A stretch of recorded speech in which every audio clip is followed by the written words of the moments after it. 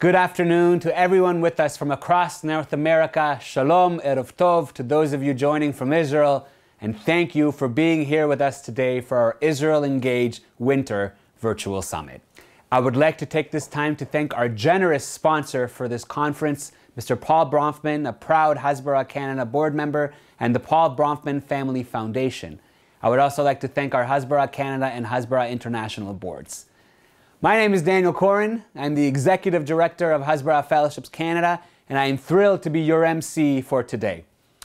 We have an intensive conference for you and a fascinating and diverse group of speakers, including former Canadian Ambassador to Israel Vivian Bercovici, activist and speaker Rudy Rochman, Tair of the amazing Israeli trio A-WA, Liora Rez, aka Jewish Chick, she is the founder of StopAntisemitism.org. Youssef Haddad, an Arab Israeli activist and I 24 News Arabic personality. Mahrinah Shije, an indigenous rights advocate and educator. Isaac DeCastro, the co founder of a student led organization, Jewish on Campus. And Joshua Washington, director of the Institute for Black Solidarity with Israel.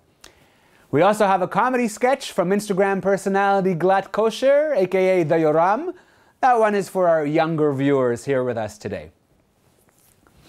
Speaking of which, I'm so proud to announce that all of our sessions today will be moderated by our Hasbara Fellows, recent Hasbara graduates, law students, and our Hasbara campus advisors. My friends, we are at a critical point in history where so many of us are divided depending on how we feel about politics, religion, science, or the environment. A time that is so polarizing, thanks especially to social media, that there's rarely any nuance in conversations anymore, and you're quickly labeled based off of 280 characters as either right or left, black or white, Republican or Democrat, liberal or conservative. And everything, for some strange reason, warrants a comparison to the Nazis, the Holocaust, Kristallnacht, or some other event where Jews have suffered. For students on campus, whether in person or online, they need to pass a litmus test just to make sure they can be accepted to the progressive student clubs, to any of the social clubs, and to the groups that claim to support human rights. For Jewish students, however, despite their goal to support human rights and eradicate racism and anti Semitism and help establish peace worldwide, they are often shunned from participating in any of these causes because they support the right to a Jewish homeland, Israel. Indeed, when it comes to supporting the world's only Jewish state, there is a clear double standard and a challenge presented exclusively to Jewish students, to Israeli students. Today, these students basically have either two choices be quiet about your Jewish identity and allow it to be hijacked by political anti Israel groups who spread outright propaganda, or get involved. Become a Hasbara fellow, gain the skills and the confidence necessary to speak up and to do something about it. And that is exactly the role that our Hasbara fellows play on campuses from across North America, from the University of California in Berkeley to McGill University in Montreal. Our Hasbara fellows are speaking up, proactively running campaigns that educate their peers about Israel and Zionism, and fighting back against anti Semitism and the anti Semitic propaganda that is constantly hurled in their direction. Our fellows are writing op eds in national and mainstream papers. They're running Instagram and TikTok accounts where they engage with thousands of other students, and they are on the front lines on campus to refute the anti Semitic BDS movement and student groups like Students for Justice in Palestine and Students Against Israeli Apartheid. Our Hasbara fellows were active when Leila Khaled tried to speak at San Francisco State University. Our Hasbara fellows were active when PFLP terrorists were invited to the University of Toronto. Our Hasbara fellows were active when an anti Semite notorious for saying that Jews are sleazy thieves was invited by two anti Israel groups at UBC and York. It is so easy for students to remain quiet and to not be active when fellow students and when professors harbor lies like Israel is an apartheid state or that Jews are not indigenous to the Levant. But thanks to the support of our amazing community and those of you supporting Hasbara, our fellows are able to receive the training, the skills, and the confidence necessary to speak up, to challenge their professors, to challenge the misinformation, and to offer their own narrative of what it means to be Jewish on campus. You would be surprised of what a difference speaking up makes, especially to other students. And that's why I implore all of you today to support Hasbara, to visit hasbarafellowships.org slash donate. You can donate to either Hasbara Canada or Hasbara International and help us train the next generation of Israel activists on campus. But don't take my word for it. Listen to some of our amazing Hasbara fellows about the important work they conduct on campus and hear for yourselves. My name is Yaron Sternberg, and I'm currently a rising junior at Stanford University. When I entered my freshman year, I was a confident pro Israel advocate. While Stanford had its record of anti Semitic and anti Israel rhetoric, literally, as I'm making this video, they are cleaning swastikas off of their church. I was confident because I had gone to the conferences, I had done the research, and I had the numbers, the statistics, the facts all at my disposal. I was ready for debate. Fast forward three months, and I'm emotionally drained. I've been yelled and cursed at, and I really haven't been spreading the knowledge that I that I genuinely had. I remember sitting in the lecture when a guest lecturer, an Iranian professor, said, supposedly, millions of Jews died in the Holocaust supposedly. I was stunned. I was silent in the room. I knew I had to do something, and I decided to write an article to expose the incident and teach people facts about what had happened in the Holocaust. Within a week, thousands had spread my article across the nation, and various news outlets had reached out to me. But there was also backlash. Another student on campus, completely unrelated to the incident, decided that they were going to write an article suggesting that I had made everything up. They misquoted people, and there was just no truth behind what they were writing. It took three weeks for the modifications to be made to their article to indicate that they had lied and I had been telling the truth, that the incident had happened. But by then, the damage had already been done. Hasbara forced me to look for the questions, to have those very difficult conversations. I spent a day with a Palestinian worker. His name's Mohammed. And I practiced my Arabic. We bonded over my Yemenite background and we joked. We arm wrestled. We spoke about his story and I spoke about mine. It was there that I found my voice. When he explained to me what BDS would do to his job and to his family, it was completely different than reading something from a book. You can't find people's narratives just anywhere. Hasbara takes you to those hard places. Hasbara is fearless. It teaches you to take control of the conversation. I found my voice.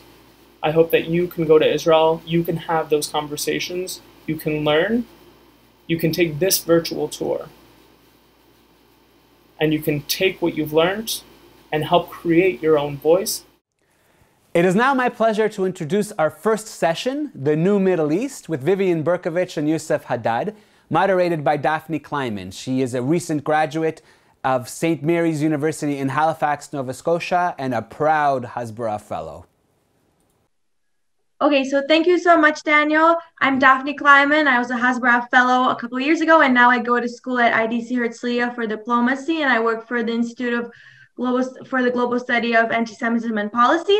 I'm here with Vivian Bercovici and Youssef Haddad, and I'd like for you guys to introduce yourselves before I start. Youssef, you go Vivian, first. You can go first. Okay, I guess I do the short stuff. Ladies, ladies first. Ladies first is all the. Okay, so so polite. Um, so hi, I well, hi Daphne, Yosef. nice to see you guys. Um, and hello, everybody who is with us. Um, I, gosh, I got to really, okay, the, the short version. Um, I, I suppose I'm here because I served as Canada's ambassador to Israel from 2014 to 2016. I was appointed by Prime Minister Harper. Um, and as a political appointee, of course, um, it was understood that I would not continue to serve uh, when the new government, the Trudeau government, um, came into power. Since uh, my service ended, I chose with one of my kids to remain in Israel. And I live in Tel Aviv, do a lot of writing on political topics um, and topics related to foreign policy, Israel.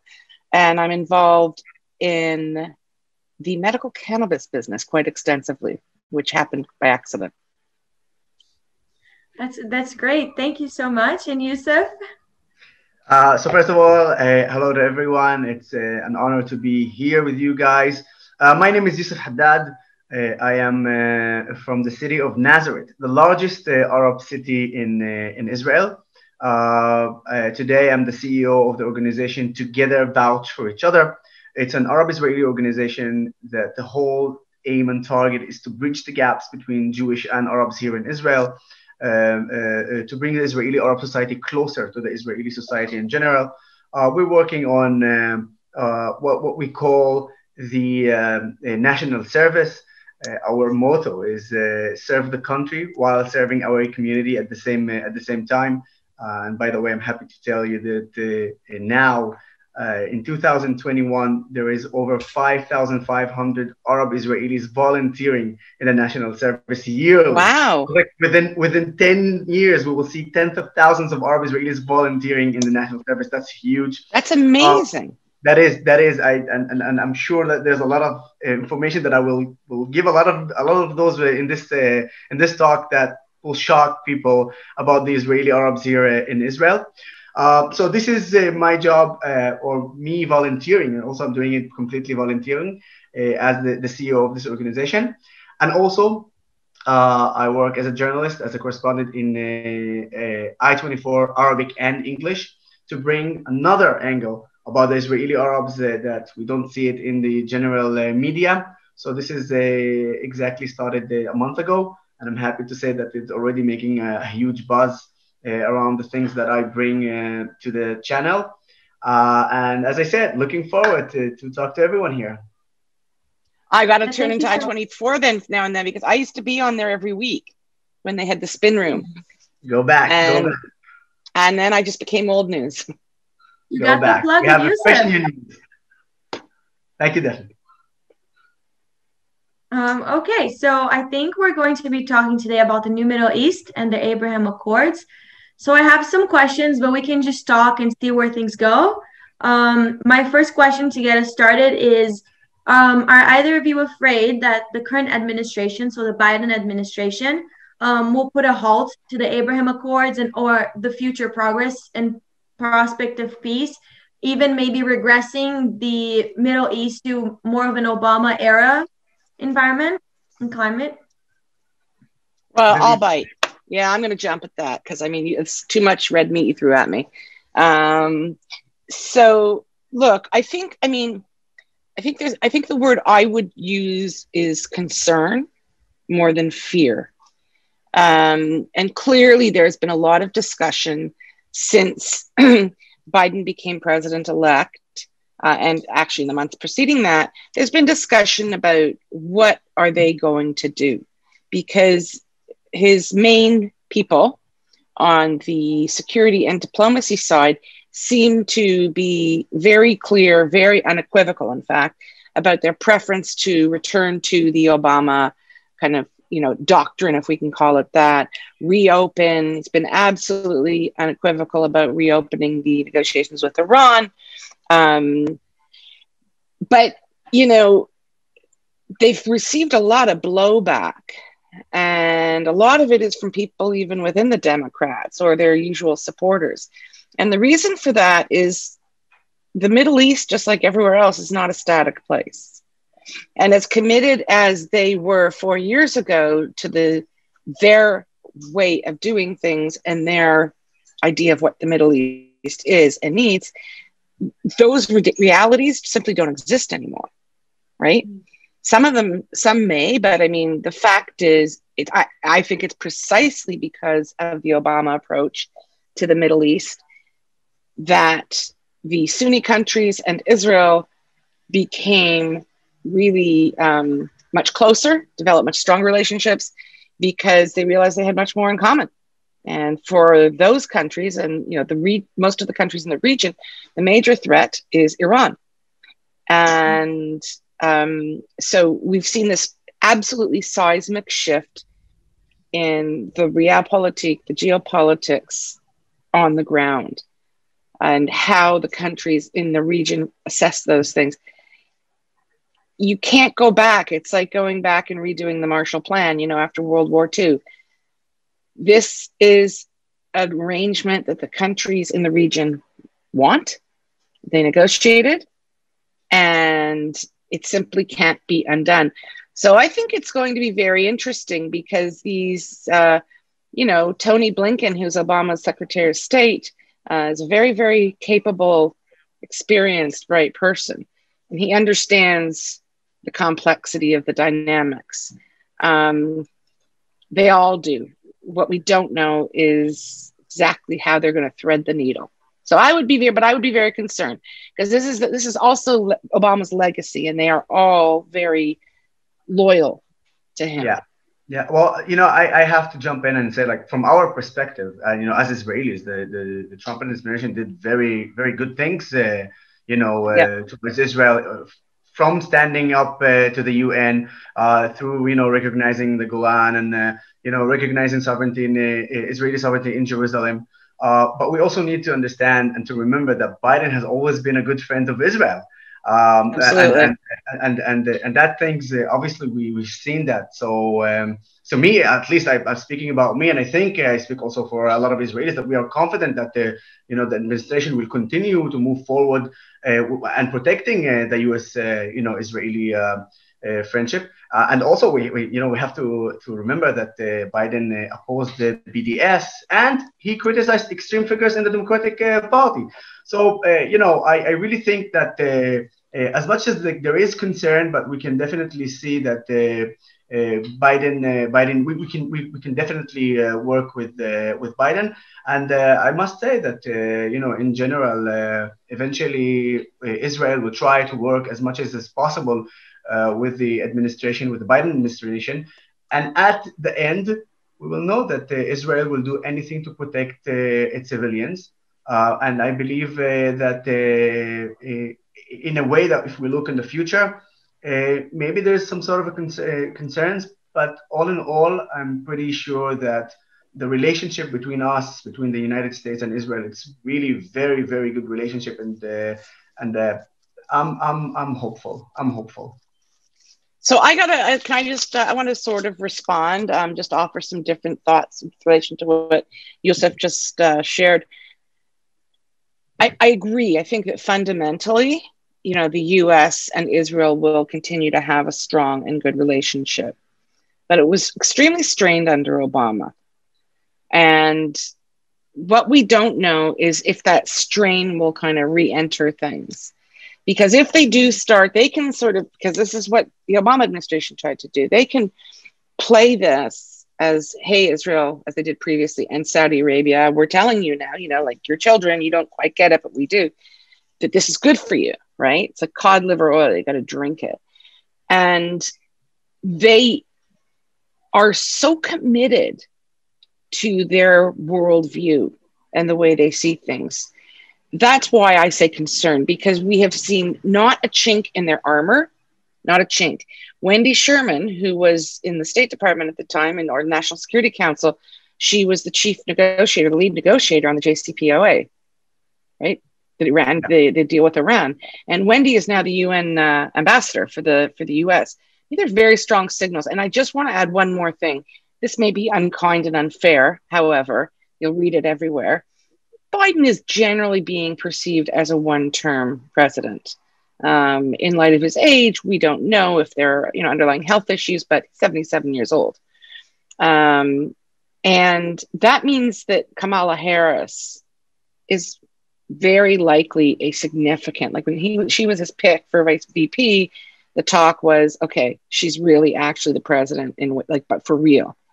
We don't yeah. really know, other than very kind of saccharine, high level platitudes. She's like Obama was when he came in. He had no record. We don't really know what she's going to do, what she thinks. Uh, we don't know if and how much she may work to bring in or reel in the the far left of the party we don't know and that's another very big concern is how they're going to particularly after january 6th how they're going to manage that very very um, corrosive yeah, well, uh, you know, it's uh, it's it's uh, for me at least. I, I have to say that it's very important that uh, uh, Uh, I am not a, a diplomatic or uh, you know or, or, or, an American, and, and I want to like I'm bringing. Neither the, am I really either. um, uh, American or diplomat, but yeah. um, so it is it is it is I'm speaking a, a, in a perspective of an of an Israeli and how I see it. But by the way, talking about you know Obama, obviously it was for Israel at least during that time, especially with the Iranian with the Iranian with the Iranian deal, but obviously Israel uh, doesn't want to go and re-enter the you know uh, re-enter the, the, the Iranian deal between also American and uh, and and Iran. But we we must know and, and understand that in here in the Middle East. Uh, and especially in the Gulf, now we have a different uh, point of view, especially with the Abraham Accords, and the and the fact is that now also uh, the Emirates and Bahrain and also Kuwait, Saudi Arabia, obviously uh, they're also opposing and against any deal with Iran, which which now there's some sort of a I don't want to say strange, but uh, like it's amazing that now we can say a coalition uh, with the Arab uh, countries and Israel. But it's, I know, it, right? Was, it, it, was it was before a coalition, a but block. nobody talked about it. A block. Yeah, a block. We're like a exactly. cartel, like OPEC. We're yeah. a cartel so, like OPEC. So like there is a there is a block with with Arab countries and Israel and if we if we knew about this before, uh, but it was like you know behind the scene, now it's so obvious, which gives also some sort of a confidence about it, and that's why I said I'm also hopeful. So um, maybe this is the situation that we we will test it. Uh, by the way, there is another uh, important issue that we need to talk about, which is the Israeli election. Uh, obviously, there's a huge, uh, huge, uh, you know, impact if Bibi, Benjamin Netanyahu is going to stay in uh, in office or not, and and this could also affect. Uh, you know how it will be. It will be not regarding to you know the pluses and the minuses about it. Back to you, Daphne. We, you know, we, we're taking time. It's like no, this is amazing. I just want to pick on something that both of you mentioned. Youssef, you mentioned how good the Trump administration was um, in the regarding Israel and the UN, and Vivian, you mentioned the new appointed ambassador to the United States at the UN. And we had the Abraham Accords, which were historic. But as far as um, I've seen, they are not actually being reflected in the UN. They don't seem, Israel didn't seem to get any praise. Arab countries are not really being praised. We had a small speech from Bahrain, but that was as much. As the voting record isn't that different. There have been several condemnations passed. Why do you think that is from a former ambassador perspective and also from a, an Israeli Arab perspective? Why do you think there's this? Listen, listen. Why hasn't it changed? Well, uh, whatever happened in the UN, we know and we understand uh, that uh, uh, the reality and uh, and uh, and what happens in the world to what happens in the UN. There's like you know it's disattached. There's no really connection between reality to to what's going on in over there in the UN.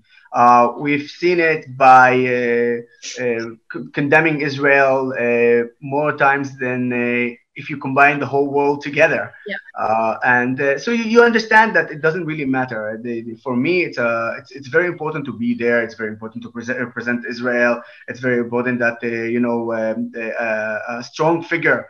Uh, also to you know uh, to represent Israel with also you know being a, a, a professional and uh, with with uh, with a lot of years of experience. Um, but the, the, the thing is that we need to understand that when you come and represent, and we're talking about how finally these peace agreements are not peace agreement between leaders.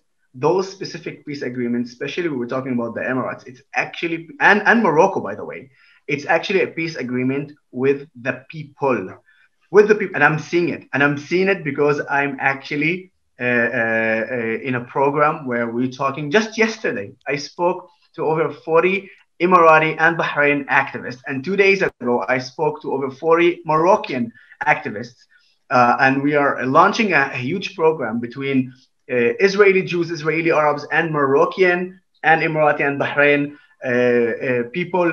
Uh, we're launching a program that they will come here and visit us and we're going to go there and visit them. So this is the most important thing i'm i'm i'm, I'm telling you genuinely i really really don't care about what's happening in the un we've seen those resolutions we've seen those condemns and we know exactly how it works over there we've known that for years and years and years today what i'm looking at is what happened with the people and I'm telling you, it is beautiful. And I will add one more sentence before I pass it to Vivian. Today, and I'm not talking to myself because I'm not a Jew, I'm an Arab, but today, you are more safe walking in Dubai than in Paris. And that I do believe that. Well. Yeah. Yeah. It's it's astonishing actually. So I yeah. mean, I'm starting to feel like, you know, he's the glass full guy and I'm the glass empty girl. it was um, good dynamic. That's the first time they told me that. no, you're listen, I'm an optimist too. Um, but I have to say on the UN, totally agree. Totally agree. Um, but you know, the thing with the kind of if I can call it the Biden slash Obama camp is they still buy into the fairy tale and I think that, you know, the UN, I don't think, I know, the UN was created in the post World War II era because there was just tremendous shock and horror at what everyone had allowed to go on. And there was a determination, I believe it was absolutely well intentioned, that, you know, we as a planet have to behave better and we're going to sign on to these aspirational, universal, very high ideals. In my view, the, the dream was over by the early 50s, um, and it's just gone downhill since then.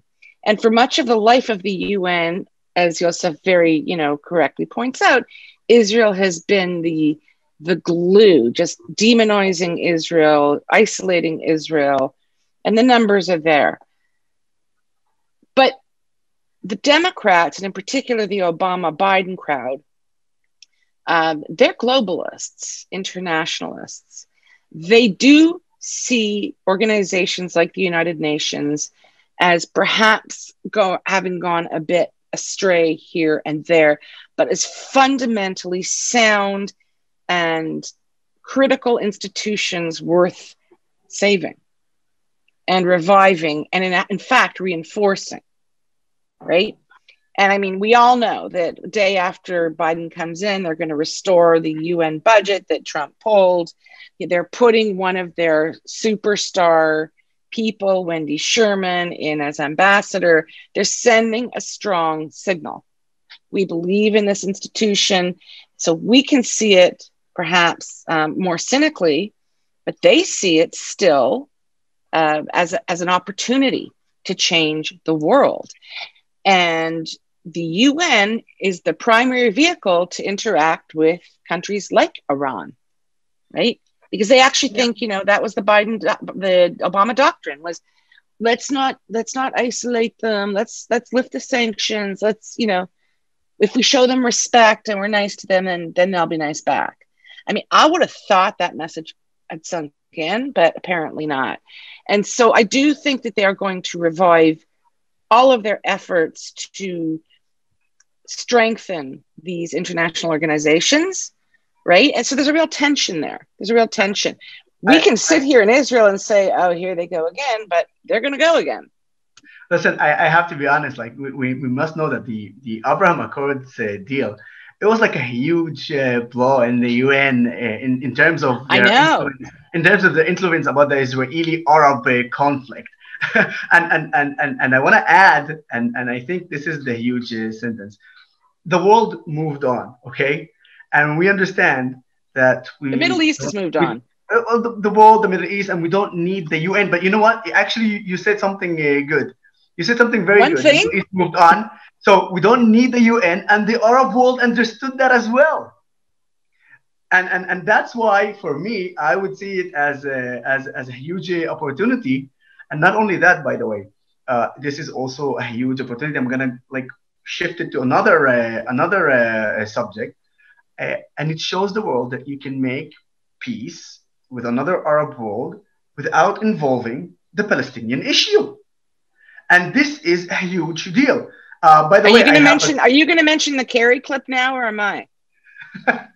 I'm, you, I'm, I'm, I'll, I'll, tell you. I I'll tell you. No, I'll, I'll, I. You, Yeah, you can go. take it over, Vivian. You can. No, I just wanted to say, I mean, on that, that's such a great point because at, I believe it was 2016 at the Saban Forum, which is held every year uh, in DC, and it was all the rock stars of foreign policy world. Sadly, I never made the list. Um, and uh, John Kerry was speaking. He was being interviewed by Jeff Goldberg, the editor of Atlantic, 2016. You, you immediately understood what I'm talking about. Huh? You immediately course. went Kerry. Of You course. immediately went for it. Good. I know we're like telepathic, me and Youssef. And uh, Kerry sat there looking very, very patrician as he does, you know, with his like glasses, like the, you know, all of that stuff. And he said, uh, "Let me make this very clear. There will never be peace in the Middle East until Israel resolves finally the Palestinian conflict. I've heard, and he's sort of like dismissively, I've heard, you know, people talk and Israeli leaders say, no, we can do these bilateral deals. There is a lot of interest in the Arab world. No, no, no, no, no. For anyone who hasn't seen it, you got to dig it out um, because that clip really is the best metaphor for the Obama administration's approach. And again, to me, the unanswered question, and I think it's probably very much unanswered now within you know the meetings of uh, the transition team for the Biden presidency. The unanswered question is how how loyal are they going to be the Biden people to that idea? I mean, the other thing you have to remember is they're smart, they're caring, they're professional, they're all those things. They're also human beings with egos. And they serve this man, Obama, who they think is like, I mean, he's sort of got, you know, kind of cult god status. And they see this as um, a, a significant taint on his legacy and on his principles. And those are their principles and their legacy too the end of the day, you know, even uh, when I was in office and people, uh, you know, you're interacting with incredible people all the time. People would ask me, "What's it like?" And I said, "It's like high school." I mean, you know, obviously we're functioning at a different level, but you know what? All of those complex interactions and the egos and the popular people and the not popular, it never changes. I'm sorry to say for those of you who peaked in high school or didn't peak. Yeah. No, that's an excellent. That's an excellent metaphor, actually. I do want to go back to the the John Kerry that we were talking about because I really um in, like that the the idea that we can never move forward without solving the Palestinian issue. I really like that to talk about that. And one thing that I had written down that I wanted to ask both of you is that we have prominent diplomatic fi- um, figures such as like the head of human rights Ken Roth and Amnesty International. It doesn't matter what Israel do. We're vaccinating. We we, we are doing accords, and all they will tweet about because that's what they do. They just tweet is how Israel, we, the Palestinians, Palestinians are suffering. It doesn't matter what Israel do. The Palestinians. So I would Right. love to hear what you guys. Well, I have to because um, I'm actually working on a, an in depth piece on this issue that I'm going to be filing tomorrow. I write for Commentary Magazine in the States an awful lot. It's an excellent platform because you can, you know, really get at stuff. Um, so I happen to be very, very up to speed on on this issue. And look, I mean, I'm I'm kind of my working title is the anatomy of the emergence of a new Jewish blood libel. So they under the Geneva Convention, because they're saying Israel's, you know, criminal as usual, breaching every standard of decency, you know, international human rights criminal, Geneva Convention breaches, blah, blah, blah. Geneva Convention requires the occupying power, and no one's disputing that Israel is occupying, well, some are, but I'm not, that Israel's occupying the West Bank. Uh, Gaza's a little more complex. And Israel had a responsibility, has a responsibility under Geneva, the fourth convention, to provide health care. The Oslo agreements over 25 years ago were negotiated between the parties directly. And, and they were very detailed. And the Palestinians enthusiastically assumed full responsibility for a number of powers education, security, land use, which I realize is a controversial statement, um, health. And in particular, they specified vaccines. Now, it's just kind of, you know, what the Israelis have done is they work very cooperatively and very effectively with the Palestinian Authority. And their health standards there are actually quite high. They're in many ways higher than a lot of countries in Western Europe. They're doing a heck of a better job than Canada in procuring vaccine and, and starting to um, plan for a, a vaccine rollout. And the idea is that they have autonomy and they want autonomy. This is about nation building, demonstrating you can do it. So, what exactly is the argument? The Palestinians want it, Israel wants it, Palestinians are doing it. So, what Israel, even though they're, and they say this, they say this, even if the Palestinians don't want help, which is contrary to Oslo, Israel should force, they should just go in there because they're the occupying power and say, we're here and we're doing everything. I mean, they have a million arguments that are ridiculous. They're absolutely ridiculous. And I would say to, hang on, I would say to them, okay, well, you know what? I actually don't like what's going on in your schools and your education system because I know you have curriculum, you know, math problems. Okay, if I kill three Jews and then I kill 20 Jews and I divide it by, right? It's uh, there is an incitement riddled curriculum. I'd like to go in and take over your schools and your curriculum. So Amnesty's got to pick a lane, right? Yeah. The, the test isn't is Israel doing a better job more quickly than um, Russia. The test is is are the Palestinians doing a, a good job taking care of their population? It's a reasonableness standard. It's not the Israel, you know, top of the world standard. Canada's failing that one. Yeah. So, but, and but the Palestinians, hang on, the Palestinians never even saw this. Like they, we know they were surprised. They're like, all of a sudden, there's all this noise in the Western media. What the hell's going on here? They weren't yeah. like there wasn't a problem. This is about just demonizing Israel because they hate Jews. And it's you know what? The usual I totally thing. respect that. I totally respect that. I don't like it. But at least if you're just a rabid Jew hater, have the integrity to come out and say so.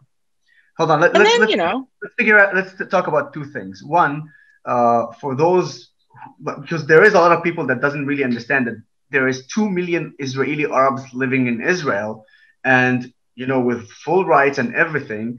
Uh, right. Uh, by the way, 1.5 million are Israeli Arab Muslims, 145,000 Israeli uh, uh, Arab Christians, 145,000 Israeli Arab Druze, and 130,000 Israeli uh, Arab Bedouin Muslims. So now and the Circassians, that, and the Circassians. Sorry, ah, the, the Circassians. Yes, but, yeah, Yeah. but the, the Circassians are not are not they don't speak Arabic and they're so sorry they speak Arabic but they're not Arabs. They are from Kafkas, so they are a minority, but they're not from the Arab society. Okay. So Okay. um, so so we just we have to say it first of all that vaccine is open to all Israeli citizens, including the two million Arabs. That first off. Now let's talk about the Palestinians. And you said you said the Vivian and, a key a key sentence where you say that they're not taking care of their own people and expecting others. Um, I don't know if people understand how much a, a, a vaccine costs, but one dope is about ten dollars. Israel is paid thirty dollars in order for uh, for us to get it faster, uh, which is fine. But let's say, let's say the Palestinian leaders negotiate the vaccine to, to get a vaccine with a $10 uh, per dose, and which means, for instance, in Gaza, there is 2 million people. You put $20 million and you can actually vaccinate the whole society over there. But what Hamas actually do? Let's talk. I understand there's laws, and I understand we're talking about, uh, you know, uh, uh, uh if we want to go in terms of uh, any uh, professional talk, whatever. I'm speaking solely from the point of, you know, common sense. Hamas gets millions and millions of dollars every year from all kind of places, from Qatar to the U to the European countries, and I don't know which organizations they decide to put these money on building ter uh, terror tunnels, rockets, and paying their own people. I've seen it. I have witnesses that came from Gaza and spoke to me about it, telling me that the money goes only for who is relative to the Hamas leaders, which means that when you come and talk about Israel, but you have money that you don't spend on your people, you can lecture us. That's about Hamas, specifically about Hamas the terrorist organization that control Gaza, that control 2 million Palestinians, and does nothing. I always, by the way, say, give me five years. I swear to you, give me five years with the budget yearly Hamas taking, I will make Gaza a little Singapore. I'm not joking. Now, as for the West Bank and the complicity of the West Bank, especially I'll do it in four. I'll Sorry? do it in four. You do it in I'll four. do it in four. I'm not gonna I'm I'm not gonna argue there. All right. You, you, have more you have more uh, um, uh, experience than me, so probably you're right. The power um, duo. Both of you can do it. Uh, we'll we have an Arab spokesperson, an English Hebrew spokesperson. We'll do it together. All together, right. we'll do it in two years. So as for as for uh, as for the West Bank, we understand that there is a complicity because of the way we are talking about, also in terms of uh, uh, you know legal uh, uh, issues. But eventually, the same thing we talk about that when when the Palestinians want Israel, you know, to uh, take control, okay, and to help, they would say, "Oh, Israel is not helping." But if Israel do something as sort of taking control over the Palestinian Authority, they would say, "Whoa, whoa, whoa, whoa! You're taking control of us." No, so. Uh, what I mean is that eventually we need to understand that um, people who hate Israel, it doesn't matter if it's uh, because of anti-Semitism, because of Israel existence, or anyway, they will hmm. still talk about Israel in that way. We move on. We show, by the way, uh, this is something that we do in, in, in our organization in terms of also social media. We talk about this hypocrisy we talk about this hypocrisy.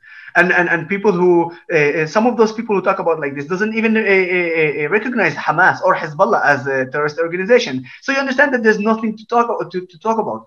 So you move on. And by the way one last thing to talk about and this is something that any citizen of any country would say. First of all we will vaccinate ourselves including the israeli arabs who are living in israel because they are part of israel. We vaccinate ourselves. We take care of ourselves and if we help not just Palestinian Authority or Hamas or whatever, also Cyprus wanted uh, help.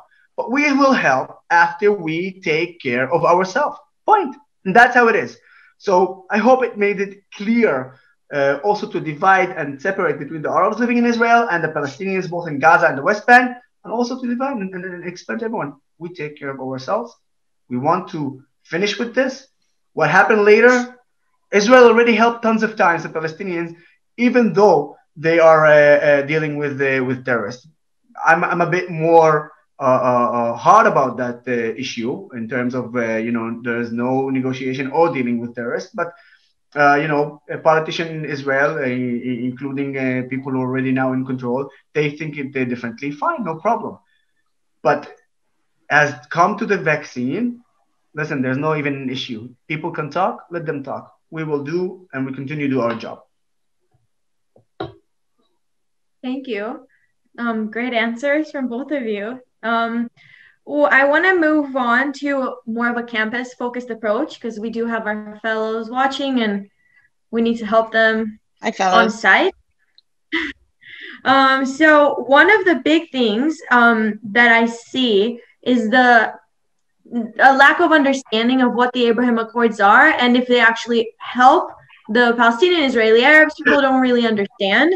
So, how do we um, communicate this to campus students? How can we take them away from the pan-Arabist idea that anything that is good for Israel cannot be good for Palestinians, which is something that I saw a lot as a as a student. I, will I'll start on that. First of all, we, we need to understand that uh, Eh, eh, eh, saying that anything is good for Israel when we are signing a peace agreement with Arab countries, not good for Palestinians, is the most idiotic thing I could hear. And do you know where I heard it also from? I heard it also from the leaders of the joint list, the Arab joint list here in Israel, when they voted against that peace agreement. Now, listen to this and listen to this carefully. The Arab joint list they were the only one who voted against the peace agreement in the parliament, Israeli parliament, in the Knesset. The first people, and this is by fact, the first people to get on the plane and to go uh, as a tourist and to do businesses as well, they were the Israeli Arabs. Israeli Arabs. Why? It's simple. It's our mother tongue language. We know the uh, uh, the traditions. Okay, we it, it, we we're coming. You know, we, we speak the same language as I said uh, and and this opened opportunities for Israeli Arab to do business, successful business. Uh, you know, further, we're already seeing that the election are coming in in, in, in the in in, in, in two months on, on March. We've seen that the joint list, because some of some of their actions, they're losing more than 30% of their power. They're losing over five seats in the Knesset, which is huge. That's huge. Um, so we've seen that what they did, actually, the Israeli Arabs voted and said, no, we are against uh, uh, your vote, uh, voting against the agreement, uh, and we are uh, in favor of those peace agreements. So they, the Arab leaders here in Israel, voted against against the interest, the Israeli interest, the Israeli Arab interest. And when we come to the Palestinian, talk about the Palestinian, listen, people are saying that because of those deals, uh, the annexation didn't happen, uh, and people talking about because of that deal, now there's a possibility for renegotiation with the Palestinians and talking about about about uh, going to the, the, table and to discuss a, a, a peace a peace process. Um, when you connect those things, when we talk about peace, when we talk about peace with Arab countries, you are already, for me at least, okay, I'm speaking by the way on on, on, on my behalf for me, you already lost me in, in, in, in the interest of hearing you.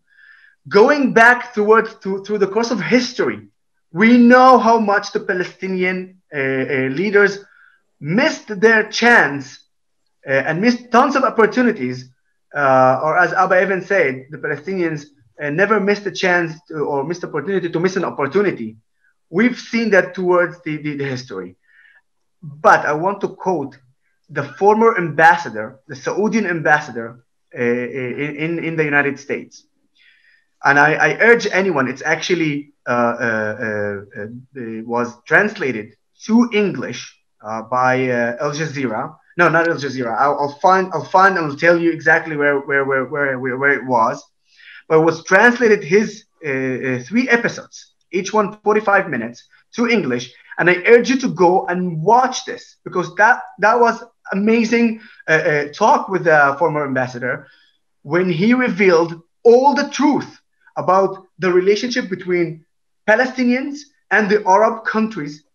Ended up by sum it, I'm, I'm going to sum it up by saying when he said, "We stood year by year with the Palestinians, giving them everything they want, although we know that they're wrong, only only to be Uh, after that to be attacked by them, only to be attacked by them, only to be condemned by them, because if we did something as A, B, or C that wasn't suitable to them.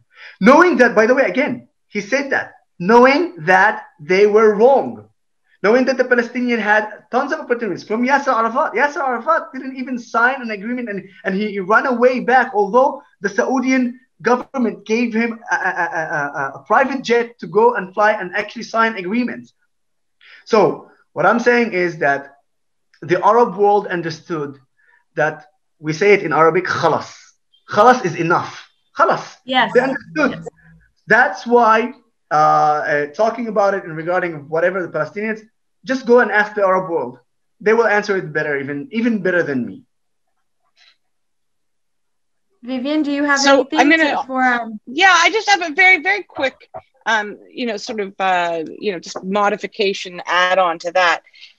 Um, I, I think that everything uh, that Youssef puts forward is is uh, bang on, um, and I, I think that also it's really important to to look at the Palestinian approach to the issue, and that's an approach that you know we're kind of coming full circle. Their approach has been maximalist and obstructionist. What do I mean? They have their kind of 150%. Um, you know, here's our wish list. And we're just absolutely not only are we not deviating, we're just going to keep ratcheting it, ratcheting it up. It's an absurd situation. There were wars. They were wars started by countries around Israel, um, and they lost and there are consequences to that. Um, Israel is sitting on this land, and the Palestinians are the only group in the world, in the world, since this is one of the biggest travesties of the UN. Since the inception of the UN, there is a UN Human Rights Commission that deals with all refugees. And then there's the special UNRWA, United Nations Relief Works Agency, that just deals with Palestinians. They're so different from the Rohingya, from, I mean, go all around the world, pick your refugee.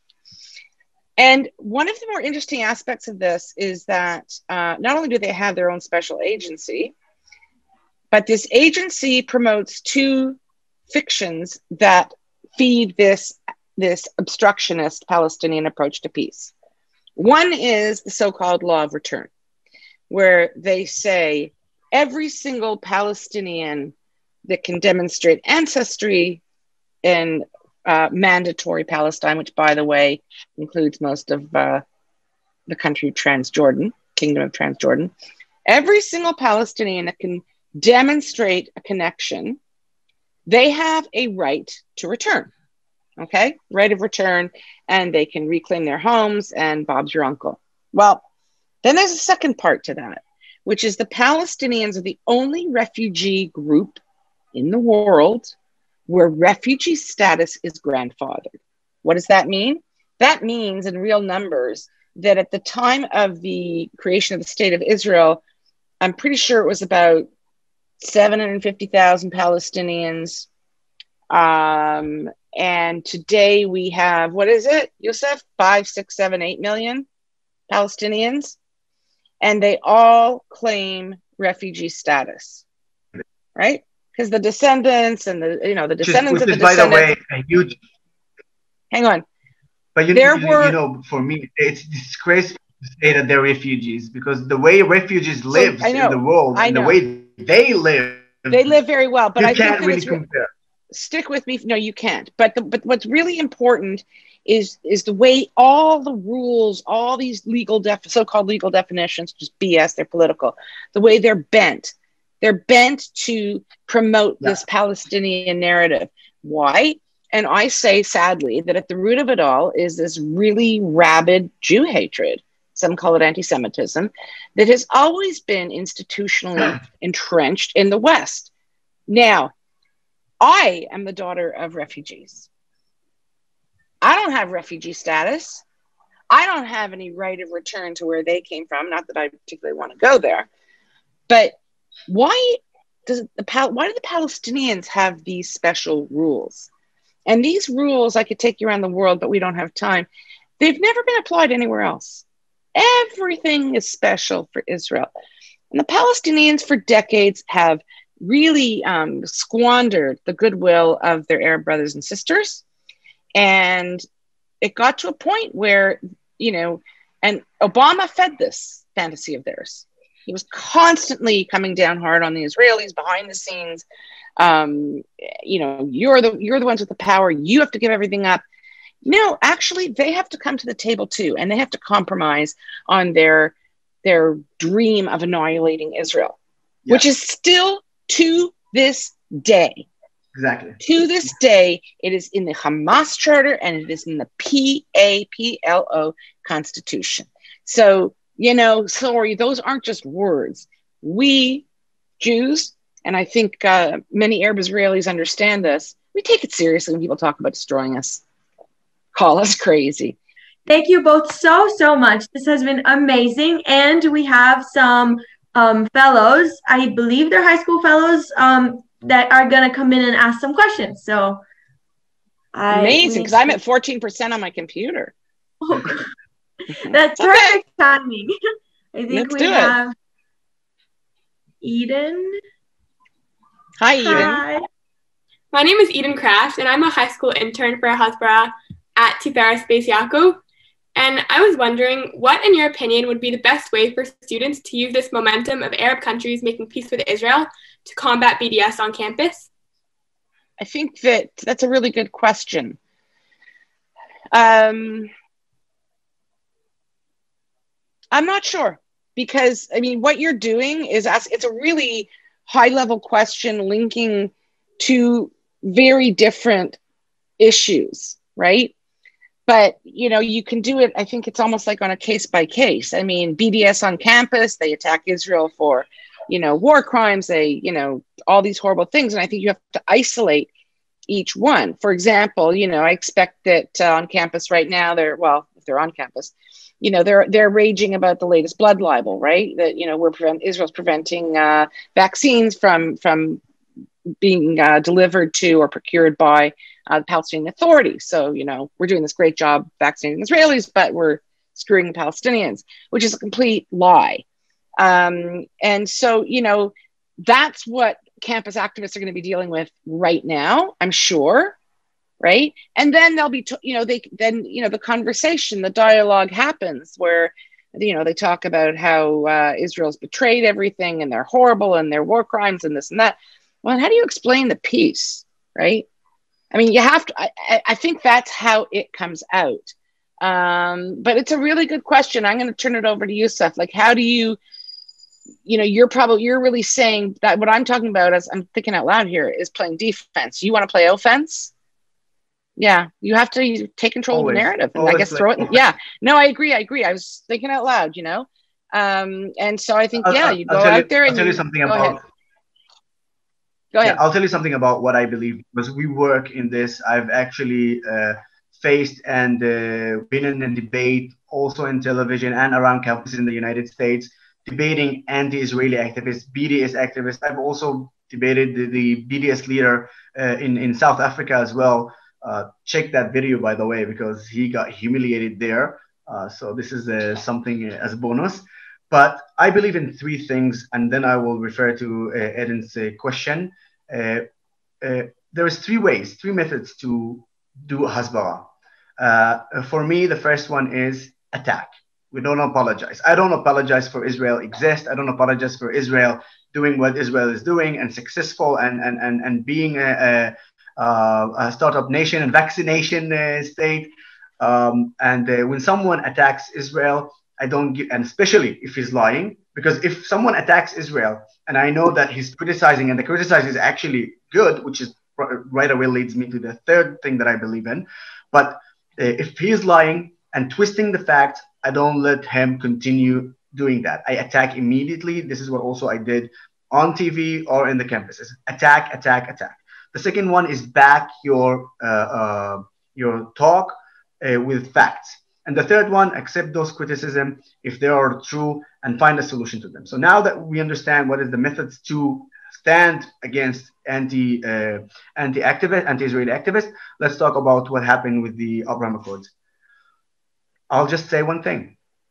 Look, before the Abraham Accords, all the Palestinians were talking about the Emiratis, that they're their brothers, sisters, part of the nation, the Arab nation. Once the Emiratis said, listen, we want to look for our interests. We want to look for what's good for our nation as well, which is doing connections with Israel because soon the oil will not be number one and we need to go to high tech and whatever. And uh, yeah, and so they start taking care of their interests. When they let go the interests of the Palestinians and they uh, endorse their interests themselves, the Palestinians automatically start attacking them. By the way, today they are attacking them more than they're attacking the Jews. If you say that you're Emirati or you say that you're a Jew Israeli, yeah, yeah. there's a highly, highly possibility that you will be attacked more if you're an Emirati. Okay. So we understand that the the point their point of view it's not about you know the peace agreement. It's not about it's just about Israel being Israel and dealing with Israel. And now we've seen it. We've seen it with the Moroccan. We've seen it. The, you, you should see how they go to the the, the, the, the like the mosque, the, the Al Aqsa mosque, which is uh, what, it's one of the the, the most important uh, uh, holy place is Mecca in uh, Saudi Arabia, but uh, Al Aqsa uh, it's it's one of the important places for the Islam, and over there, over in this holy site, you treat everyone by the Islam. Yes, you treat everyone with respect, even if he's not a Muslim. But when a Muslim come to visit Al Aqsa and you spit on him and you treat him as, uh, as, as an animal. And you do all these things when he's also you know a muslim. That shows the true color of those people. And when you face someone from uh, the bds talking about these things just show them these pictures. Just show them the videos. Just talk to them about how they treating because they did that. Attack back. Attack back. Don't say oh listen we try no. Not at all I hope I answered your question. Eden? Thank you so much. Thank you. Thanks, Eden. Bye, everyone. Say hi to your dad. I will. So my, my name's Noah Lewis, and I'm a uh, first-year uh, Hasbara fellow in law school. Wow. Oh, no. University of Windsor. That's so Okay. cool. Nice. So my question for you is, so what role, if any, can Canada play in furthering the historic milestones of the Abraham Accords?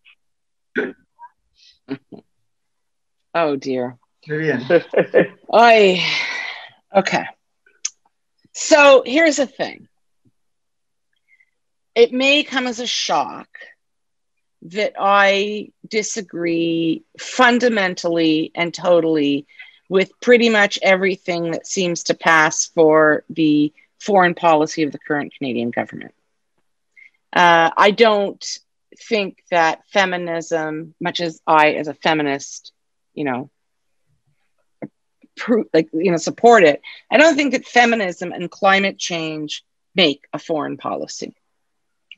Um, I have good reason to believe and to say that this government does not have a principled, disciplined approach to foreign policy, particularly in the Middle East, in which they've demonstrated almost no interest other than through a feminist prism.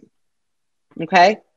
And so I don't think this government um, can play much of a role based on the way they seem to prioritize at the moment, uh, which is sad. At its at its best, Canada, you know, is a so-called middle power, but Canada, you know, we, we can't get in there with the big guys. We don't have their clout. But okay, I gotta move before I like I, I I'm gonna talk, right? I'm gonna stop the video, but I'm gonna keep talking. Okay. But I have to put my power in my computer. Um, so Canada can, as a middle power, do a tremendous amount. Um, it, can do so much behind the scenes. It can act as a kind of broker between the major powers, you know, to generate discussion. Track two, which is sort of Diplo speak for, um, um, you know, confidential or off the record, so to speak, discussions between diplomats. That's what Canada has typically done. All right, I'm going to be in a different spot now, guys. Voila. And that's the Canadian role, and that's the Canadian place. Um, sorry, I'm just the cord's not. But what can Canada do now? Canada has pretty much no credibility in the Middle East, none. They blew their credibility in Saudi, right? That was a bit of a fiasco a couple years ago. And they really don't do anything. The big thing for Canada was bringing in Syrian refugees, which is a great thing to do. But again, that doesn't a foreign doesn't make a foreign policy. Uh, on Iran, they have been schizophrenic. Um, so I think that you know you need a government with credibility in the region, which this one does not have. And so right now, I would say not much. Um, I don't know if you noticed that uh, when the Abraham Accords were announced, um, there was a deafening silence from Ottawa. It took them a week, maybe even two, to you know issue their bland, say nothing statements like, "Oh, you know, we think peace is great." You know, uh, I'm sure that the Abraham Accords absolutely knocked their socks off because it's not how they are much more Obama ish in how the bureaucrats I'm talking about too, not just the political people. And bureaucrats really run things. They're much more aligned with the Obama worldview. Um, they would be absolutely uncompromising um, in terms of taking the position that until the Palestinian issue is fully resolved, nothing can happen. This goes against every um, every bit of orthodoxy in that department, and that's the way it's always been. So it took, I, I'm sure they're just shell shocked, and they're just what can they do? You have no credibility, um, and you have no real principle. So sorry to say, like I think we're in the wilderness on this one as a country. Change of government or um, a change in the policy approach could change things.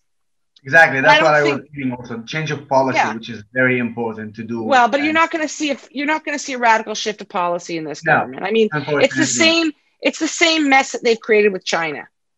Canada actually had so much. You can hate Stephen Harper, you can love him, but one thing he did have was credibility among world leaders, and he was punching, and Canada was punching way above their weight, way above their weight, because he was respected, he was smart, he was principled, you know, and they knew that he he came at things in a dis came at issues in a disciplined way.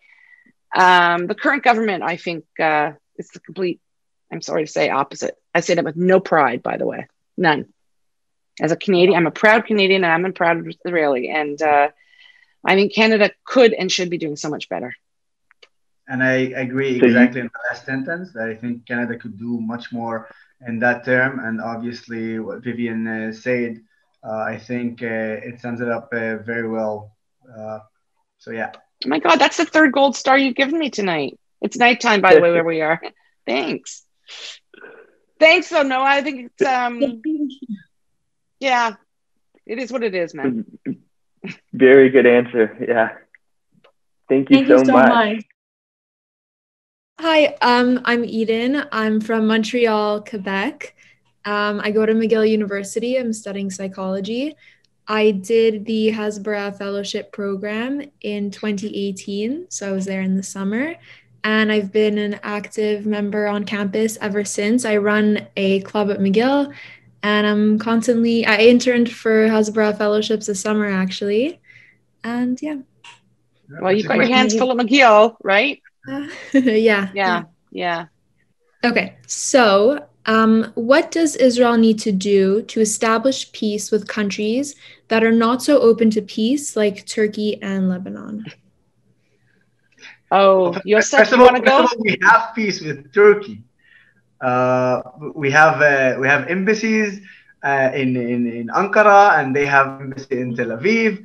But the fact is that uh, Although, although, just- hey, exactly, Erdogan went crazy when yeah, uh, yeah, yeah, yeah. signed. That's, what, Yeah. that's what I'm saying. Uh, no, but th- this is the whole idea. This this is the hypocrisy that I was talking about, and actually, it comes in a different forms because when the United States uh, uh, said that, uh, announced that uh, they're moving the embassy uh, to to Jerusalem, Erdogan threatened to cut relations with Israel, not with the United States.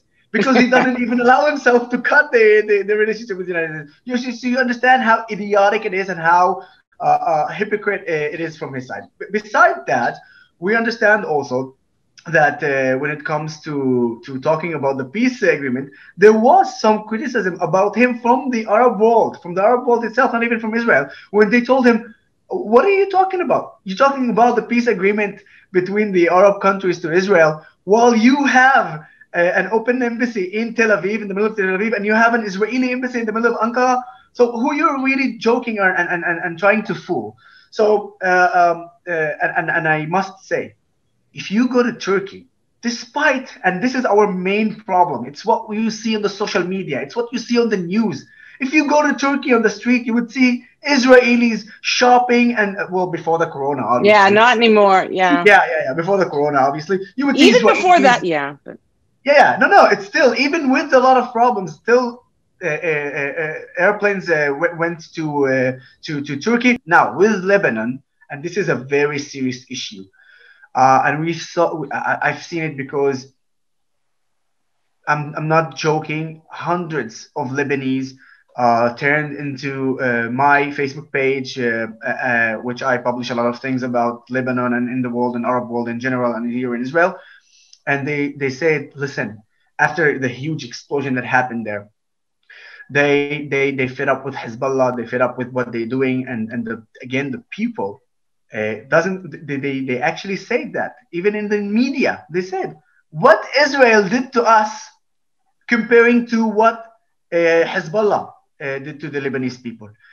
Unfortunately, Eden and, and, and, and everyone understand this. Unfortunately, as long as Hezbollah controls Lebanon and Hezbollah controls Lebanon, nobody can, because that's why when someone says that Lebanon is a democratic uh, uh, country, it's BS. It's not.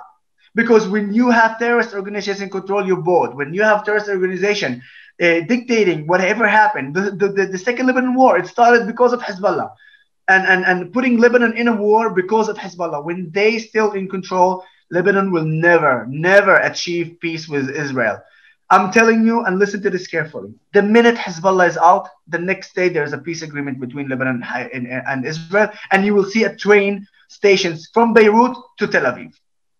100%. Strongly disagree with you on one really critical point. Hezbollah is Iran. I mean, yeah, it's, yeah, yeah, I, no, mean, no, I, but, I, know I'm, I'm joking, no, but I mean, it's, what it's, what I'm saying, proxy. So we understand. We, everyone understands that Hezbollah is, supported by Iran and by the money of Iran and the and the uh, uh, and the, the extreme uh, Islamic Shia, but. Uh, uh, and, and unfortunately, they're not going going anywhere. But they they themselves, you know, they have a political party, Al Amal, a, a Lebanese political party. They have representatives in the Lebanese parliament. So we understand that they moved from sort of a militia to small army to even a political uh, power. And that's why when they represent like this Lebanon, we have zero chance of making any peace with them. Zero chance with the Lebanese. So when when we see that uh, uh, when we deal with Iran slash Hezbollah, then and only then we can see a peace agreement with the Lebanon. And, and I'm telling you, it would be the easiest peace agreement. I'm not. I'm regime. Not so let me. I'm going to jump in very briefly, and then um, look, regime change in Iran, which could happen. Uh, it could not, but if regime, if there is regime change in Iran, the ramifications, in my view, in a positive way for the region are huge. And um, as Youssef says, it uh, probably overnight, oh, overnight creates an opportunity for night and day relations with Lebanon. Um, much easier for Saudi Arabia to normalize relations uh, with Israel and other nations in the region. So, I mean, I think that, you know, the last few months have been absolutely remarkable right? It's just been this complete, you know, I think even to people in the fishbowl, um, really quite a surprise at what transpired. Um, and I think that we should count our blessings and focus on what we have. There's a lot of really serious, intense work to be done to see that these, what is it, four or five normalization agreements we have now with various countries in the region that they have real heft, you know, that we start to see the relations truly develop. One of the huge differences between this round of normalization and the peace treaties with Egypt and Jordan um, is that the treaties with Egypt and Jordan were primarily, um, you know, they, they came from security concerns. And uh, they've been very, very frigid peaces. They really are about political, uh, you know, interaction at the highest levels and security interaction, and that's important, right?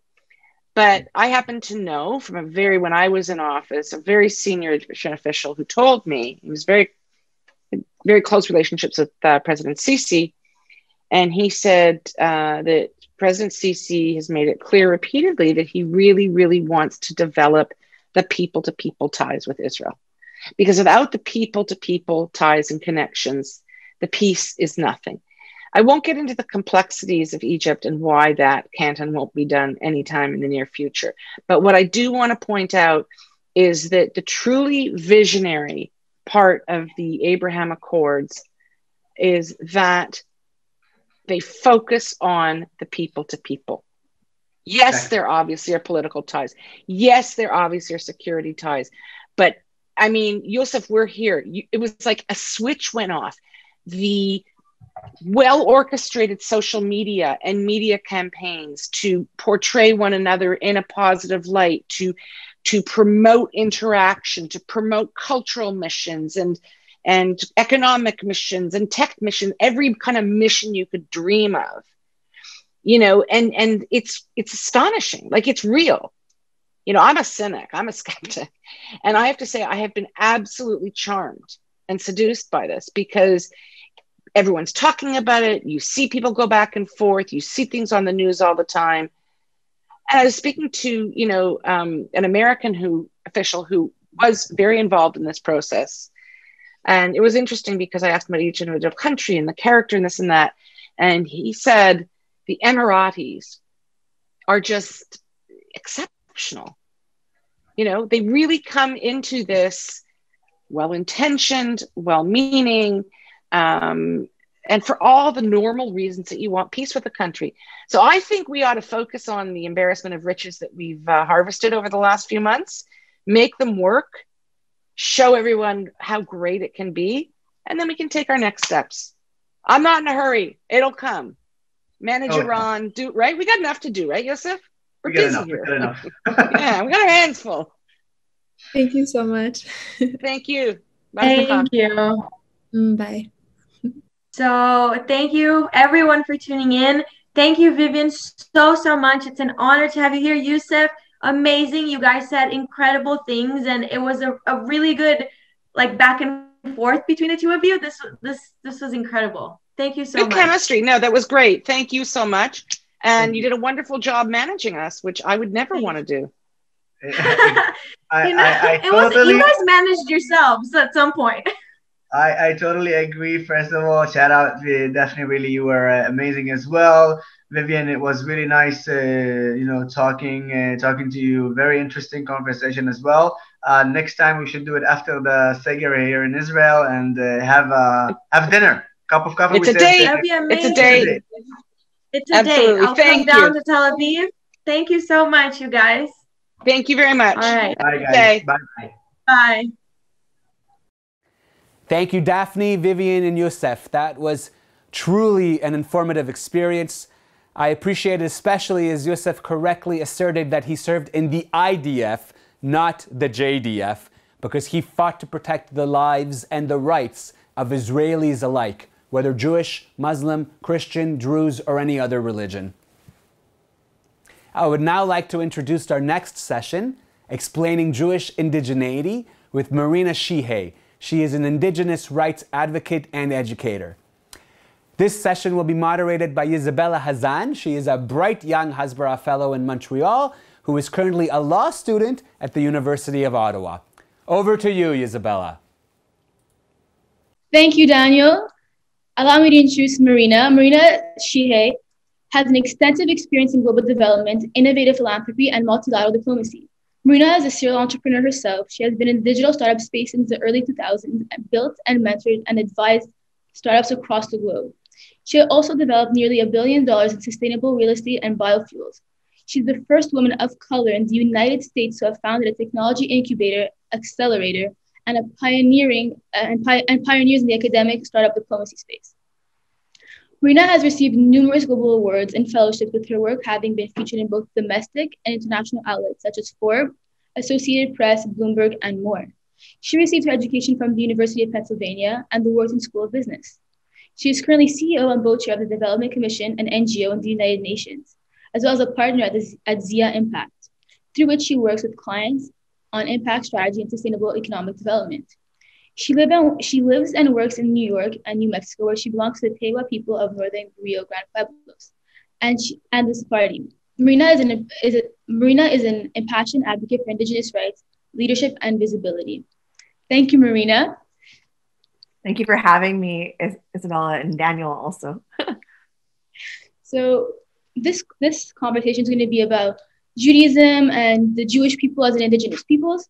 And I think it's important that we start off with saying what is the Jew and how we identify.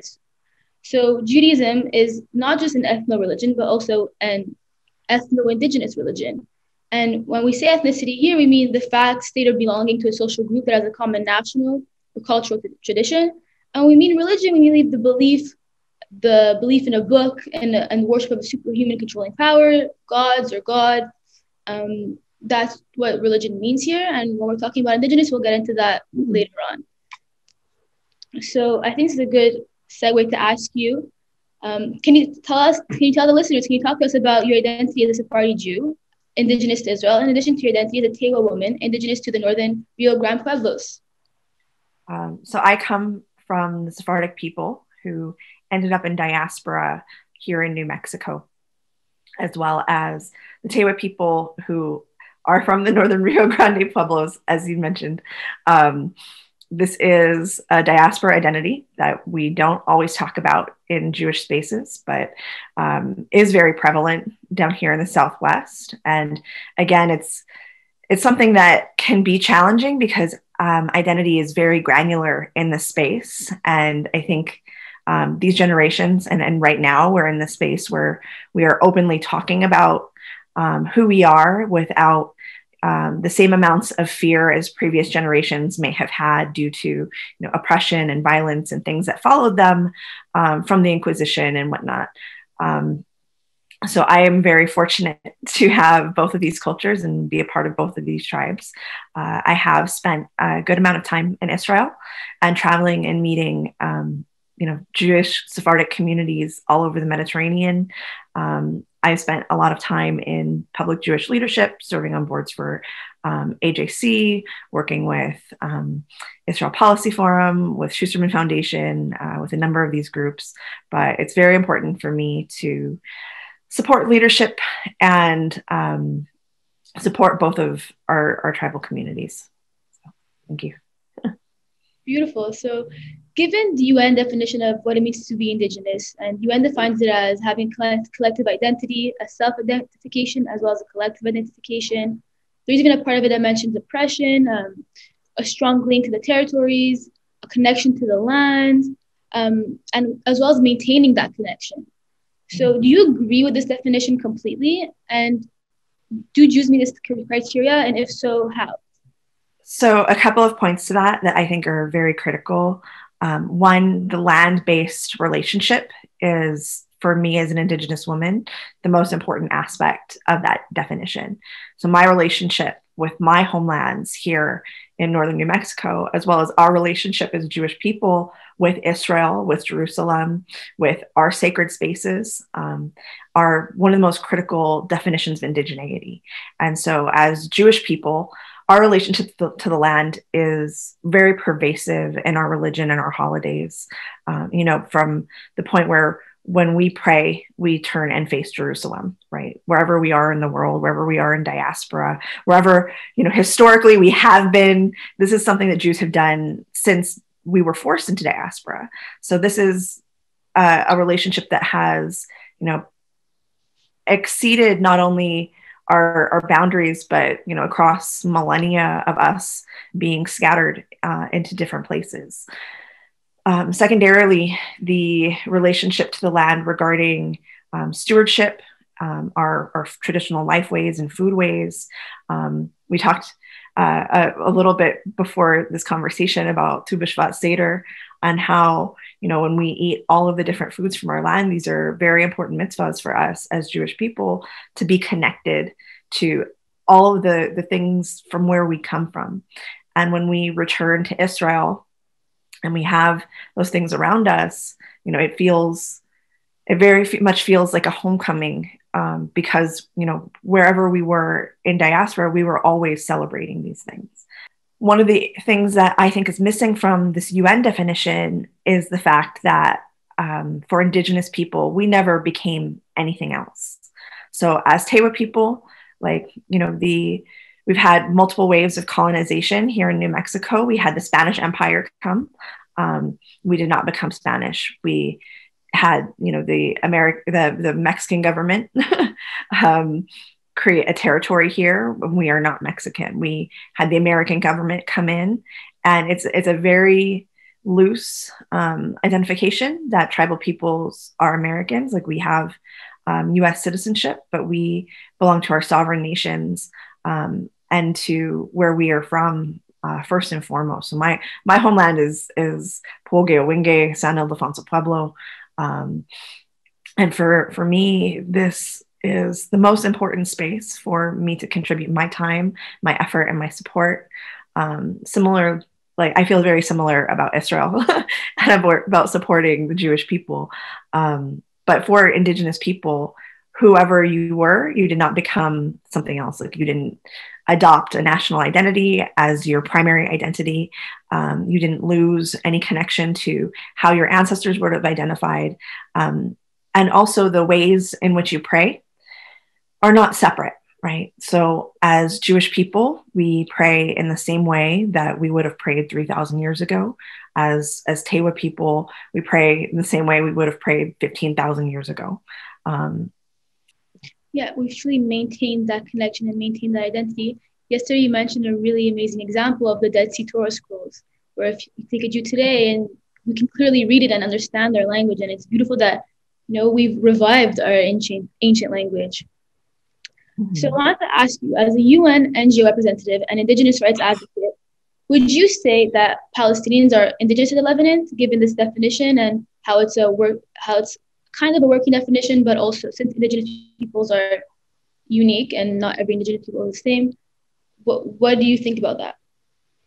So I would say that we know that there were many other tribes from the Levant. Like we we don't have any conflict with that understanding. We know that there are layers to history. We have, you know, archaeological, genetic, historical evidence. Um, these different groups have their own oral and written histories. But when it comes to the definition of indigenous peoples, again, if if you identify as um, a national identity above your tribe, above who you were, then then no, you do not fit a definition of indigenous peoples. If you are practicing a religion that is not the religion that your people originally practiced, um, that does not fit a definition of indigenous peoples. And that's not to say that any of this is wrong.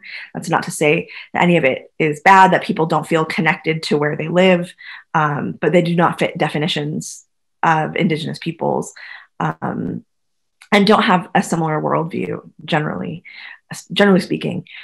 Um, I would say also that in terms of nationalism and the Palestinian identity, there are a lot of heterogeneous waves of people who came through. And, and again, as, as Jewish people with our diaspora, we have our own heterogeneity. Um, but at the core, we are all, you know, identify as as Judean peoples. Um, we all practice the same religion, and we all come, you know, relatively from this same place. Um, and I say relatively because I know that there are people who have come into our tribe um, and we do welcome them. So I don't want to make that exclusive in any way.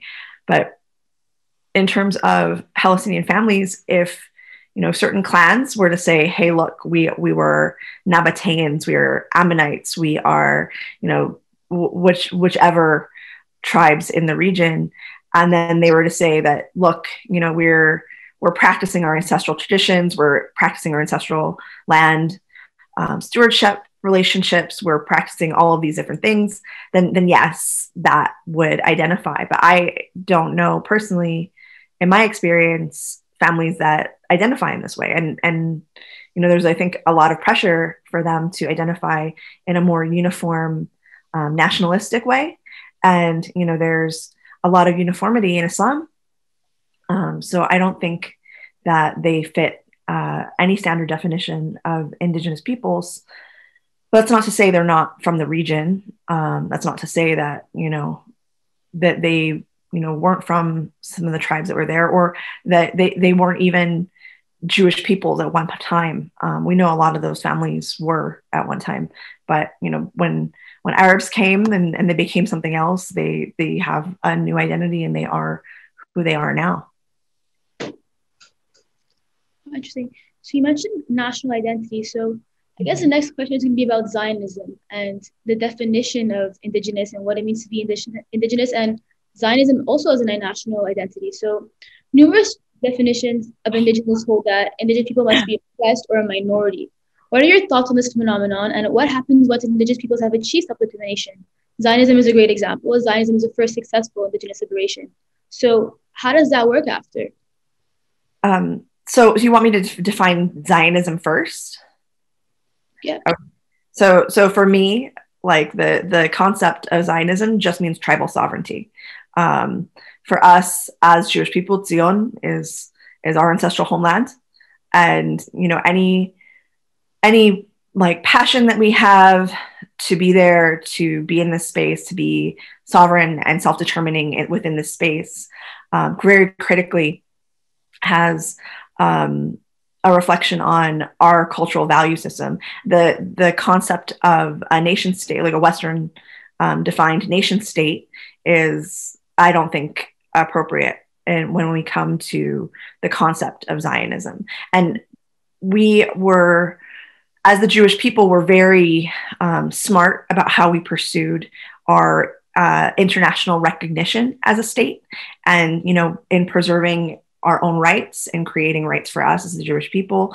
Um, you know, it's as you mentioned, it is one of the most successful indigenous liberation movements of all time and it's you know absolutely incredible and miraculous that we were able to do this as, as such a small people and like such a small space to have the international recognitions and relationships that we do you know it's it's really a special thing but for me it's it's completely an indigenous sovereignty movement zionism just translates to a love for our homeland which when I explain this to other Indigenous peoples, they say, you know, do you love your reservation lands? Do you love where you come from? Like, yes, like you you have um, the same values as Zionism, like you are a Zionist. But this is just the Hebrew terminology because that's our language. This is how we refer to ourselves in our homeland. Um, I'm sorry, the next part of that question, please. It was about oppression, how it's interesting that in many definitions of indigenous, oppression is almost required and it feels as though indigenous peoples are there's there's no hope for the future it's literally in the definition. And we said Zion as you said Zionism is a indigenous sovereignty movement a successful one. So what happens? Do indigenous people stop becoming indigenous after we're not oppressed? How that's so i i would challenge that. And like we have we have a state right? And to say that the Jewish people are not oppressed, maybe within the state of Israel, we don't face that similar oppression. But when you look at the region, when you look at, at our regional relationships, when you look at the BDS movement, when you look at international um, viewpoints on on just the existence of Israel, the existence of a Jewish state, like Jews having any space where we can be, you know, culturally viable on our own, like I would really challenge that concept that, that we are not oppressed. Like no, no one wants us to have this. no one wants us to be sovereign in our own space. And we are constantly fighting to legitimize our own reality. Um, so I don't think that that oppression has gone anywhere, to be honest. Um, and I think as Indigenous people, when you have these dominant majorities, especially ones who are exerting like very stringent hegemonic powers, like regionally or globally, um, you're always going to be pushing back to have you know your own space and your own rights and to preserve what that space is. And i think as a jewish people we know this and we've invested in you know having uh, a, an incredible brain trust of, of legal minds of policy driven minds of you know foreign policy minds. Um, so we are prepared for it. Not all Indigenous peoples are prepared for that. And that has a lot to do with the fact that, look, we've been dealing with being forced um, out of our homelands in waves, right? Like we've we were forced into Babylon, we came back. we were forced uh, into global diaspora, we came back.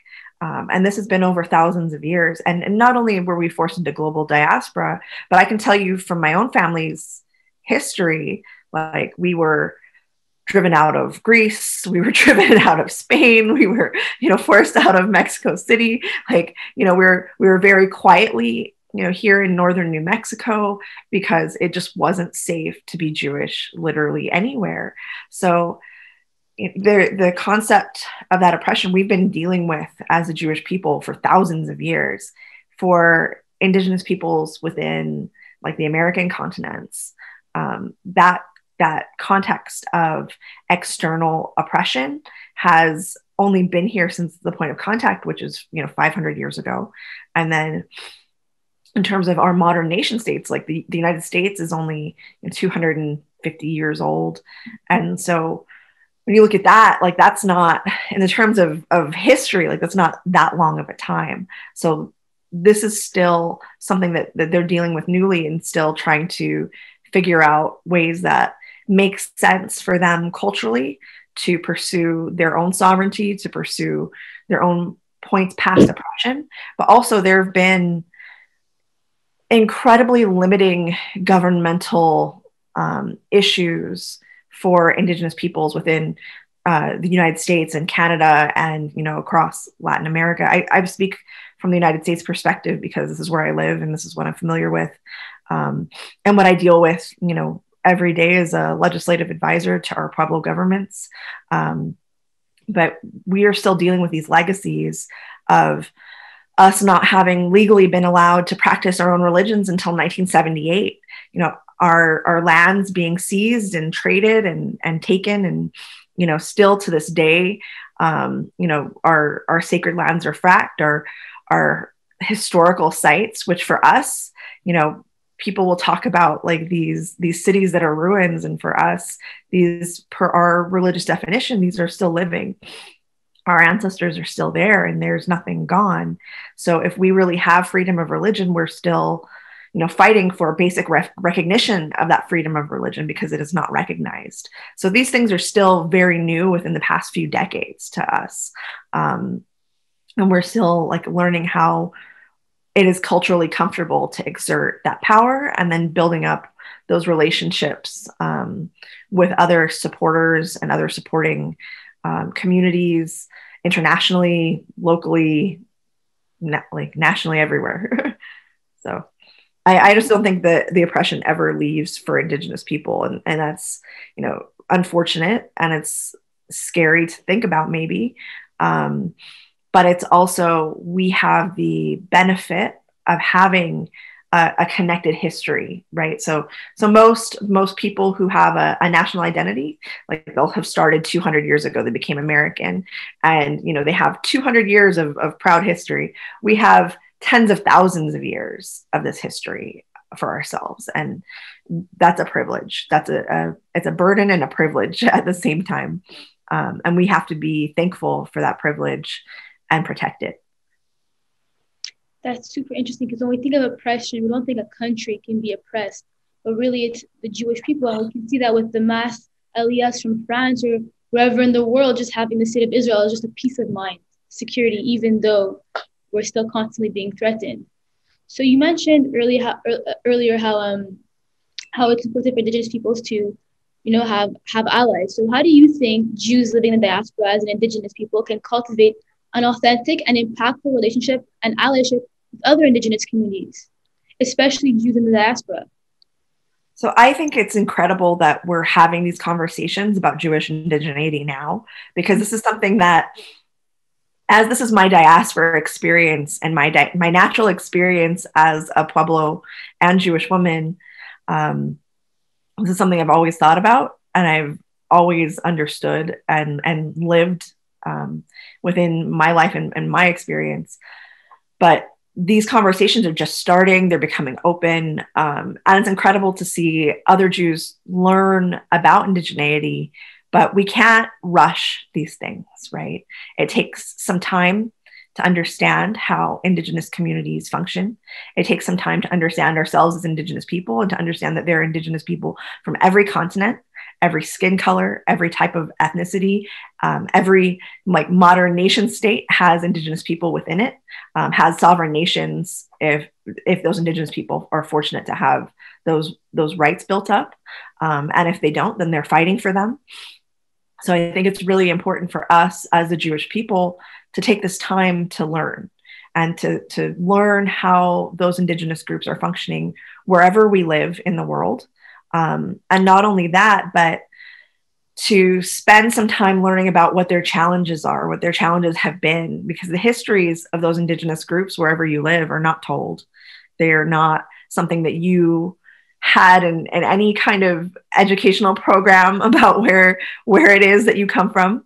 Um, these histories were intentionally erased and left out uh, so that you know these groups didn't gain more power. And, and to be honest, um, indigenous groups just want to be viable and healthy and able to live our lives in our traditional ways in the places that we come from.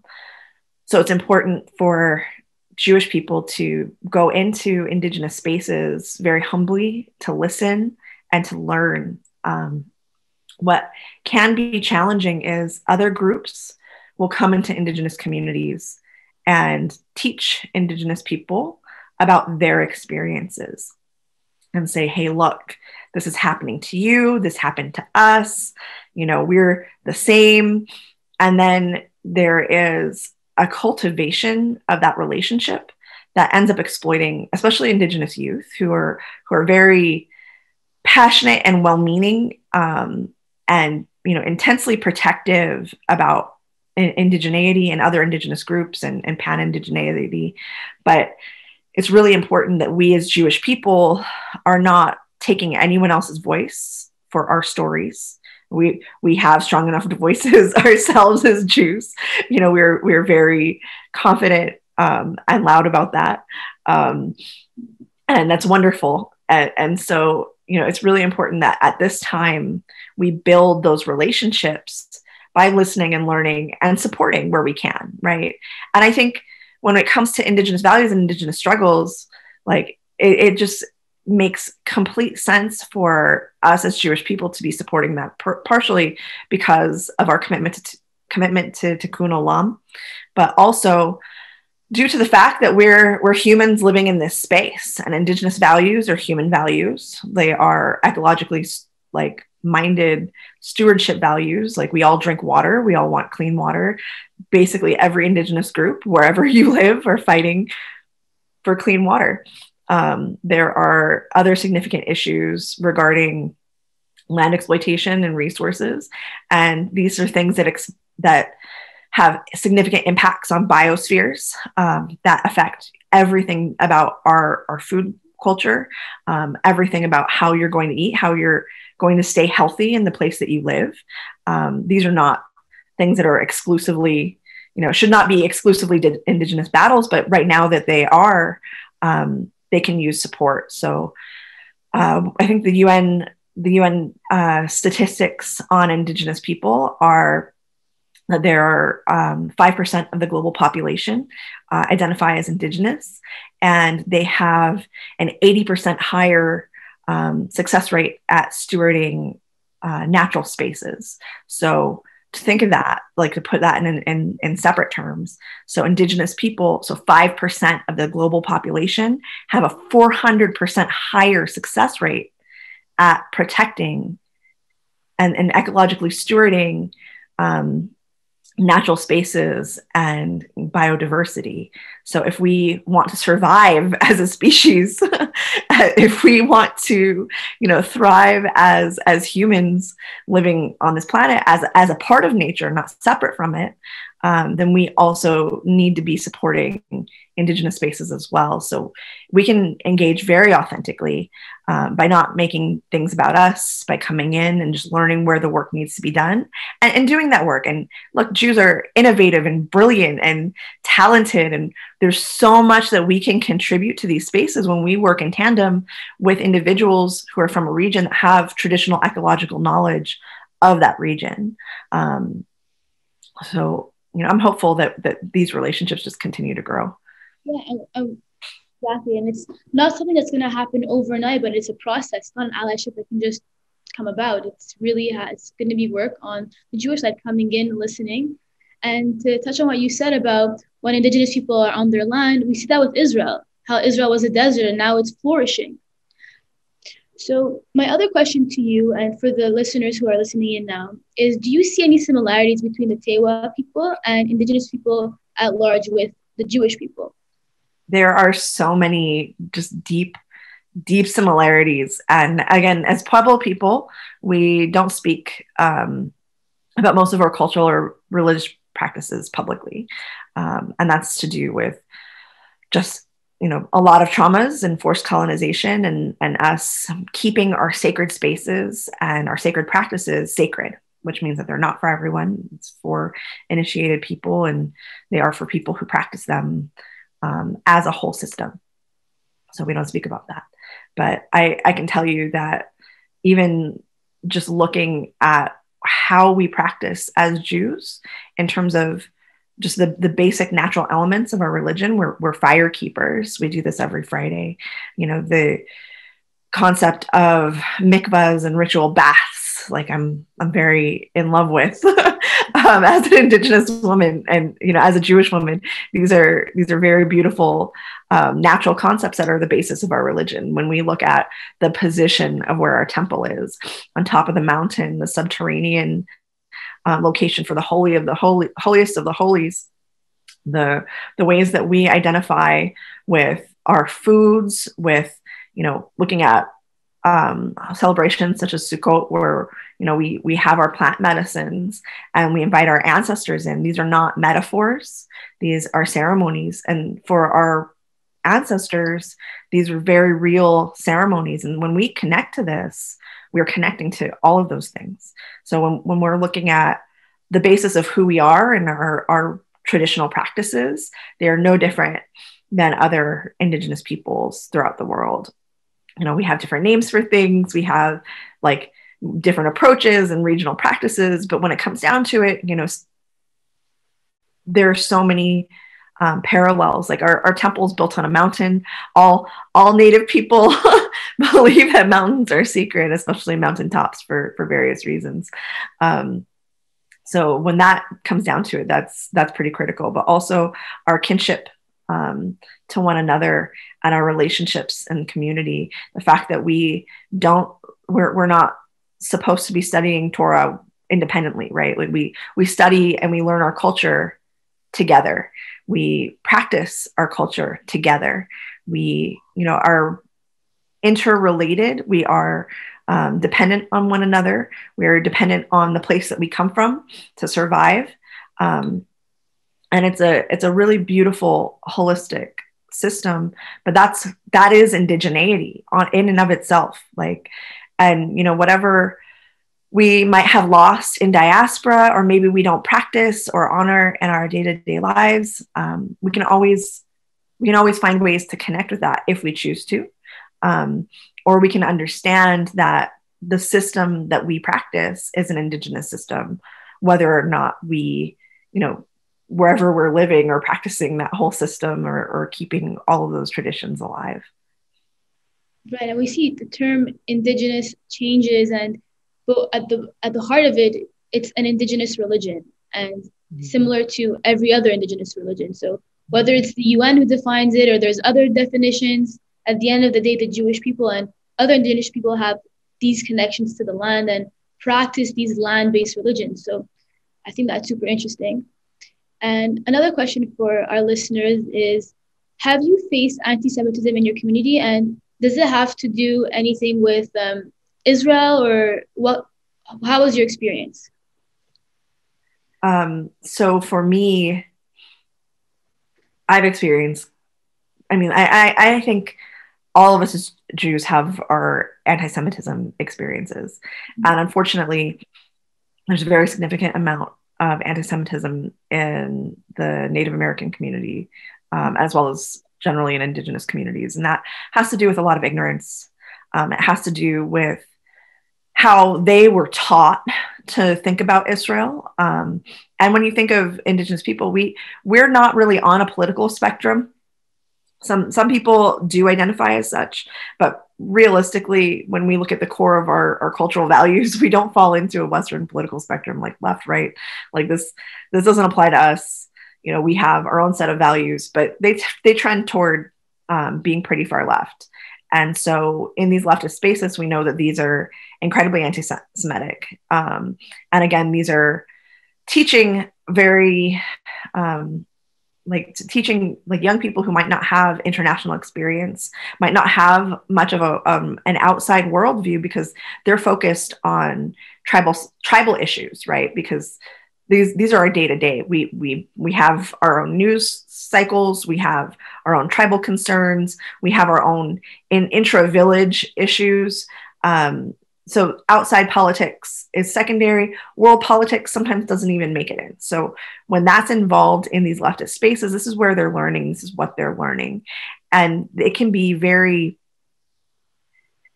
it can be very intense and problematic um, into how people are recruited into this mindset without understanding history of a region without having experience with another culture so it just ends up being um, a, a, leftist american point of view when you know jewish people and culture and region and location are not american in any way or or western at all so there's a lot of anti-semitism um, in publicly identifying as a Jew in Indigenous spaces. Um, but again, this is a, an educational issue. And this is something that can change pretty easily um, with relationship building, with you know person to citizen diplomacy, person to person diplomacy, um, with how we speak about our history and understanding how to speak about our history and understanding how Indigenous people speak to each other about who they are and their identity. And that takes, again, just listening and learning. So I think right now, there is going to be some discomfort for us as Jews in these spaces um, if we were to engage fully.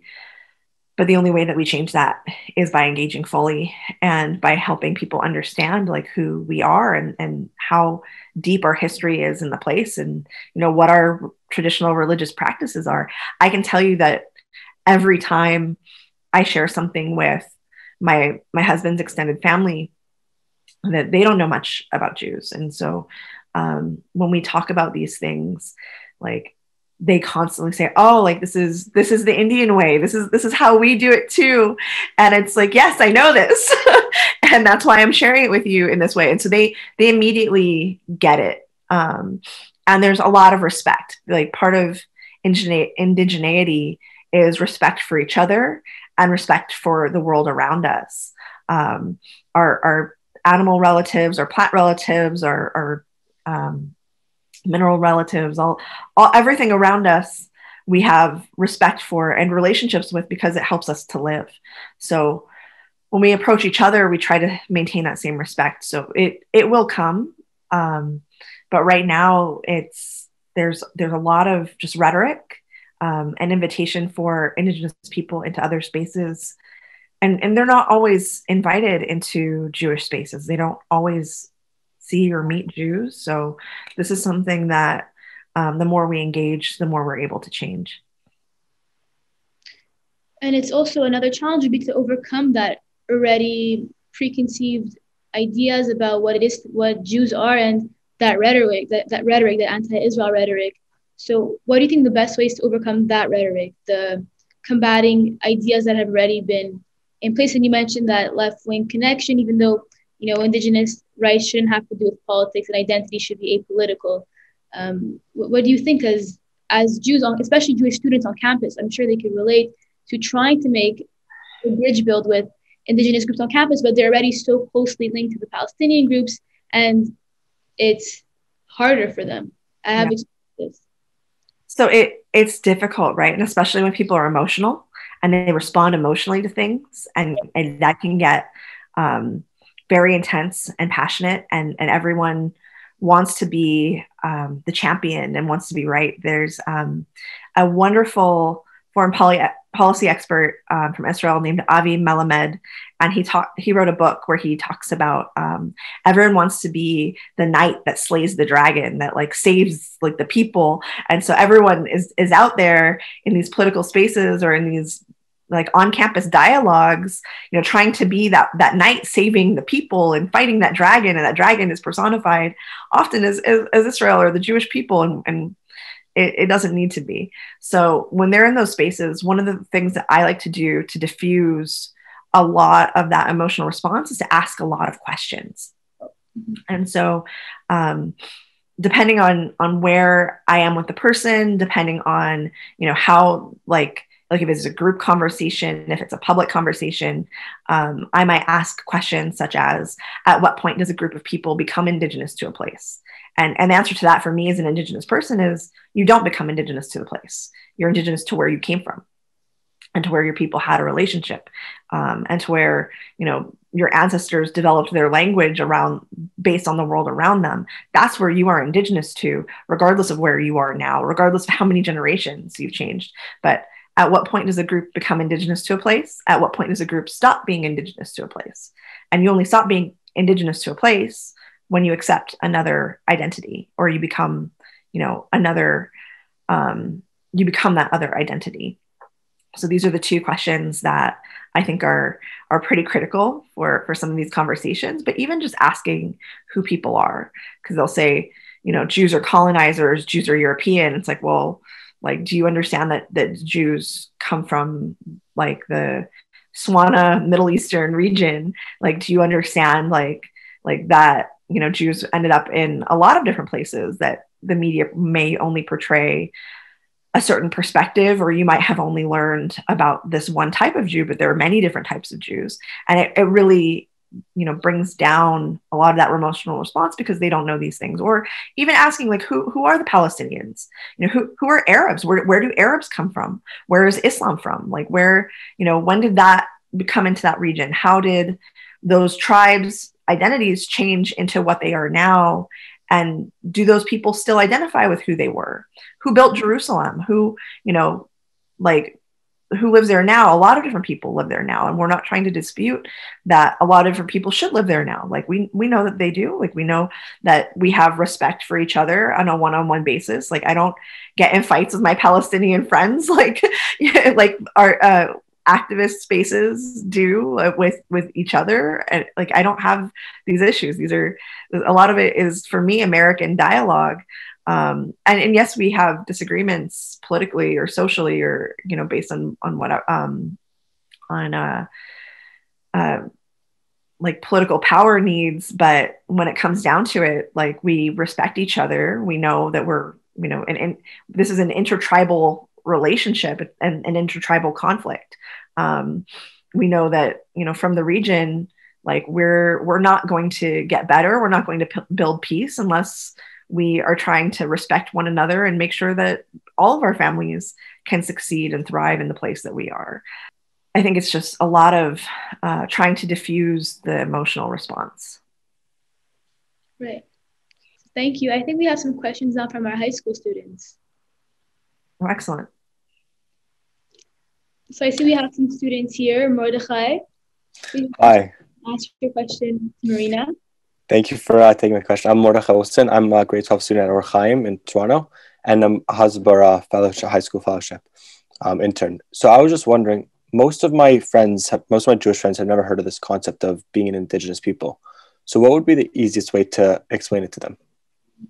Um, gosh, it, it's uh, it's an interesting thing that we as Jews, um, and I've said this earlier in many different ways, but we as Jews did not adopt outside identities, right? Like we we weren't a tribe of people that became Christian and like stayed that way and then became, you know, French. Like that the whoever whoever the French people were before, they became something else. We as Jewish people have always been Jews. We pray in the same way our ancestors prayed. We acknowledge our relationship to our homeland in the same way that our ancestors did. Um, but one of the things that we had also talked about earlier in this interview is about the Dead Sea Scrolls. So, seeing those in like the Israel Museum, you go and you look at them and you can read most of it, right? An average Jew in Israel has the capability to access any any of our ancestral um, materials and understand the context and understand like what the language, um, understand what that means, and, and understand how that applies to them today and now. So the concept of us being Indigenous people and connected to all of that is probably the easiest way to identify our indigeneity, um, but also to explain to them that look, you know, wherever they are, and you know, in in Canada, you're going to be looking at those local tribes, and and they're very different from you, and they have very different culture and practice. So I also understand a lot of people uh, not immediately understanding what their relationship to that is, but every continent every country um, in the entire world has indigenous peoples, every skin color, every ethnicity. Um, and it's really important that we talk about that, that there are indigenous peoples all over the place and not just where we are, right? And, and to point out the fact that, yes, the indigenous peoples in the place that you live are very different from you because they're indigenous to that place and you are indigenous to somewhere else. Excellent. Thank you so much. Thank you. Hey, um, hi, my name is Rena. I'm a Hasbara High School intern. Um, my question was, does being Ashkenazi, Sephardic, or Mizrahi have anything to do with Jewish indigenous status? So I don't believe that it does. These are all diaspora identities that we acquired um, and we built. And, you know, we were we were forced to assimilate into different places. Um, we were forced to look at our religion through different cultural lenses. Uh, these are all part of our history, but they're not to do with our indigeneity. Our indigeneity has to do with our relationship with Israel and our relationship to each other as Jews. And, and now we have this very complex history and these complex identities. But at the core, like you, we're we're all Jews. Like you're Jewish, I am Jewish. Like we're related. Like we're sisters. Like this is um, something that goes back well before your family became Ashkenaz and my family became Sephardic. Great, thank you. You're welcome. That's really beautiful. A Jew is a Jew is a Jew. Mm-hmm. We have a question here from Eliana, a high school fellow. Eliana, go ahead. Hi, I'm Eliana. I go to Hebrew Academy High School of Montreal. And I was wondering if you constantly have to explain yourself to people, even to Jews, how you're both Jewish and Native American, and how you, as a Jewish person, are Indigenous. So the answer to that is yes, absolutely.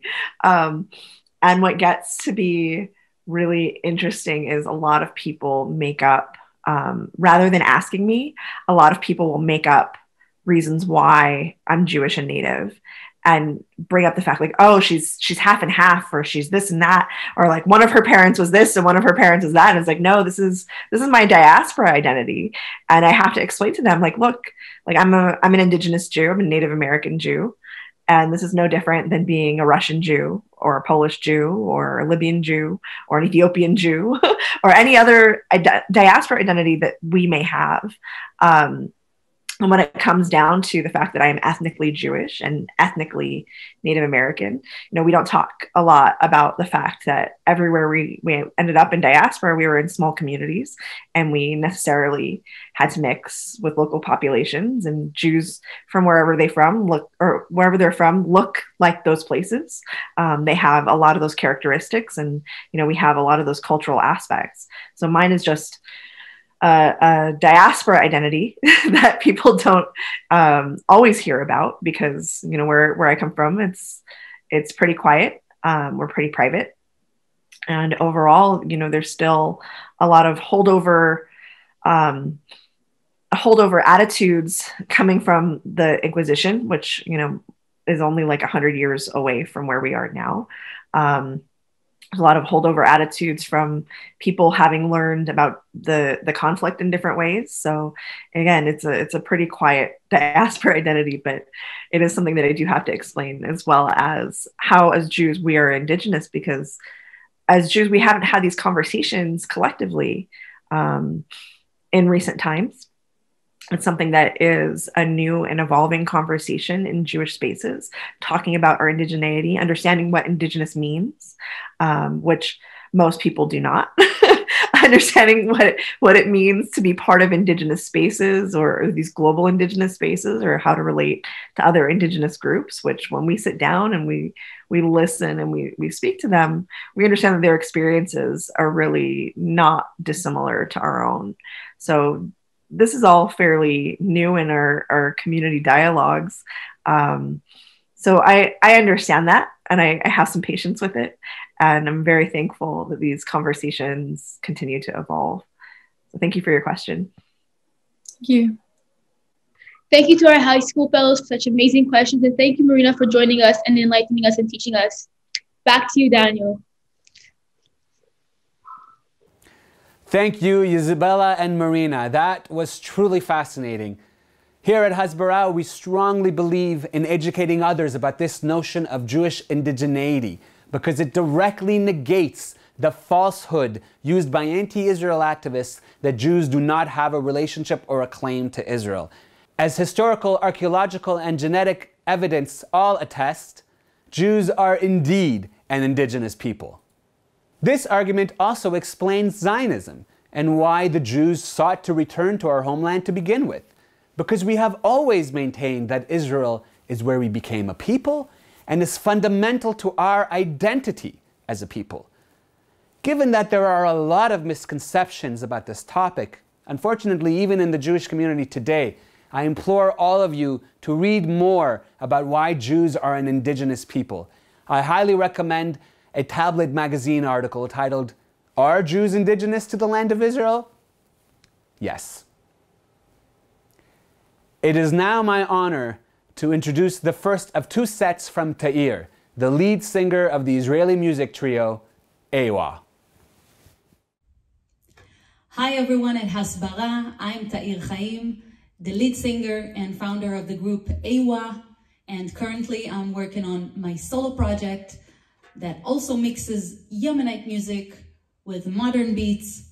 Beside me is Michael Meital on the guitar, uh, we before the pandemic we played all over the world and right now we are broadcasting to you from Michael's studio in Tel Aviv and we will start off with Dror Yikra.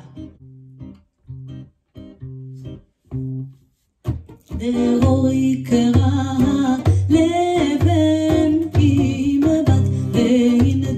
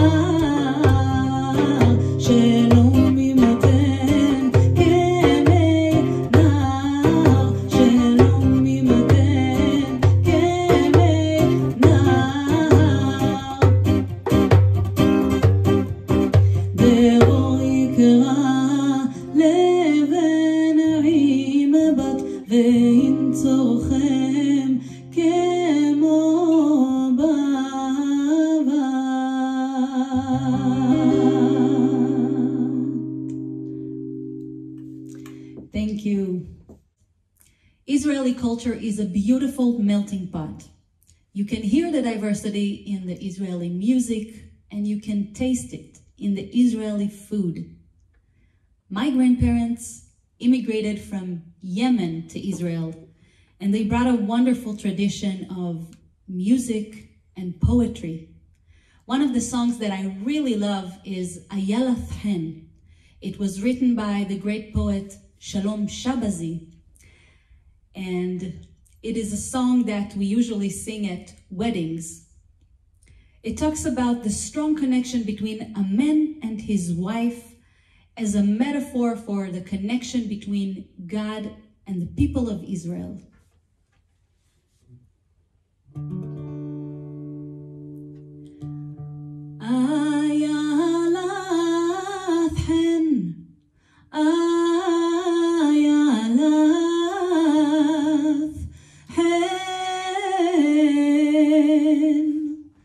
Barolutis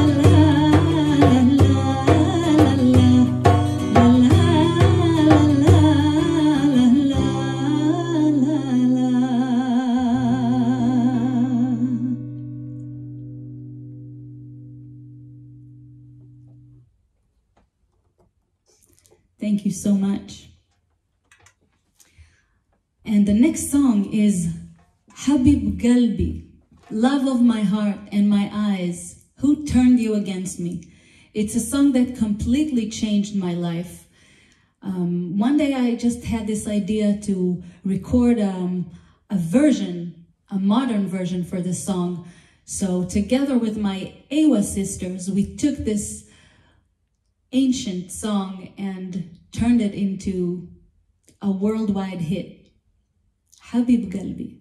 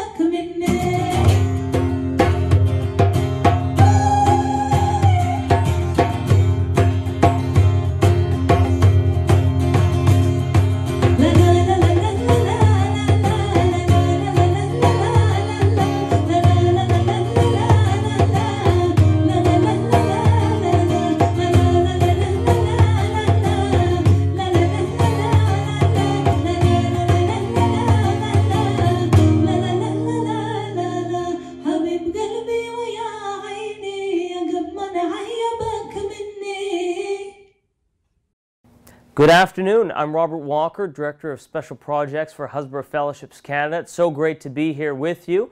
I'm very excited to tell you about a project you may have heard a little bit about, but you'll be hearing a lot more about in the coming weeks. And of course, that's Many Languages, One Message. And this is a really great, truly unique opportunity that we've introduced, which is taking some of the most impactful, some of the most persuasive prose messages out there and translating it into some of the most common, most widely spoken languages in the world. These are Mandarin Chinese, Hindi, Japanese, Russian, Arabic. Uh, and these language campaigns are going to be introduced both virtually and hopefully as soon as possible into physical campaigns that will be able to be produced and shared in universities, colleges, and high schools alike. So stay tuned. We're really excited about that. Hi, my name is Yessie, and I'm Hasbara Fellowships Canada's campus advisor. And my role is to work with students on college and university campuses all across Canada. In a normal situation, we'd be taking our students to Israel, where they re receive intensive Israel advocacy training for a period of 16 days, where they actually get to see what is happening on the ground, meet with key players such as politicians, um, activists, Palestinians, uh, Arab Israelis, and um, Jews of all different backgrounds and get to experience for themselves what is actually happening on the ground. Since the start of the pandemic, we shifted our training to an online platform through Israel Engage. Uh, and this time around, it has been our second Israel Engage program. And we're very excited to welcome in our new Hasbara Fellows who are as determined as ever to continue to advocate for Israel online and on campus. Hi, I'm Pearl, and I am the high school advisor for Hasbara Fellowships Canada.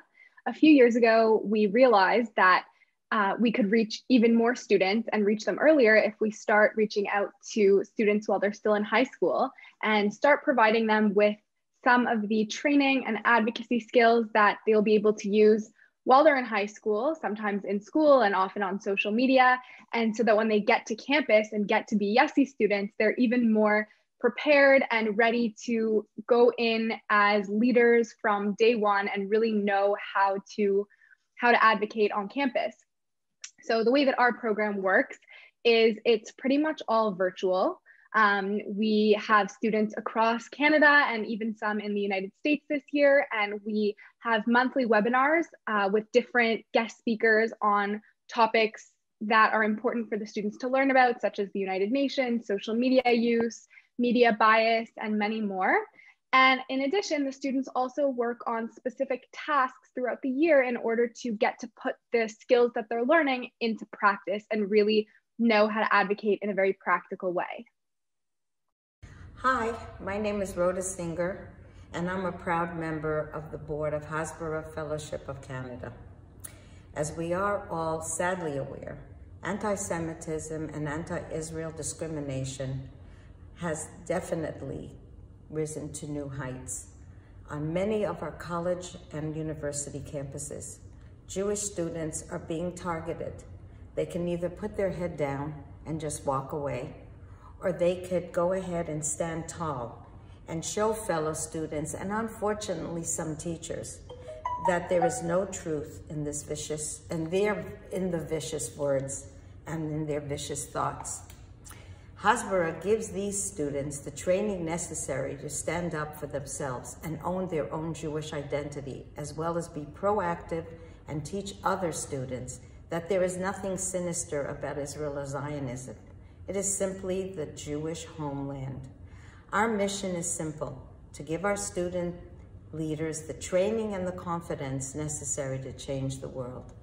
Thank you and have a great day. Hello. My name is Vivian Grace Ziner, and I'm honored to be speaking to you today on behalf of Hasbara Canada. I'm proud to be recognized as an outspoken human rights activist. I'm involved and have been for a long time fighting many injustices and human rights abuses around the world. I'm proud to have helped many peoples regardless of their religious beliefs, their country of origin, the color of their skin, or their political ideologies. But nothing is more important to me than the well being and support of Jewish youth on campus and off Nothing is more important to me than helping Jewish youth learn to reclaim their pride, to be proud of their her- heritage, to be proud of their culture, to be proud of being Jewish and proud of the state of Israel, the Jewish national homeland. This is not at all as easy as it might sound. To be a proud Jew on campus, to be a Zionist on campus, to support Israel on campus in 2021 means being open to condemn- condemnation, derision, rejection, demonization, to being doxxed, to being canceled. It's very frightening and alienating and isolating unless you have support and guidance and information, and Hasbara Canada does all that and more. It's expensive to train students, but there is no better return on your investment as a proud Jew than to help Hasbara continue and flourish. Every student we train puts another nail in the coffin of ideologies that lie, that hurt, and that undermine the Jewish people's very existence. I thank you. Am Yisrael Hai. It is now my honor to introduce our next session, Supporting Israel in the Black Community. This session will be moderated by our Hasbara campus advisor, Max Mendel. Max? Thank you so much, Daniel. Hello, everyone, and welcome to Supporting Israel in the Black Community with Joshua Washington. I'm your moderator. My name is Max, and I am the Southeast Regional Advisor for Hasbara Fellowships. Joshua Washington is the director of the Institute for Black Solidarity with Israel.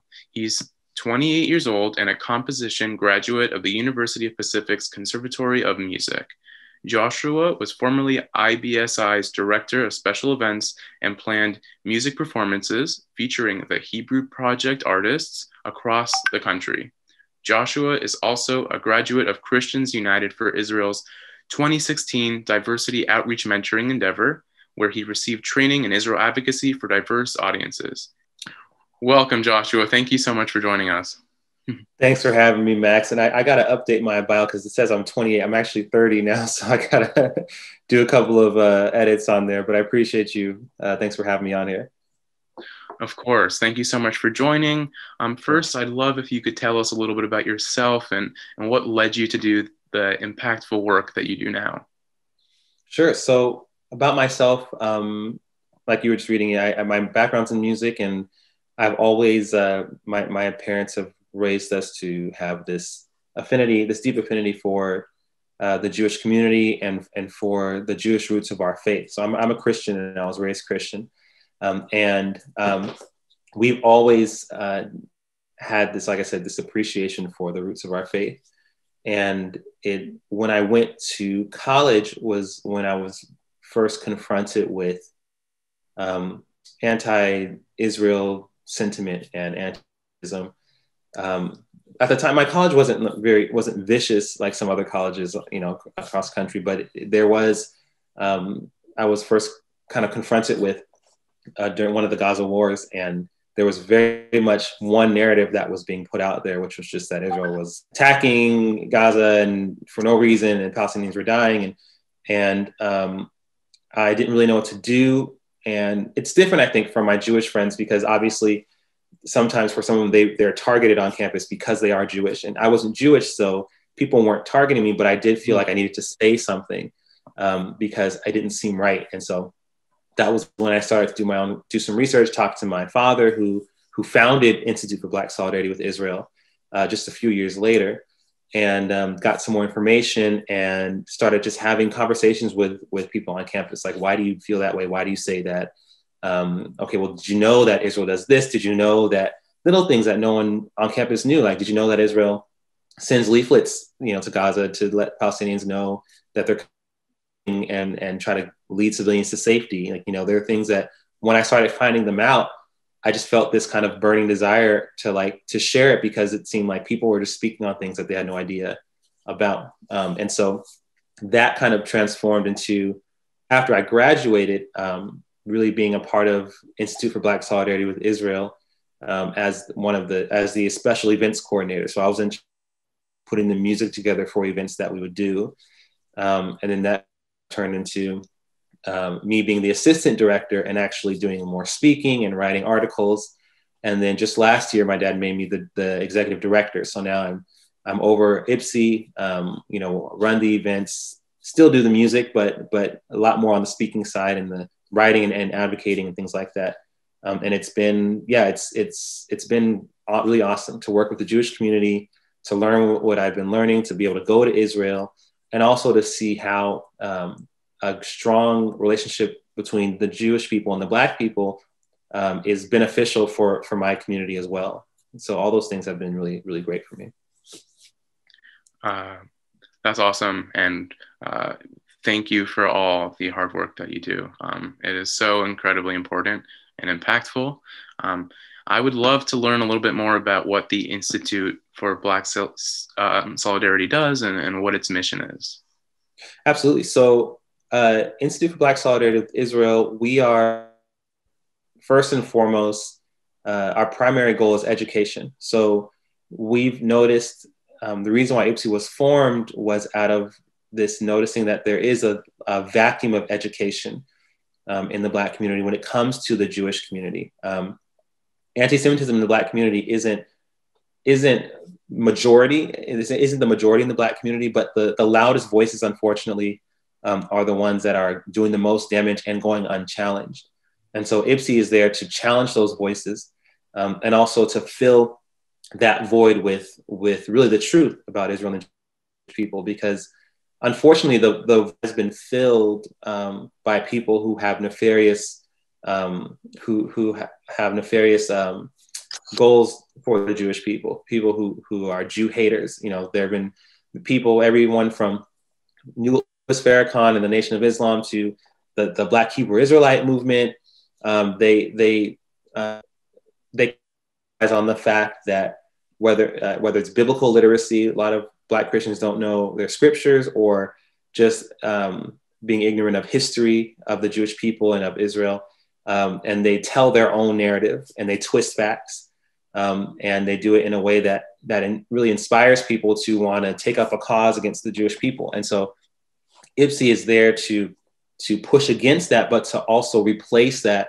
with accurate information and with with with the truth about um, the history of the Jewish people and, and, and Israel and all those things. So, um, so that's our main goal is education. So, so you mentioned Louis Farrakhan. Um, he's a mm-hmm. vile anti-Semite um, and has, like you mentioned, has received a lot of support from mainstream celebrities. Mm-hmm. Um, what can we do to educate others, especially within the Black community, listening to him? Um, that you know, Farrakhan is in fact promoting hatred and bigotry. Right.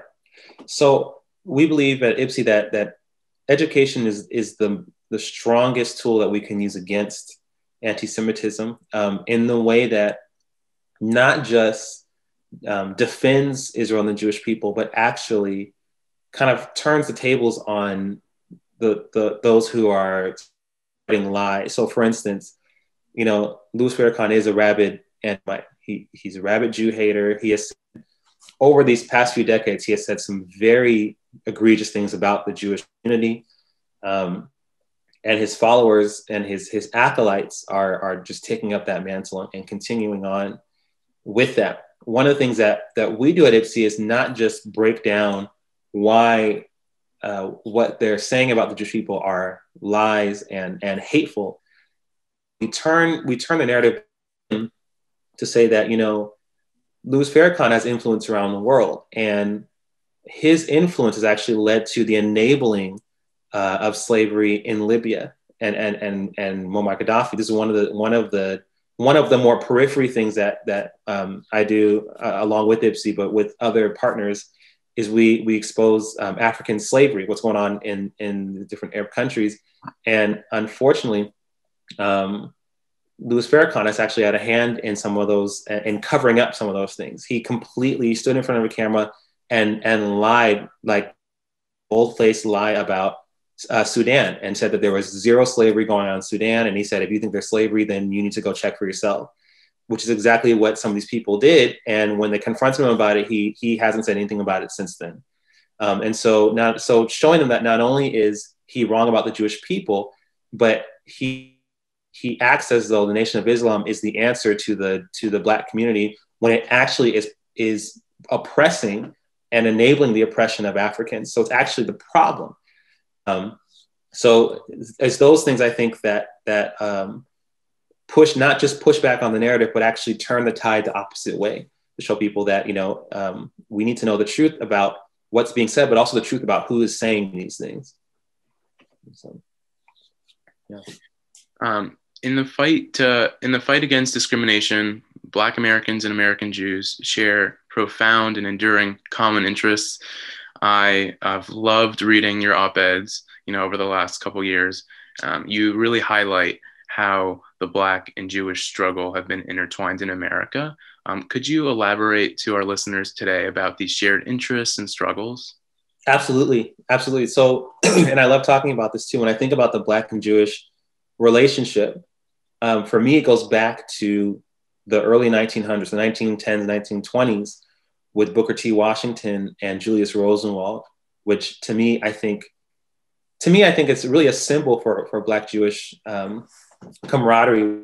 Was that you know Booker T. Washington was an educator. He was a very, very influential, um, sometimes controversial, but um, pioneer in education in the in the Black community. Founded the Tuskegee um, Tuskegee University, um, was a president for a while as well. And, he had written several books. And um, Julius Rosenwald had picked up one of his books and was inspired by it and reached out to him. Julius Rosenwald was successful businessman. He was the owner of, uh, but um, uh, worth a lot of money. And he reached out to Booker T. Washington and told him that he wanted to uh, build a school for, for African Americans. Time um, you know, black people couldn't learn in, in white schools. And T. Washington said, well, let's not just build one school, let's, let's build tons of schools. So they wound up building over 5,000 schools together. Wow. Um, and those schools were so good that it spawned a generation of successful, um, intelligent um, black lawyers came out of that school, politicians came out of that school, engineers, doctors came out of that school, going on to great colleges um, and and actually being successful people. And so, to me, um, that's not a small thing. I mean, we're still, you know, I I'm sitting here today, able I'm able to discuss these things with you in part because of what was done back then, that the door that was open for the Black community, because Julius Rosenwald. Um, empowered Booker T. Washington to actually uh, fulfill his vision for the Black community. Um, and then you go to fast forward to Martin Luther King, um, and his profound relationship to the Jewish community. You know, he he pulled no punches. He was very pro-Israel. He was he had a very close relationship with with rabbis and and he often would talk about how there's there is you know unfortunately there was a rising tide of anti-semitism from the black community then and he spoke to it then um, to say that one is that it comes from um, being color consumed is what he calls it. And he said that you know we we tend to see, you know, some of us and some of the more radical people in the in the civil rights struggle tend to see anyone who's white as being bad, anyone as, as colored as being good. Um, and he was just like, like, no, we reject that. I mean, we you have to um, you have to call out injustice when you see it, but it, it, has nothing to do with with the color of somebody's skin. Um, and and his partnership with the Jewish community is what led to one of his closest confidants forming an organization called Black Americans Supporting Israel Committee. Just a few years after Dr. King was assassinated, Bayard Rustin formed an organization called BASIC, Black Supporting Israel Committee, and had over 200 different signatures on there.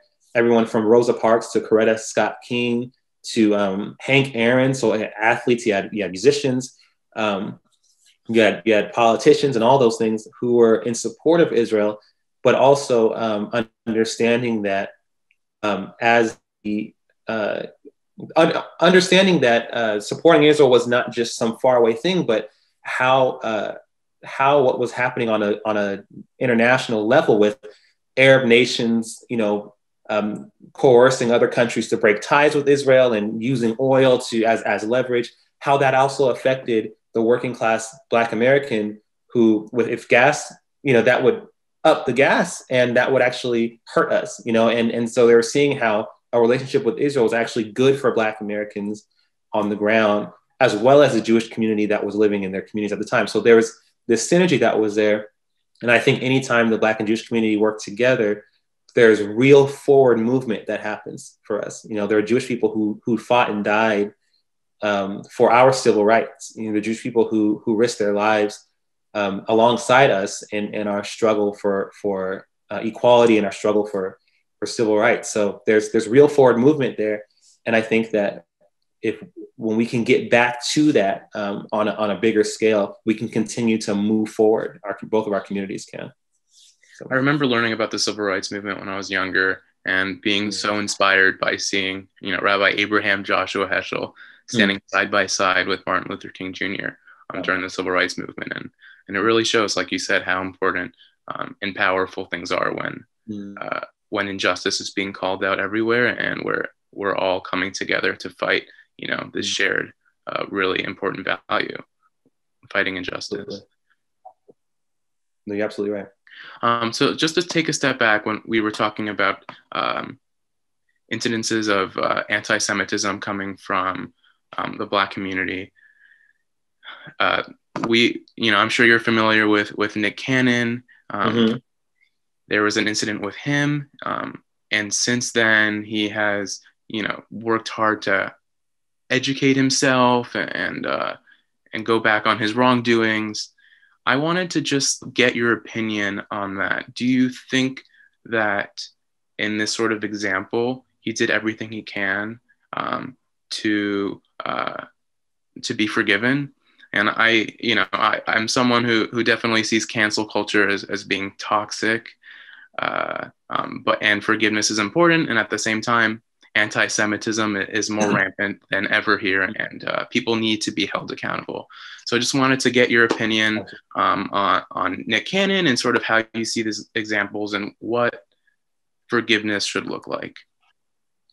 Sure, sure. So I think that um, that's a great question. So I honestly think that so Nick Cannon specifically, um, I've been kind of following his his non-celebrity, like his more political stuff, um, probably for just off and on, just some from stuff he's posted, maybe maybe like ten years, and seeing him speaking out on some things, and some things I agreed with him on, some things I didn't agree with him on. I think to me, Nick seems like um, someone who's an honest thinker. So even so, if there, if meaning like if he's wrong, he'll be like, "Okay, I was so wrong about this.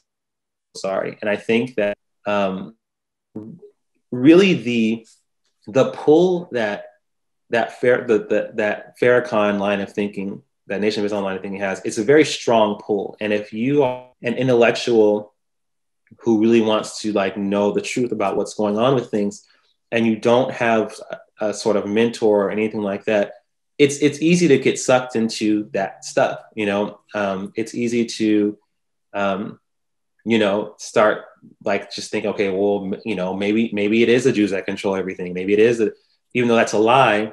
Um, that, that's why that's what I mean. That's that's why it's so dangerous that there's a vacuum of education because Nation of Islam hasn't hasn't just they have not only been successful in spouting lies, but they really do take people under their wings. So it's like Farrakhan is like a father figure to a lot of people. You know, he's like a grandfather figure to a lot of people, and so Whereas even if people, even if there, there are some people who follow him who don't necessarily agree with his statements about, they'll never against them because they they would feel like they're betraying, you know, their father. And so, I think with Nick, um, I think that even though he was completely and totally in the wrong, that he he didn't intend to his intention wasn't to lie on the Jewish people's intention. He thought he was doing something good and when he was called out for it, um, and he he had made his initial apology, the the response from many people in the black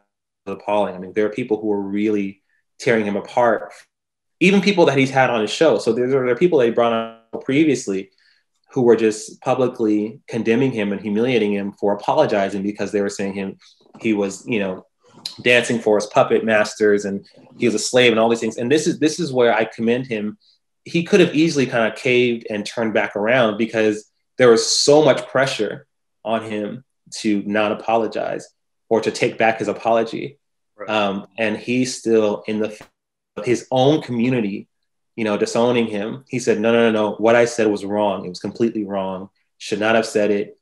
Um, had a rabbi on his show to talk about it and, and has done something as well I, I think honestly he's, he's taking a taking a great step he, he's in, he's going in the right direction um, i don't think that um, I've never been a believer of someone being in debt forever. So like I, I do think that there's a point where okay, he, he's like he's forgiven, like he's sincere, he's he's endured ridicule from his own people, and he's still standing firm, and and he's also doing he's actively doing things to actually show that he's he doesn't think that way anymore. Um, you know, I still disagree with him on on some other things he says, but to me, that's that's the sign of someone who's an honest thinker. Who you know, I I would like. I mean, I wouldn't liken him to this person, but uh, in the same way, you know, um, you know, in the later years of Malcolm X's life, he talked about how Black people need something like Zionism. He said, you know, that there's Zionism is self-determination of the Jewish people. We need to look to the Jewish people and and learn from them. Like we need to do that for ourselves. And I believe in that same way.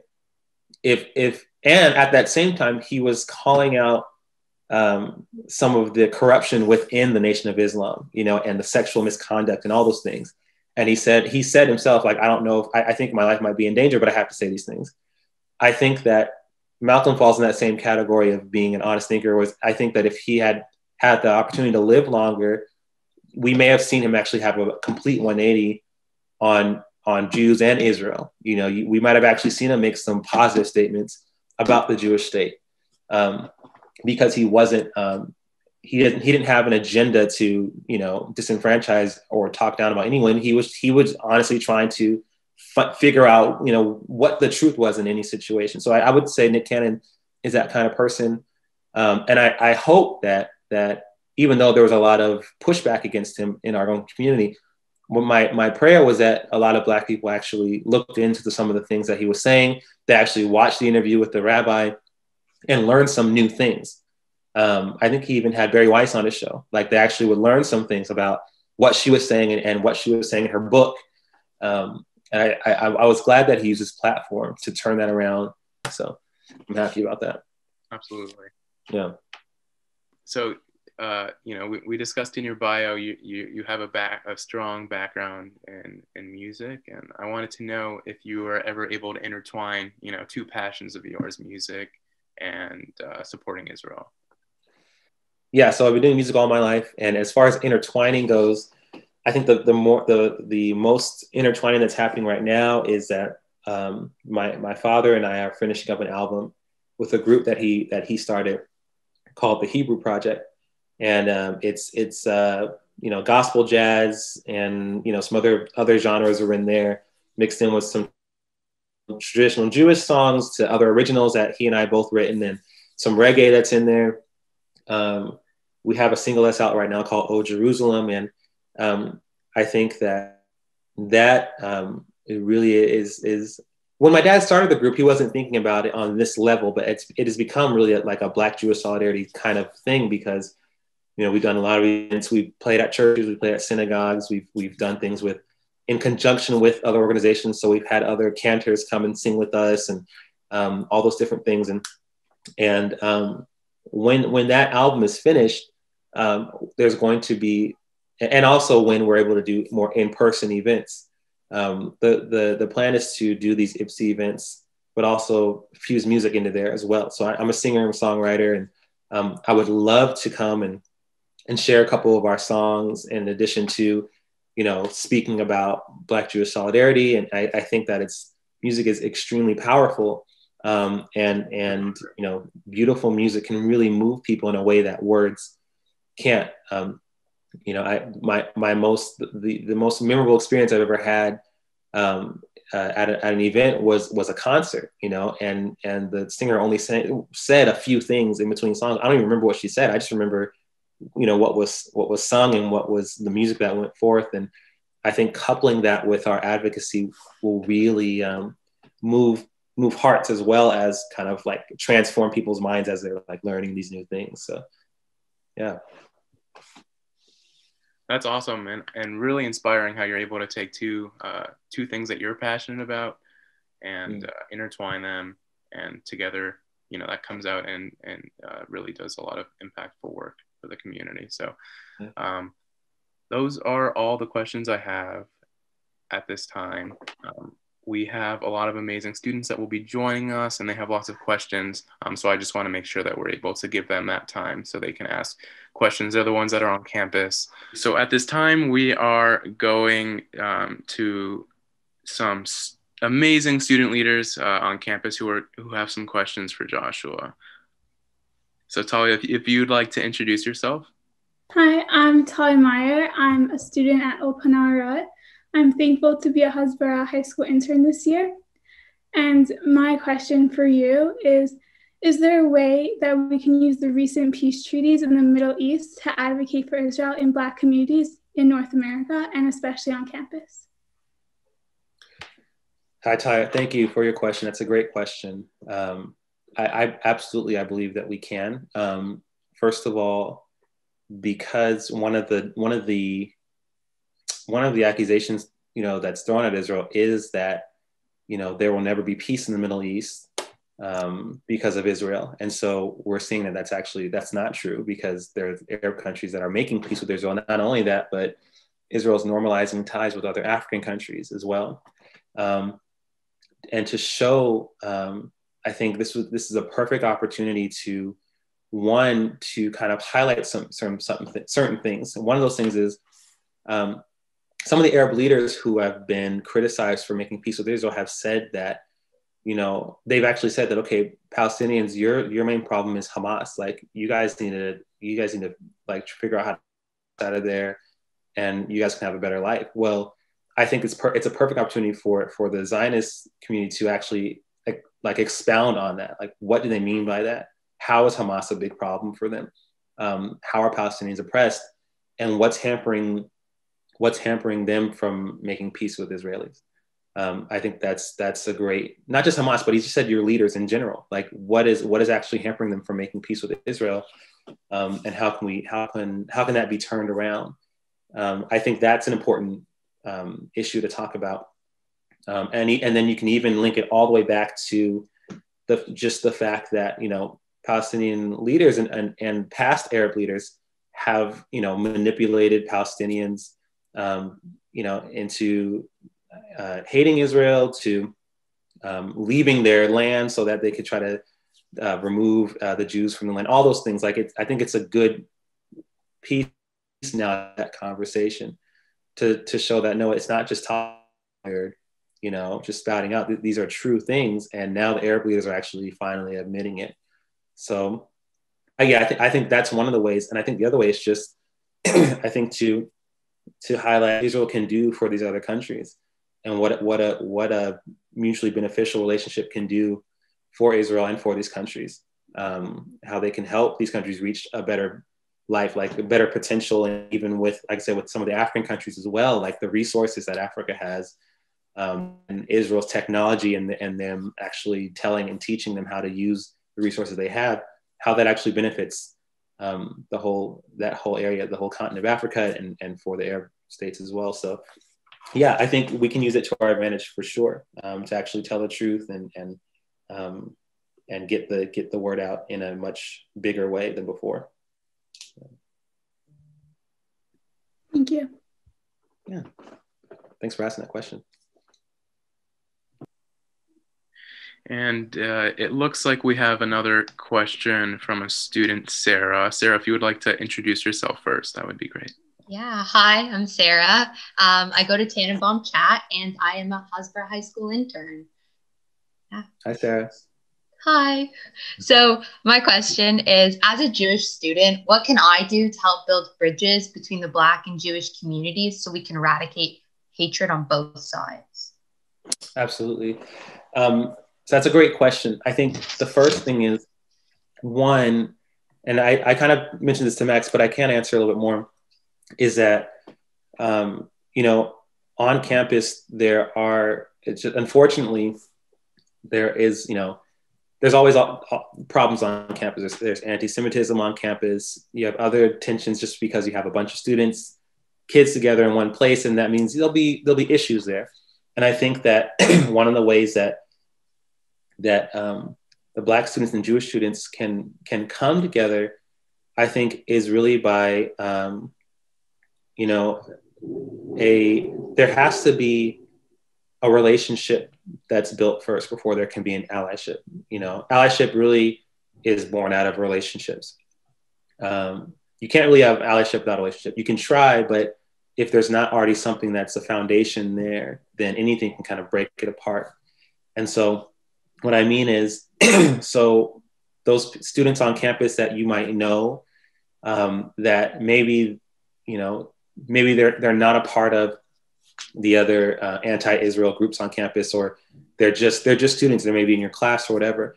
Actually, like just reaching out to them, you know, talking to them, make just like you would make any other kind of friend. Um, there are friends that I made because I thought they were cool, and I was like, "You're going to be my friend," you know. And some of those people are still my friends today, you know. And um, and I think that reaching out and forming a friendship with the Black students on campus, um, having these conversations with them, listening, but also sharing. Um, you know, I think one of the most important things is relationships that that you know you know your history and that you can actually um, share these things and they can learn something from um, the the Jewish friend. They may not. They this is maybe their first Jewish friend, or maybe the only Jewish friend they have that actually knows these things. You know, and would actually change some of their mindset, or just inform them. You know, I think that if those relationships are built, those genuine friendships, then when Jewish students are attacked on campus, it's a much more genuine and natural response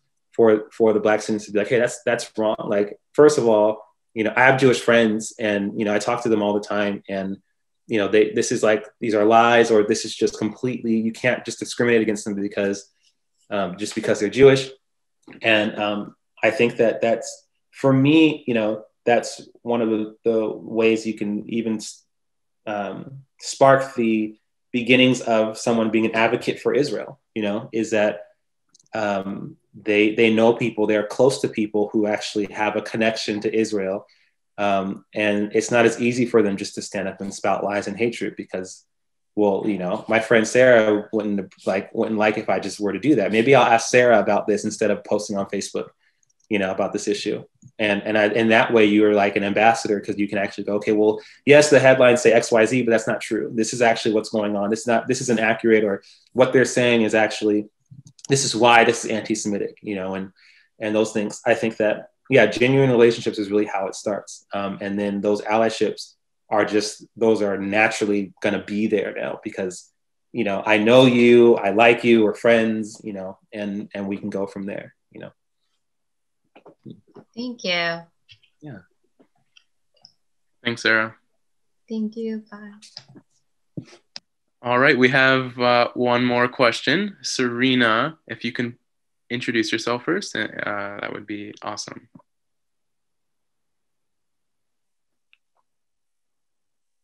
Serena? So it looks like we're having some audio difficulties. So I will read your question um, that you sent. My question is there are many out there who were, try- who are, were trying to hijack Black Lives Matter movement and other social justice movements to promote an anti Israel agenda. How do we counter this misinformation? That's a great question, Serena. Um, and it's a very, very good question. So, for me, there, there are two main ways. One is, is the reason why IBSI exists, which is education um, you know, is is actually, you know, taking the time and and showing whether it's your peers, whether whatever your audience is, you're you're on your platform, why the claims that are making are wrong. But the other thing is, and this is a petition that this is a position that we've taken pretty strongly at IBSI, is that a lot of a lot of the social justice movement, especially Black Lives Matter, which is a big, which has gotten um, a lot more traction this year again, is, you know, their structure is such that um, they they lean anti-Israel, meaning, you know, at the the the, the person who found who coined the term Black Lives Matter, who founded, you know, the the the organization who leads the movement in in um, California and LA, along with another African American studies professor. They are um, they are anti-Israel. Her colleague is a, as a Farrakhan follower and supporter, and so even if there are people on the ground who may not be aware of these things, the problem is that in the leadership, that is that is their bias, and so they are they are leading their their followers in the movement with uh, that biased agenda. Um, and so for me, my response to that has been to kind of change the framework. And so some of what the debate has been with Black Lives Matter has been, um, you know, okay, well, how do we support the Black community if we can't support Black Lives Matter? And for me, that's that's not really the right way to frame it. The right way to frame it is how can we support the Black community? Because there are lots of ways to support Black community, you know, without Black Lives Matter. We've existed before BLM and will exist after BLM. Um, and uh, it's just that BLM has taken such a center stage in everything right now. Um, so for me, I would say again, relation, relationships, like I was answering the other question, relationships are important because you can actually convey these things um, to your friends, to your friends who are in Black Lives Matter, to your friends who um, may not be aware of these things um, you know, like, um, and since we're talking about BLM, yeah, I mean, they're just, they're, they're facing some other challenges right now as we speak, you know, with, with the, the, the actual, uh, the, the big organization, Black Lives Matter, um, is in trouble with a lot of the other movements for um, just kind of taking donation money and not actually giving any funds to some of the other chapters. And so there's, there is a lot of, there is that corruption that's starting to, bubble up as well. And it's because, and in my opinion, it's because of, you know, the nature of, of their platform, the nature of the founder's agenda has been very anti a lot of things, but yes, very anti-Israel. Um, and uh, like some, and a lot of the leaders have been uh, proponents of, you know, Nation of Islam, Black Hebrew Israelites, and these things have been kind of connected. And so, um, yeah, one of the ways you can respond to the misinformation is by telling the truth, um, but also knowing, I think, knowing when something is, knowing when to not get involved with something at all. Me, and what I mean by that is, okay, maybe, you know, maybe some things can be rehabilitated or maybe some things can be redeemed, but other times, like with BLM, it's in such the it's in such a foundational place with Black Lives Matter. Like they're founding members and the the um, the leaders um, have this specific agenda that um, the best that you can do is get people to come away from that, you know, um, and um, leave that alone because as long as they're at the helm, it's always going to uh, devolve into an anti-Semitic, anti-Israel um, type of thing with these different, you know, demonstrations that are against Jewish people and and all those things. Um, until until those leaders can step down, that's what it's that's unfortunately what's going to be at the root of it. Um, so my advice would be to yeah to to keep telling the truth and and trying to get people, you know, like I said, steer people away from following that organization.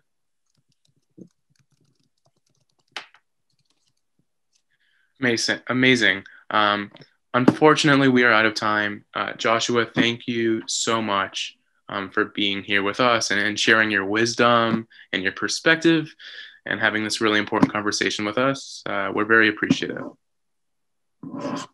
I thank you so much for having me, Max. I really appreciate it. And the questions were incredible. To all the students, you guys are right. Thank you for for participating.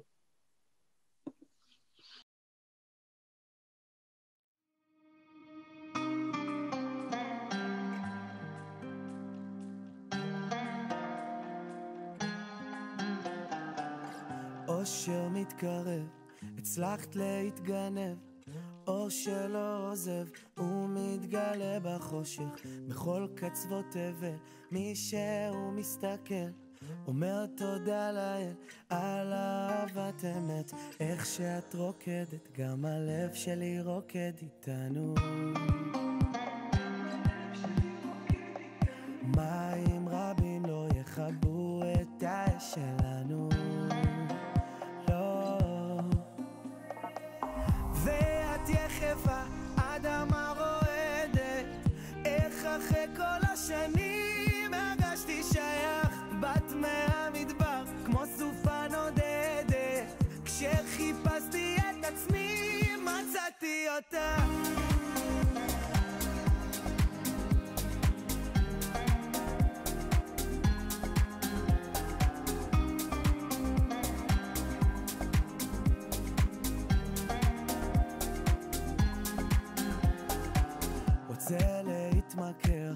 לטוב שמתגבר.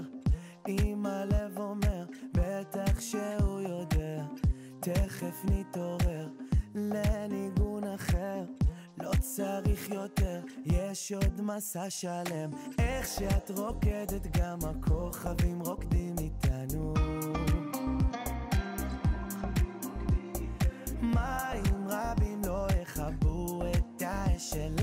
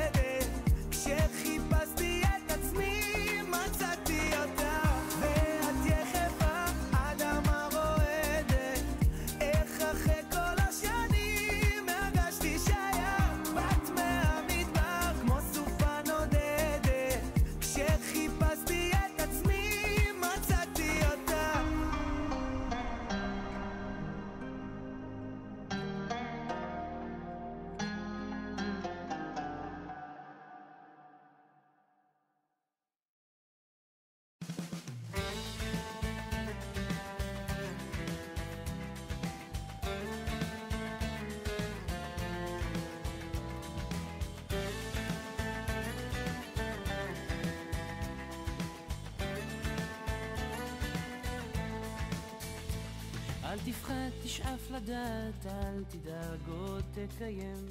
מי שבידו לגעת, יש שבליבו עוד לנחם. אל תפחד, ימים יבואו ועונות שנה תחלוף. אתה תראה שעוד נגיע אל הסוף. אל תפחד ממציאות נושכת ואנשים קרים. כל אחד סוחב בבטן ומעט שעליהם רואים. כמה כוח יש ברגע והנצח אין לו סוף. בכל דמעה שעוד תרד יגיע הצחוק וזה הרגע הנה בא השעה מה תביא את הרוח, מה ימיס את הדממה, ויש סיבות לכל דבר. יש חלום שלא נגמר, בסוף הדרך עוד תהיה מאושר.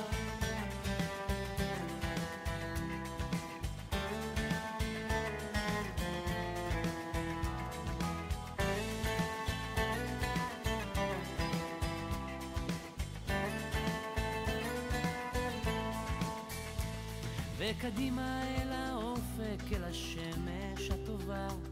זה רחוק, אבל תגיע, קצת עייף וקצת צמא לאהבה שמחכה לך, תקטוף אותה כפרי בשל ואז תנוח, תרדם בעצל.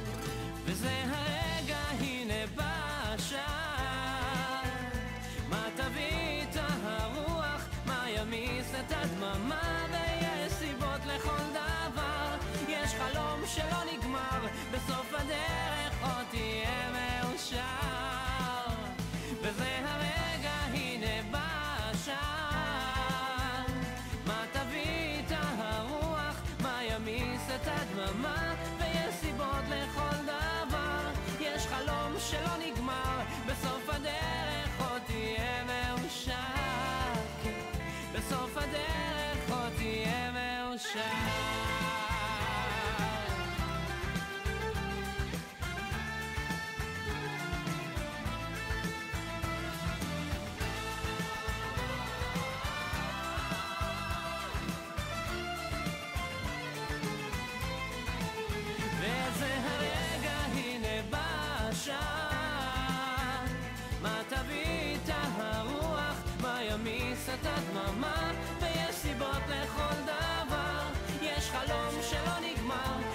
my day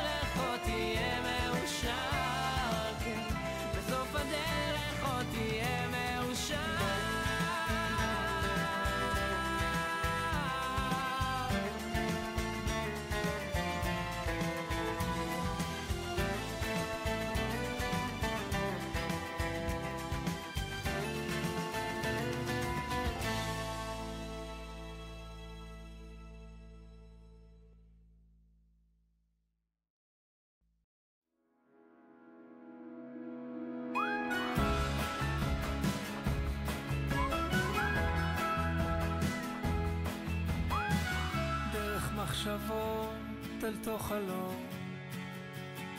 לא אל תיסע רחוק, לא תמצא אמת בשום מקום אחר. אני איתך היום, כמו כל יום.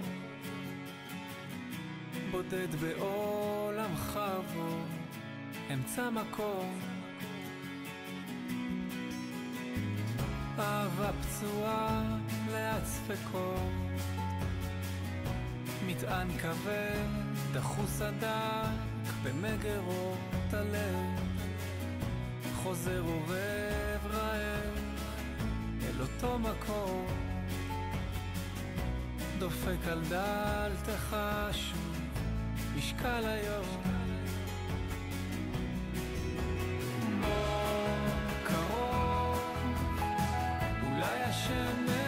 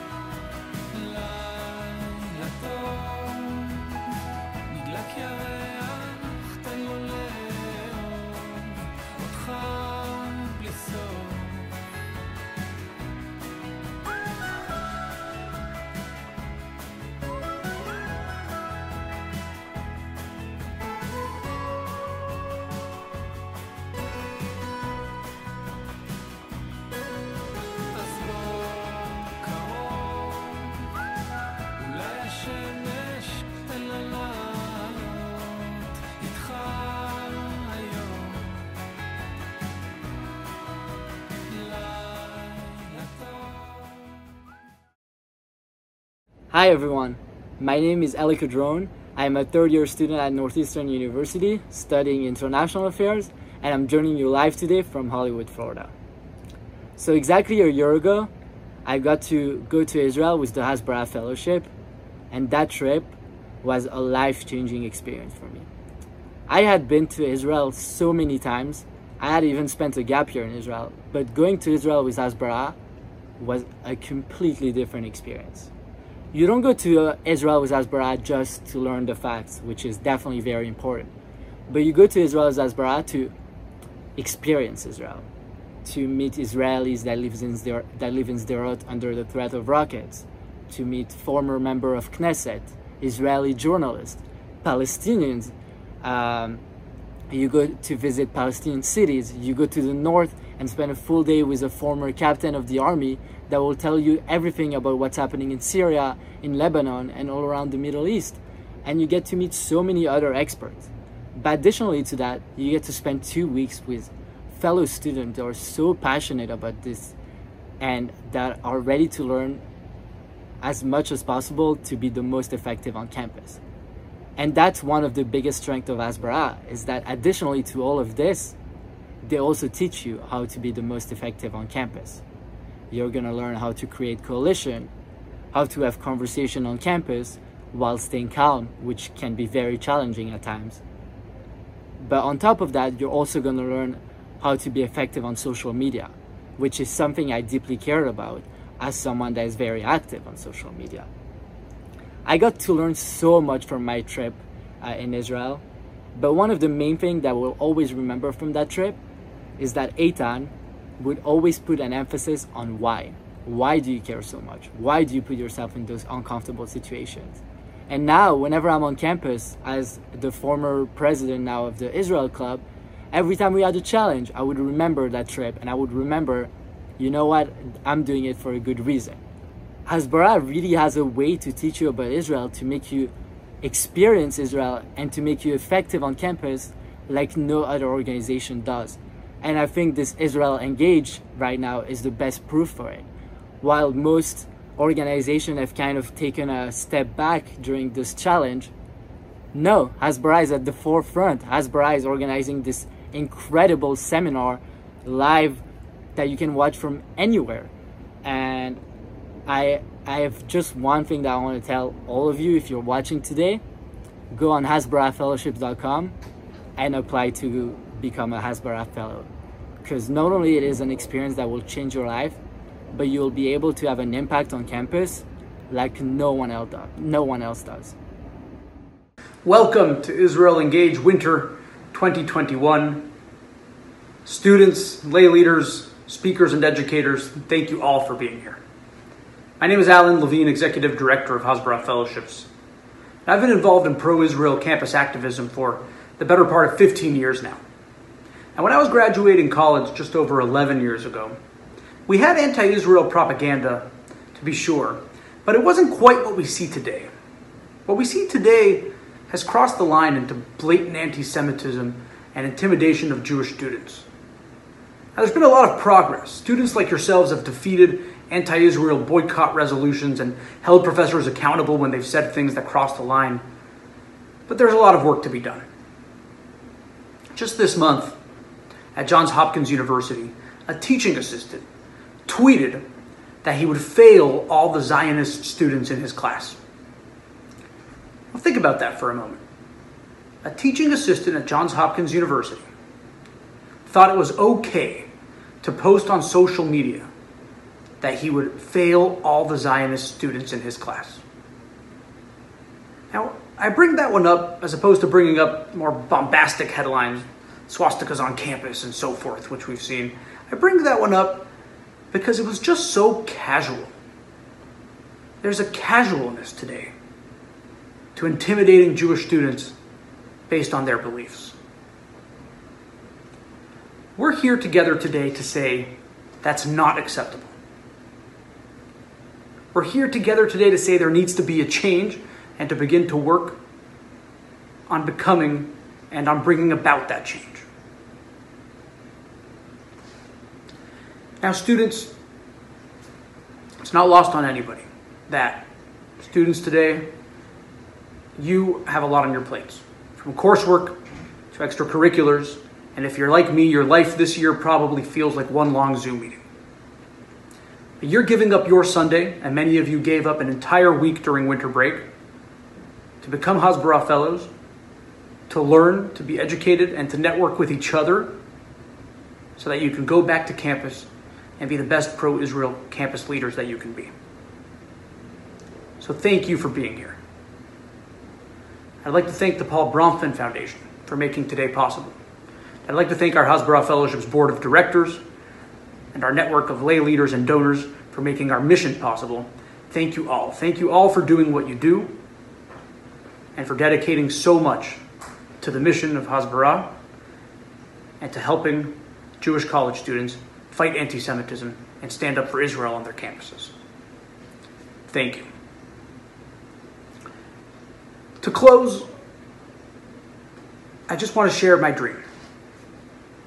I now have a daughter who, God willing, will be on a college campus in about 17 years. And my dream is that she gets to go anywhere she wants in North America without fear of sharing her true beliefs and sharing all of her identity. That she gets to speak up in a discussion about the Middle East and talk about how she truly feels and what she truly believes. That she could study abroad in Israel without fear of intimidation from peers or professors when she comes back. That's the dream. That's what we're here to work on together. So let's make the most of our day. Let's engage with our speakers and our educators. Let's engage with each other.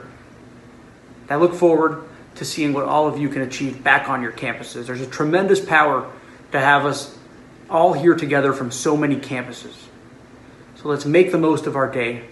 I look forward to seeing the tremendous progress that I know all of you will make. And I look forward to hopefully seeing you all in person later this year on a Hasbara mission to Israel. And in the meantime, let's have a great summit. Hi, this is Rabbi Elliot Mathias. I'm the founder of Hasbara Fellowships. We're so excited for all of you to be joining us in this in Israel Engage. For the last 19 years, we've been bringing students to Israel every summer and winter vacation. Over 3,000 students we brought to Israel to educate and train to go back to their campuses to be pro Israel advocates. And this year we couldn't do it, a different world, but we pivoted, and Israel Engage is really an innovative way to train students, support students, educate students, because the mission has to go on. You know, from the beginning, Hasbara Fellowships, our uh, identity, really, our goal has always been to empower students. We can give them uh, materials, we can give them funding, we can give them all kinds of resources, but at the end of the day, they're the ones on campus that has to know that have to know how to use those resources and we can give them a speaker but what happens the next day when the speaker's gone we really have to empower them with the ability to stand up and be leaders on their campus.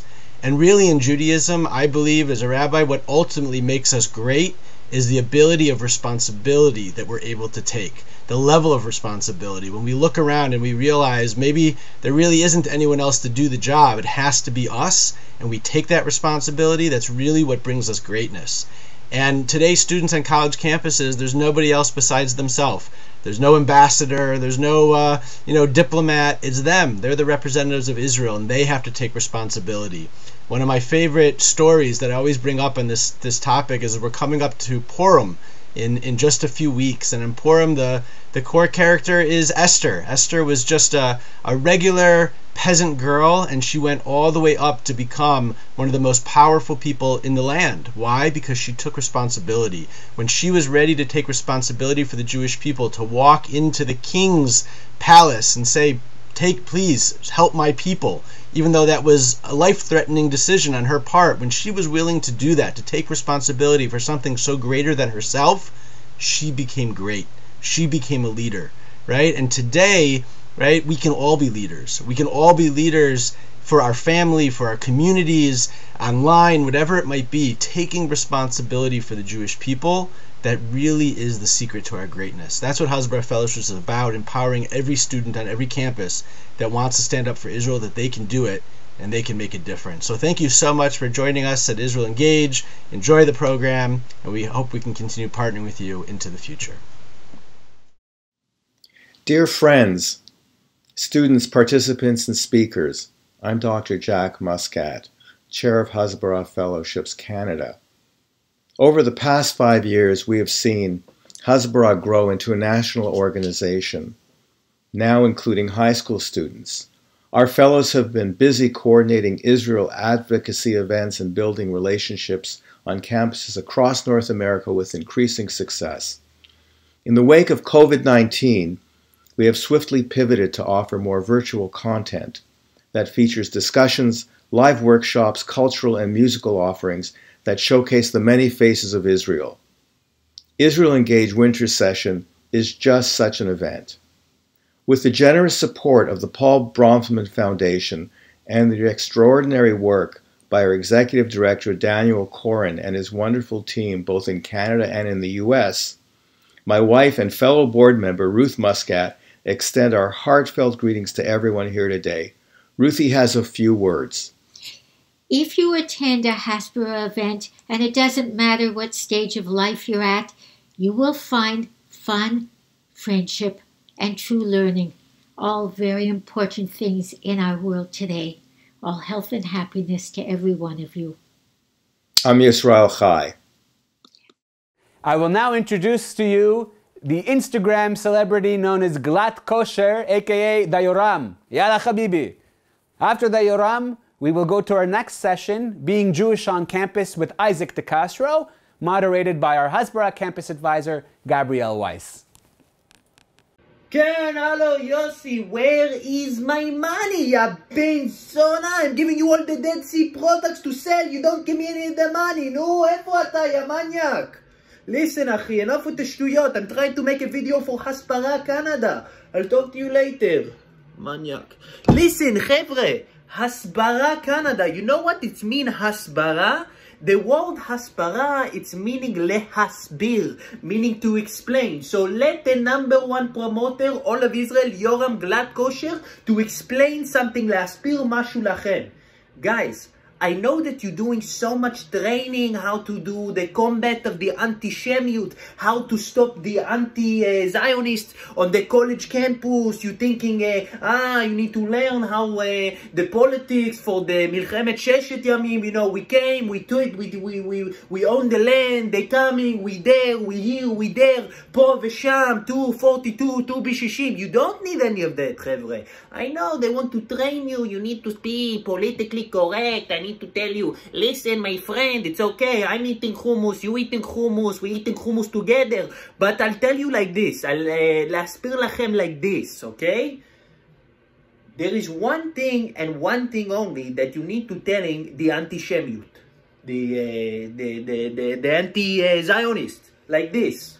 You go to the college campus, you seeing... Uh, איך אומרים, uh, how you call them, the guys that's doing the BDS, the guys that's doing uh, the SJP, you know, Students Justice in the Palestine, SJP, PB&J, peanut butter jelly, you tell them like this, חבר'ה. They say, look, uh, I have a problem with Israel, yes, this, that, Israel's this, Israel's that. You tell them one thing and one thing only. Startup nation, Ben Zona. Like that, you tell them startup nation. They say, look, Yoram, uh, we have a problem with Israel because you're eating the hummus and the hummus is my hummus. You tell them like this. שמעתם על משהו called the iPhone? You know, the Bluetooth technology for the touchscreen, for the face ID like this, I go open the iPhone. שמעתם על זה?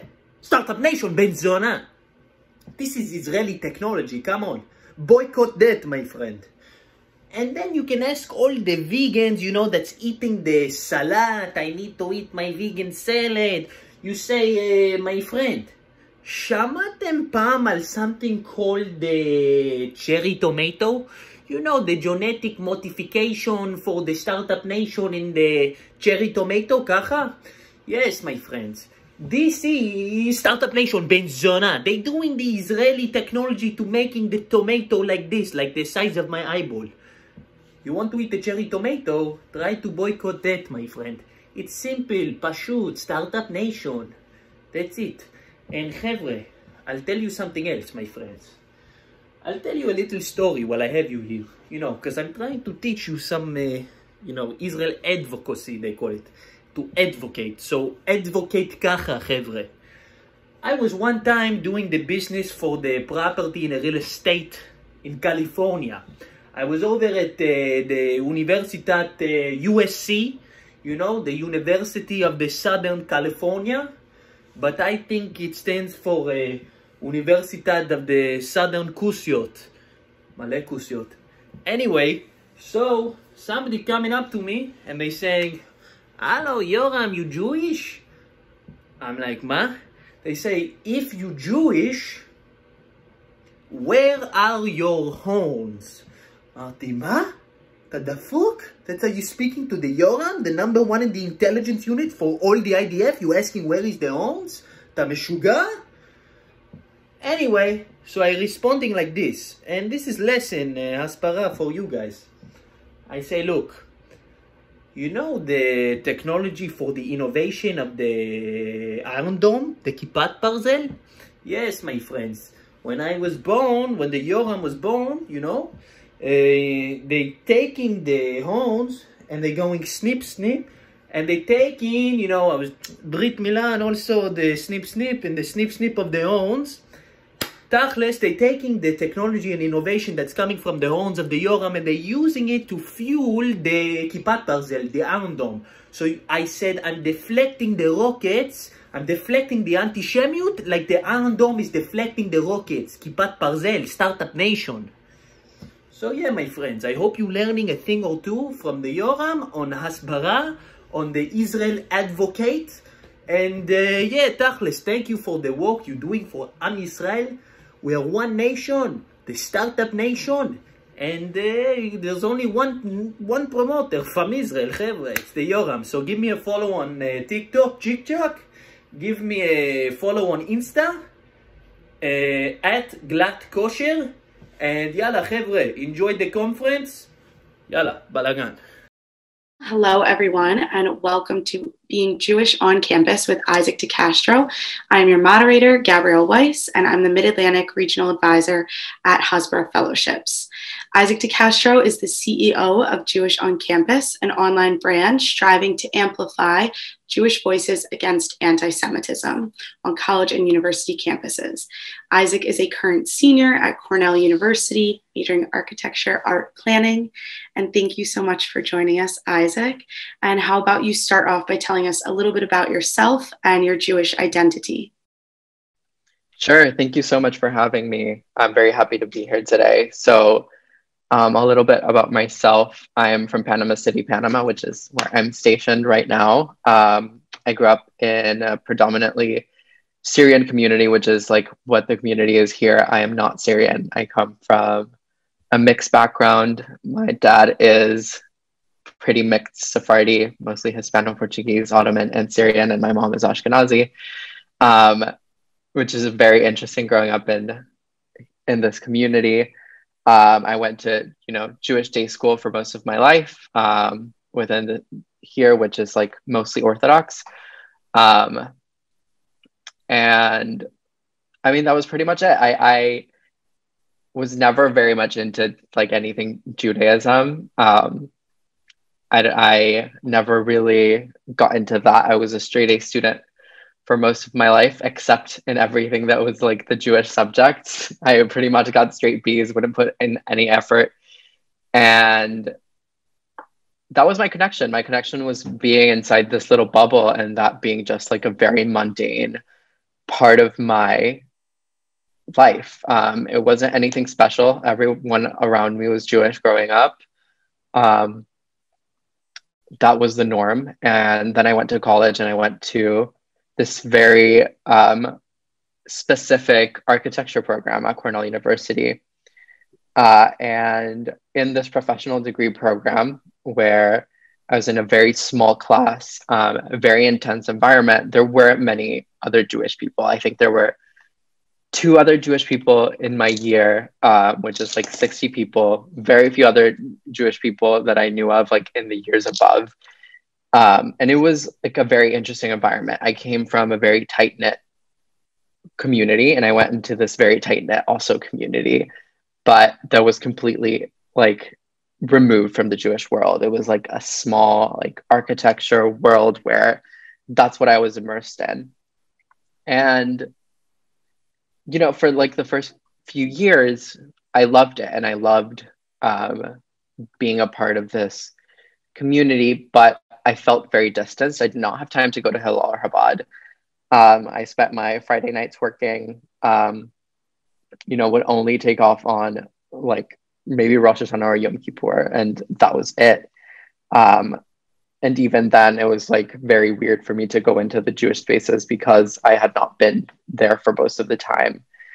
Um, so I felt this distance and then I started connecting. I took a few Jewish studies classes, which really kind of brought me back. And I was really interested in the cultural aspect of Judaism. Um, the historical part, which I still am very much so interested in. And I started feeling anti Semitism. Um, I think even from the time that I did summer college at Cornell before I got in, before I went, like I, I felt little pieces of anti Semitism, whether it was within the classroom, whether it was like the type of lecture series that they would bring in, um, or small comments from my friends or, or peers, which were ignorant, um, or coming into this very, very like progressive environment and feeling the environment um, of anti-Zionism and anti-Semitism and microaggressions were just like around me. So having all of that happen, like I think brought me very much closer to Judaism and to my Jewishness. And I think I was pulled into it. When Corona happened, I got like a bit more involved within like the Jewish space on social media, which is a very interesting space full of very interesting people that come in for different reasons. I think for me, it was um, kind of trying to show like and talk about Sephardi history as well as you know connect in a different way that wasn't necessarily religious, um, as I wasn't connected to religious life on campus, etc. And I started seeing people here and there post stories about anti-Semitism on their campus, and I was realizing how I had seen so much, and like no one was talking about these things. It wasn't being picked up by the media um, no one really was talking about it on social media either, um, because I think many Jewish students are scared of the repercussions that has socially, career wise, etc. And I was like, what if there is a space where you can post these things anonymously and there are no repercussions? You're not putting your name, you're not even giving me any information if you don't want to. Would that change things? And after that things exploded. And now i'm very much like um, deep into this world. I put out a tweet some people responded and we made this page together and it became what it is now. Um, so essentially that's a bit of like my my jewish background kind of coming into um, where i am now but very much open to any questions on either or. Thank you. I think it's definitely really important to share a lot of those stories, especially, you know, coming from a non religious background, um, dealing with so many problems on such a very well known campus, I would say, especially in America. Um, so thank you. And I really do commend you for dealing with all of that and wishing you luck in the program at school. Um, and I'm sure that many of our audience members have seen Jewish on Campus rise to center stage since its first post back in July. Can you talk a little bit more about the process of starting the page, building up the brand? I know that you've expanded from Instagram to Twitter and TikTok, um, and talk a bit about you know what compelled you to start it with your other founder. For sure. So we started it as a group of six people that we kind of met online um, in July, and it started off as what it like what it is. Like at first glance, you see it's a page to post anonymous stories, and you submit the stories, we put them there. Um, and that's what it was at first. We kind of had this inkling that it could be a little bit more. So early on, we kind of knew we were onto something. We were using social media in a savvy way. We were making these like pretty little squares to put on your story.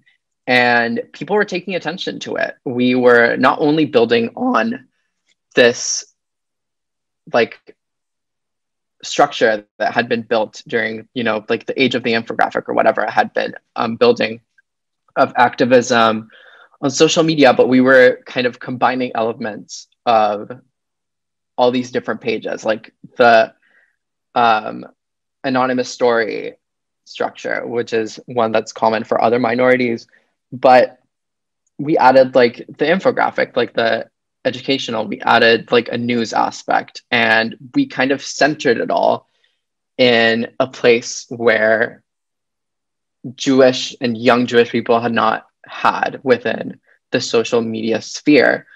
Um, and definitely not in such an undiplomatic and kind of grassroots way, which is what we were doing.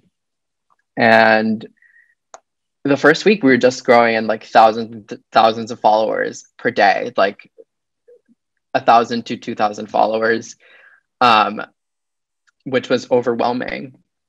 Um, and when we started like putting out the infographics apart from growing organically from the stories we were growing from that too.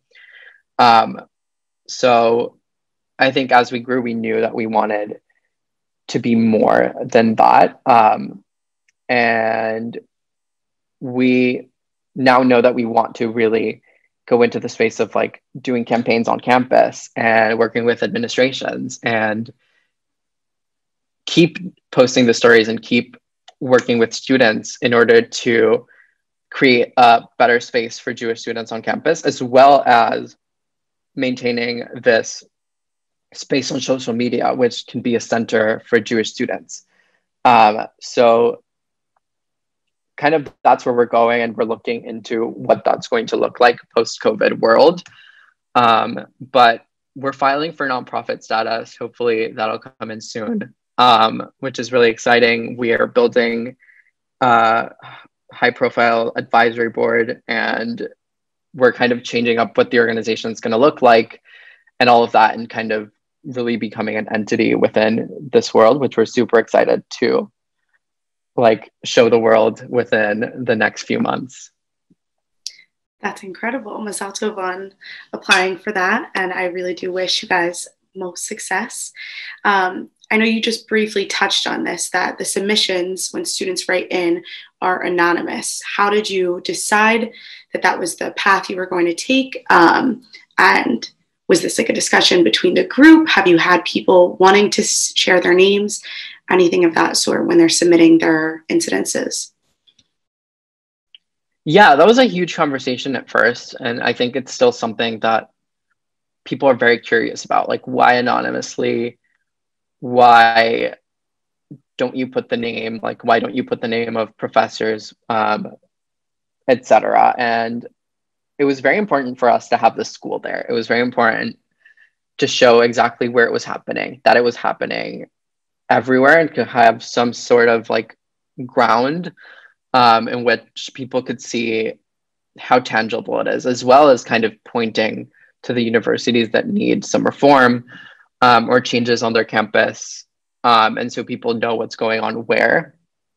Um, so the anonymity is interesting. If you see our form, it's like you can put your name, you can put your email, it's just not required. Um, so if you do, we can like contact you, put you in touch with lawyers, put you in touch with different organizations that can help, um, or the university if they reach out. But the importance of the anonymity, as I said before, is that it reaches more people than it would if it weren't.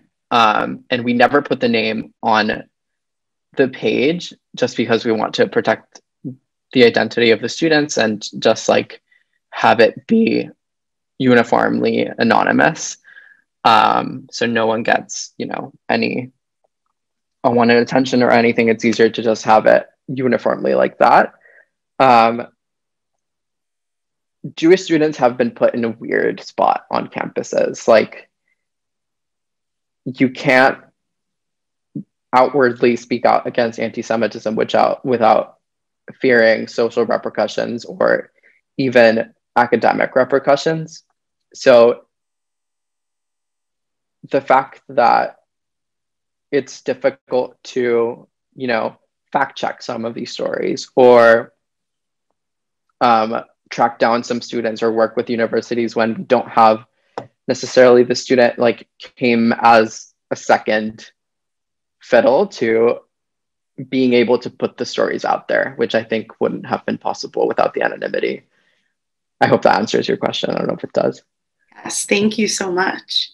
Um, and besides keeping people anonymous, you did just mention you include the university's name in the post, as well as a good amount of the comments I would say under most posts are people tagging the universities themselves. Have any universities or administrations responded wanting to reprimand the professors or any alleged students who took part in the anti Semitism that's being written about? So many universities do respond. I think I mean, I don't know who's behind like these accounts. I'm assuming like student interns or just like someone at the university that's not necessarily higher up. They essentially respond and usually give us bias reports um, and ask us to like put them in contact sorry with the student um, to fill out this bias report um, for them i think the problem is these bias reports don't work which is why um, like our page exists in a way um, I, we've had like i think for Ithaca College like very early on the president actually commented which was nice um, i think some like reaffirm the fact that this is not welcome up there on their campus. I think the issue is like bringing awareness only does so much. So there's only so much that we can do on social media. The thing that we're doing, I think, is like a larger push to get more Jewish students to speak out, get more parents to speak out, get more donors to speak out, get just like Jewish alumni to speak out in general and show the universities that they will pressure them to change. They will pressure them to adopt IHRA. They will pressure them to reprimand like the anti-Semitic um, resolutions they're adopting on their student assemblies and stuff like that. So I think it's part of a larger change more so than just universities responding here. Um, it happens, they do, and uh, like I'm thankful that they're they're noticing, but I think it has to come from more action than just um, like filling out a bias report, and that's going to take longer than what we're seeing right now. Thank you. You just mentioned the IHRA definition of anti Semitism, for all of our students listening, um, if people are not familiar with it, it's the International Holocaust Remembrance Alliance definition of anti Semitism, which has been adopted um, by countless countries, different organizations, nonprofits, which is really great. And we're big fans of it as well here at Hasbara Fellowships. And I think it's a really good first step in the goal of speaking out against anti Semitism, bringing up into student governments, assemblies, bringing it directly to the president or the dean of a university. Um, there's definitely, I think, more that needs to come with IHRA steps that you can implement along with it. Do you have any in mind or things that you would like to accomplish along with IHRA? You know, training for professors or administration on campus, mandatory Holocaust education, education on, you know, different minority groups, anything like that? Is this something that you guys have discussed at Jewish on Campus? Yeah, I think there there's a lot of things. I think um, diversity training, like that we do for like faculty and stuff like that, I think needs to be inclusive of Jewish students or faculty, etc. So getting diversity trainings out there eventually for Jews, I think obviously adopting IHRA is great, but there's more so to that. There has been universities that have adopted IHRA and it hasn't necessarily changed much. I mean, it gives ground to Jewish students, and I think universities definitely should be doing it. It's a huge step, but it has more to do with campus culture and the culture that's growing in the United States and in Europe, perhaps more so that it has to do with a university's policy. Like we're not seeing a growth of anti-Semitism with because universities don't have the correct definition of of anti-Semitism, of Jew hatred. We're seeing a rise because there is a change in the culture, a drastic change in society that we're seeing where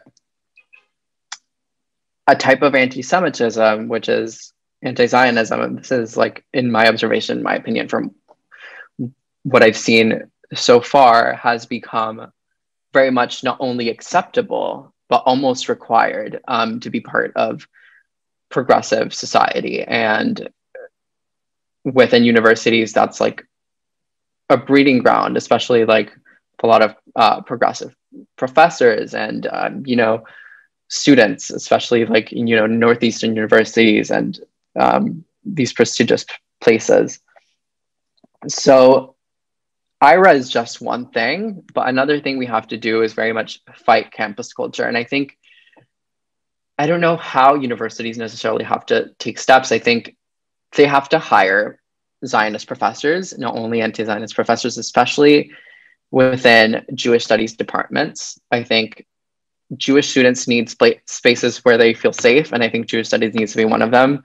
Um, like, there's like there's no reason why professors within Jewish studies departments should not like should have like these radical opinions on like and, and support BDS. Not to say that I, I I believe in freedom of speech. I believe in academic freedom. So like that can can be a thing, and I will not never like object to people having different opinions. But I feel personally like there is a complete lack of diversity on that end and representation for Jewish students. Um, so there's no other option. That's what I'm saying. So I think universities have to work hard for that um, to have that. So it's not. Um, so there, there's diversity there because I think at this point, whether it's Jewish students who are feeling uncomfortable, it's also the general student populations with ha- which have no connection to Israel or Palestine or Judaism who are being only given one perspective. Um, you're talking about Holocaust education. I mean, I think that goes back to not colleges. I think that within you know high schools and middle schools, um, Jewish or non-Jewish, I think there needs to be a better effort to educate on the Holocaust. Um, so students are prepared to come to college with that. I think there's definitely um, things to be open there and things to be explored there. Like maybe within universities, they should have like delegations to go to um, March of the Living and stuff like that. I don't know, but I think there is so much change to be done um, for sure. Thank you. And your experience is the anti Israel movement and the boycott, divestment, sanctions movement responsible in part for the harassment and targeting of Jewish students on college campuses today? Yeah, for sure. I think whenever whenever that gets brought up, it's just uh, a green light for other students to harass Jewish students on campus for their opinions or just a red light for students to Jewish students to feel comfortable saying their opinions on campus. And whenever these resolutions come up, it's just the worst and just such an unsafe environment on campus. Thank you for sharing that. My last question for you today is what do you think it means to be Jewish on campus today? Without like with with I don't want to seem pessimistic, but I think being Jewish on campus today means having three options either letting go of part of your Jewish identity, letting go of your Zionism, and letting yourself be indoctrinated by what is being given to you at universities nowadays to fit into the social scene, to fit into the academic scene, it means either staying quiet and having no opinions on that end and trying to be completely diplomatic and suppressing your opinions um, and identity in a way, or maybe constraining it to like Hillel or Chabad, or it means being outspoken and being in a precarious position where you're going to have people not like you, whether it is professors or students, um, and risking that and risking the consequences which with which come with that, which aren't pretty. Like you are seen as a controversial person on your campus, so none of these options are good. I think being Jewish on campus has become like taboo in a way. And it be has become complicated and a very specific experience for many Jewish people, which I think they feel like they have to face and they have to go through. Um, and that just shouldn't be the case, which is what what we're working on at Jewish on Campus. Um, like I feel like I feel like Jewish students should, you know, be able to feel comfortable wherever wherever they are and and progressive, conservative, whatever space they are, and, and wherever on campus they fit, um, in whatever campus they are on. Um, so I don't know if, if that answers your question on what being Jewish on campus means. I think um, it, I think it means having a specific experience on campus nowadays, um, which has become a struggle. And I think to not like be completely pessimistic, um,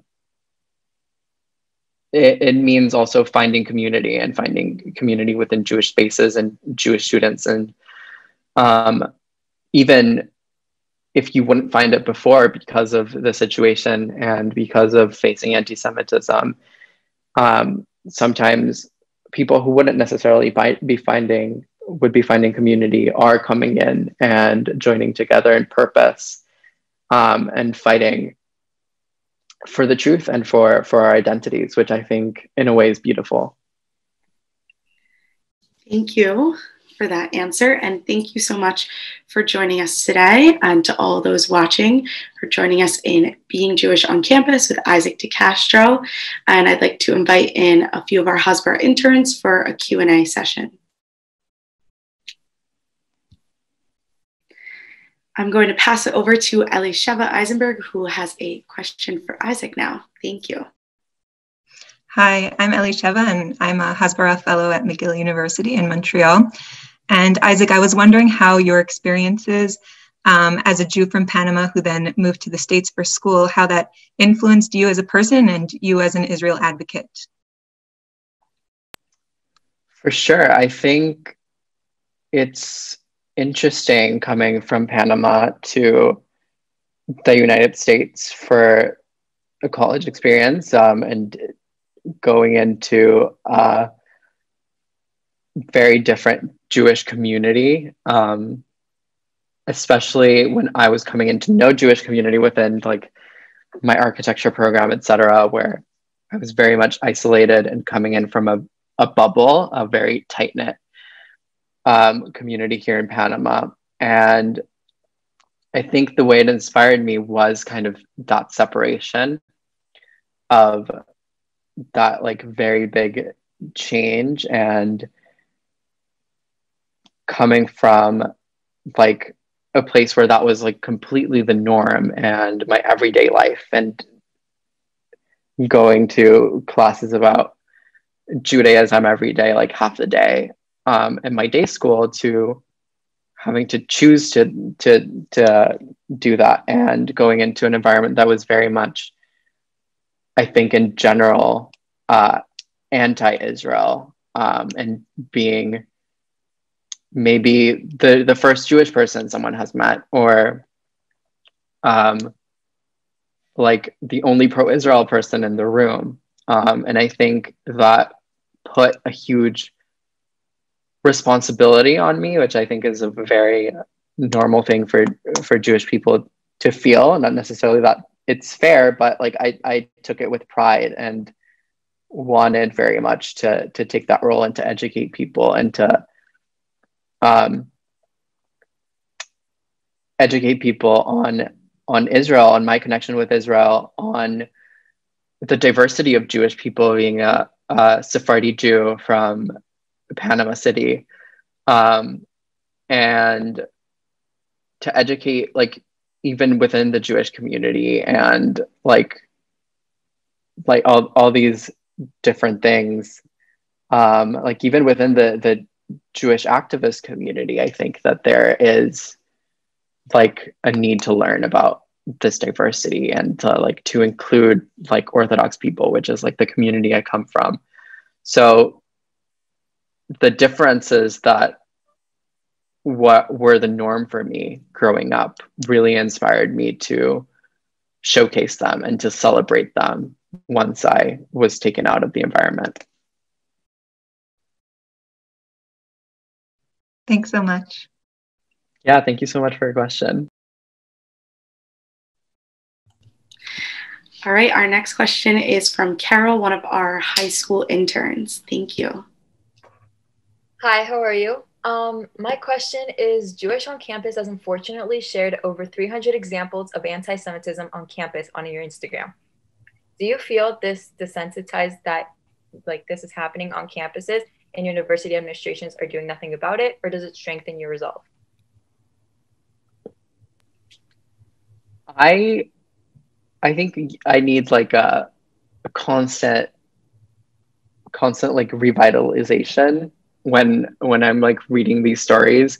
I don't think I'm desensitized. I think that whenever I read one of these stories, um, there'll be like one or two that are like, wow, like I, I really need to do something. And being constantly like within this space and within social media and like even though I don't do this often because of like how much of a toll it takes, like looking at the comment section and, and seeing how much people need like an education on on these topics. I think it inspires me to keep going with the work, um, especially like when universities are not necessarily taking charge or even like in the negative aspect, like becoming worse and like passing referendums on, on student assemblies and stuff like that. Um, and it goes farther than university action. So even if all the universities were to today take like the IHRA definition and adopt it, every single one of the universities in the United States, I would still think there is a need for Jewish on campus because it goes farther than university action and university administrations.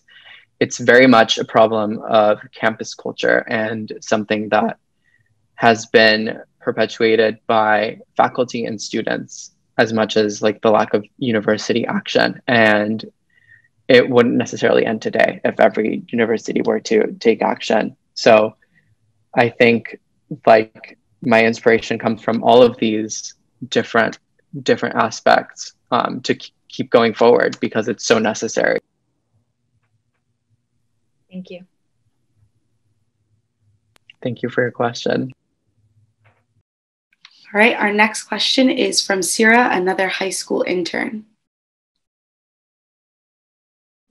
Hi, I'm Kira Orvit, a Hasbara High School intern from Tanenbaum CHAT here in Toronto. My question is what has the response been like by people who follow your page but aren't Jewish? Were most of the people aware that anti Semitism even is a problem on campus?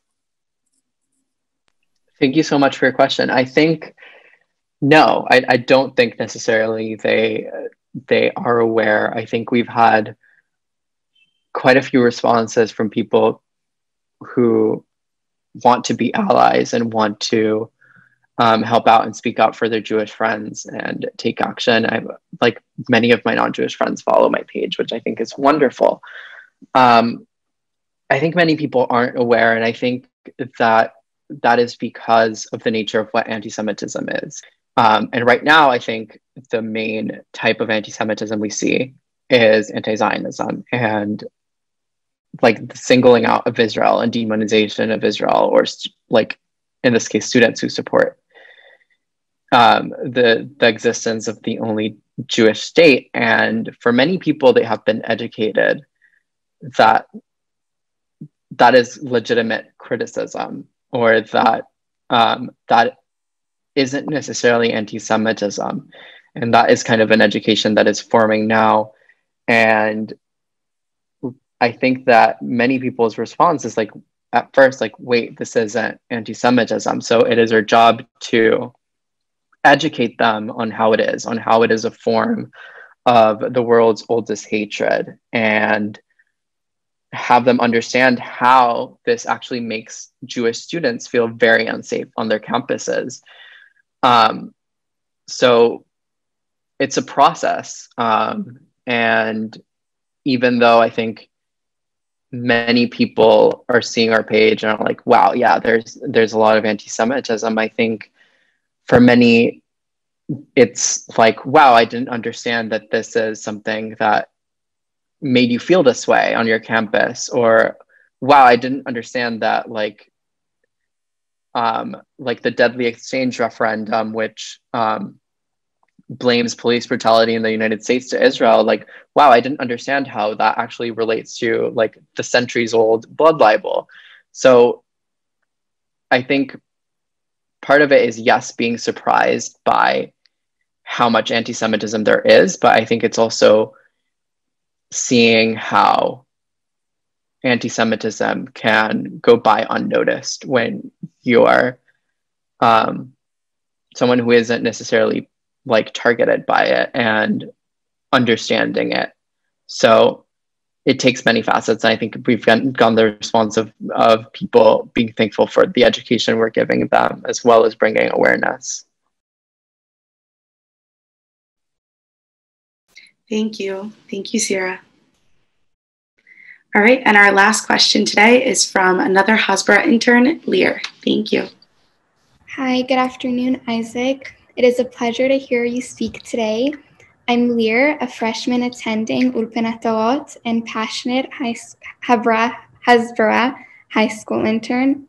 I'm wondering, since there is a lot of misinformation about Jewish identity, especially as it relates to Israel, what can we do as students to help counter this misinformation and educate others, especially students who aren't Jewish?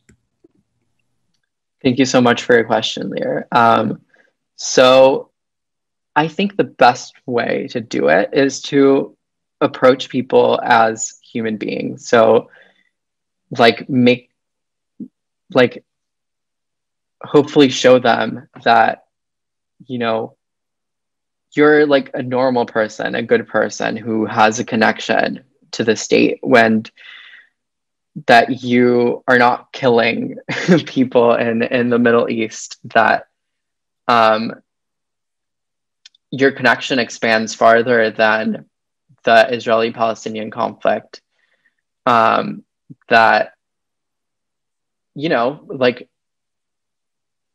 you understand and you want to show them what Zionism is and what your connection to Israel is. Um,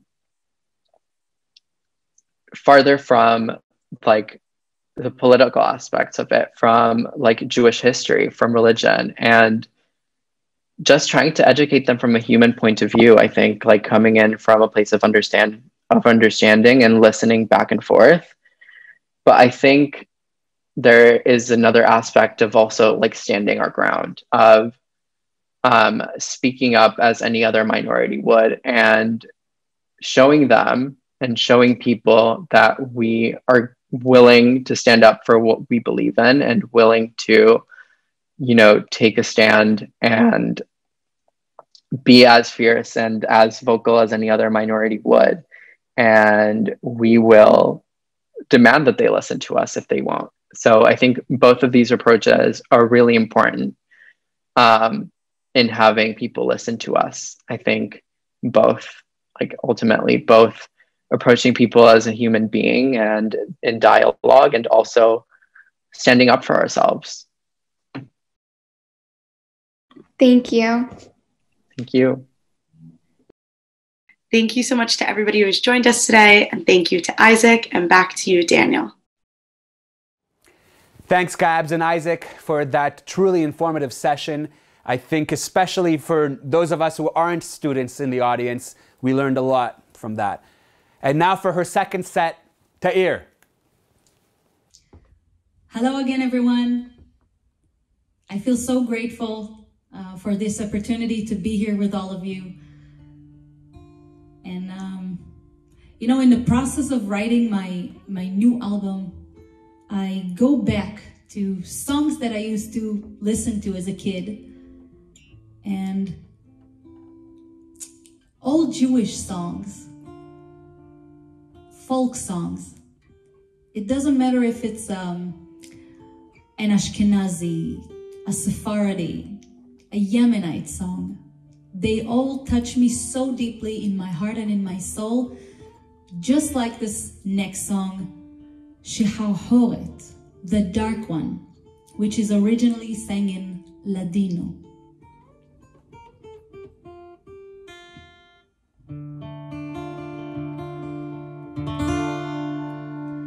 Shehahoret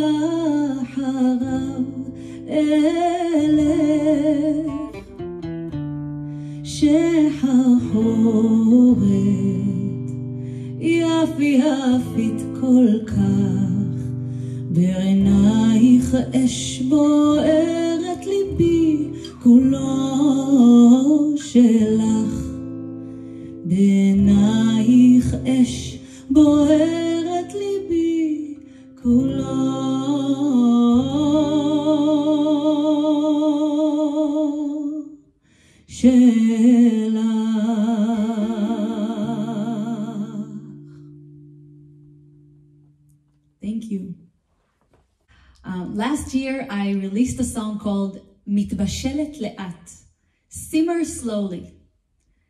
And I wrote it about this feeling of being um, a late bloomer, doing things at my own pace.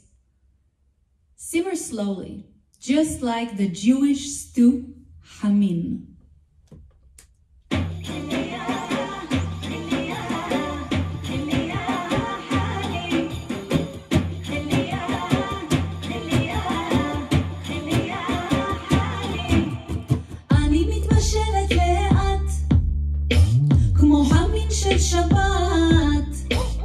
בעולם של אינסטנט. אני מתבשלת לאט. אני מתבשלת לאט. כמו המין של שבת. בעולם של אינסטנט. אני מתבשלת לאט. אני מתבשלת אני מתבשלת אני מתבשלת לאט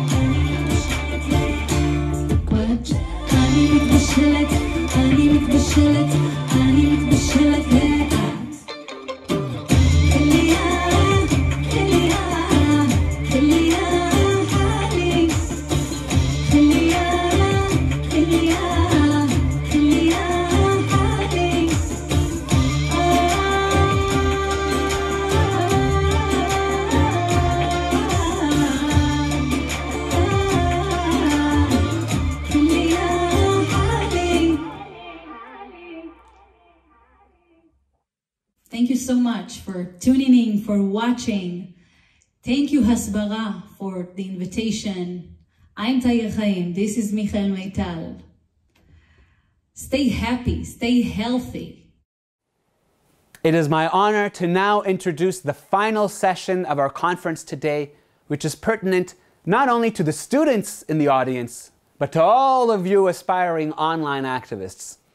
In the age of Corona, especially, with many of us spending way more time online, I invite you to listen to two tremendous social media activists, Rudy Rochman and Liora Rez. Rudy is the voice of the next generation, and in my opinion, a stellar advocate for Israel and the Jewish people. Liora is known for her widely popular Instagram account, Jewish Chick. She is also the founder of StopAntisemitism.org. This session will be moderated by the chair of our Hasbara Young Professional Committee, Tefera Zeiner Cohen, who's also a proud Hasbara fellow and law student at the University of Windsor. Thanks so much, Daniel, for that fabulous intro, and thanks to all of you for joining us. I'm so excited to welcome you all to this discussion on social media activism with Rudy Rochman and Liora Rez. I'm your moderator. My name is Tifera Zeiner Cohen. I'm a Hasbara alum and chair of Hasbara Canada's YP committee. So, this past year has been like nothing we've seen before. With the COVID pandemic, I think it's safe to say that a lot of us have had a little more screen time this year than usual. We've pivoted our studies, our businesses, basically our whole lives to the virtual world in ways we've never had to before. And as we've moved online, we've experienced anti Semitism and the demonization of Israel in new ways. Anti Semitic memes spread like wildfire, unverified conspiracy theories abound, and clickbait vitriol goes largely unchecked. In the time of Corona, knowing how to effectively engage in activism via social media has taken on a whole new meaning. I have so many questions on how to be an effective advocate online, and I know a lot of you guys watching this do too. So, we've called in the big guns, two powerful forces in the social media world, to help us out. But before we jump into questions, I'm just going to briefly introduce our two experts. Liora Rez, otherwise known as Jewish Chick, is the founder and director of StopAntisemitism.org, a grassroots organization that is at the forefront of exposing anti Semites and holding them accountable. After starting Jewish Chick, which now spans more than 90,000 followers across Facebook, Instagram, and Snapchat, Liora decided to use her growing online presence to more actively fight anti Semitism. In 2018, she founded StopAntisemitism.org to call out those exhibiting hateful behavior towards Jews and Judaism with huge success online and off. Alongside the website, StopAntisemitism.org is now active on Facebook, Twitter, and Instagram, receiving over a million hits across their channels every month. Liora is one of the foremost social media advocates fighting for the Jewish people against anti Semitism. And she notes that anti Semitism is not just a Jewish problem, it's an all of us problem. Rudy Rochman is another one of our greatest Jewish and Israel rights activists on social media.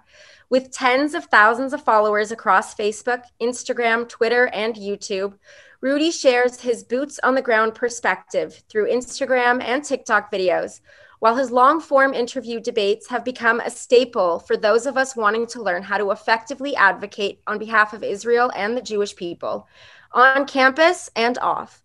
Utilizing social media to reach across political and geogra- geographical barriers, Rudy has also created a virtual space for meaningful dialogue between Jews, Muslims, Israelis, and Palestinians a space that now extends beyond the virtual world thanks to the new not for profit organization, The Home. Liora and Rudy are both incredible advocates for the Jewish people. Liora, Rudy, we're so lucky to have the opportunity to speak to both of you. And so I just want to thank you both for taking the time to have this discussion with us.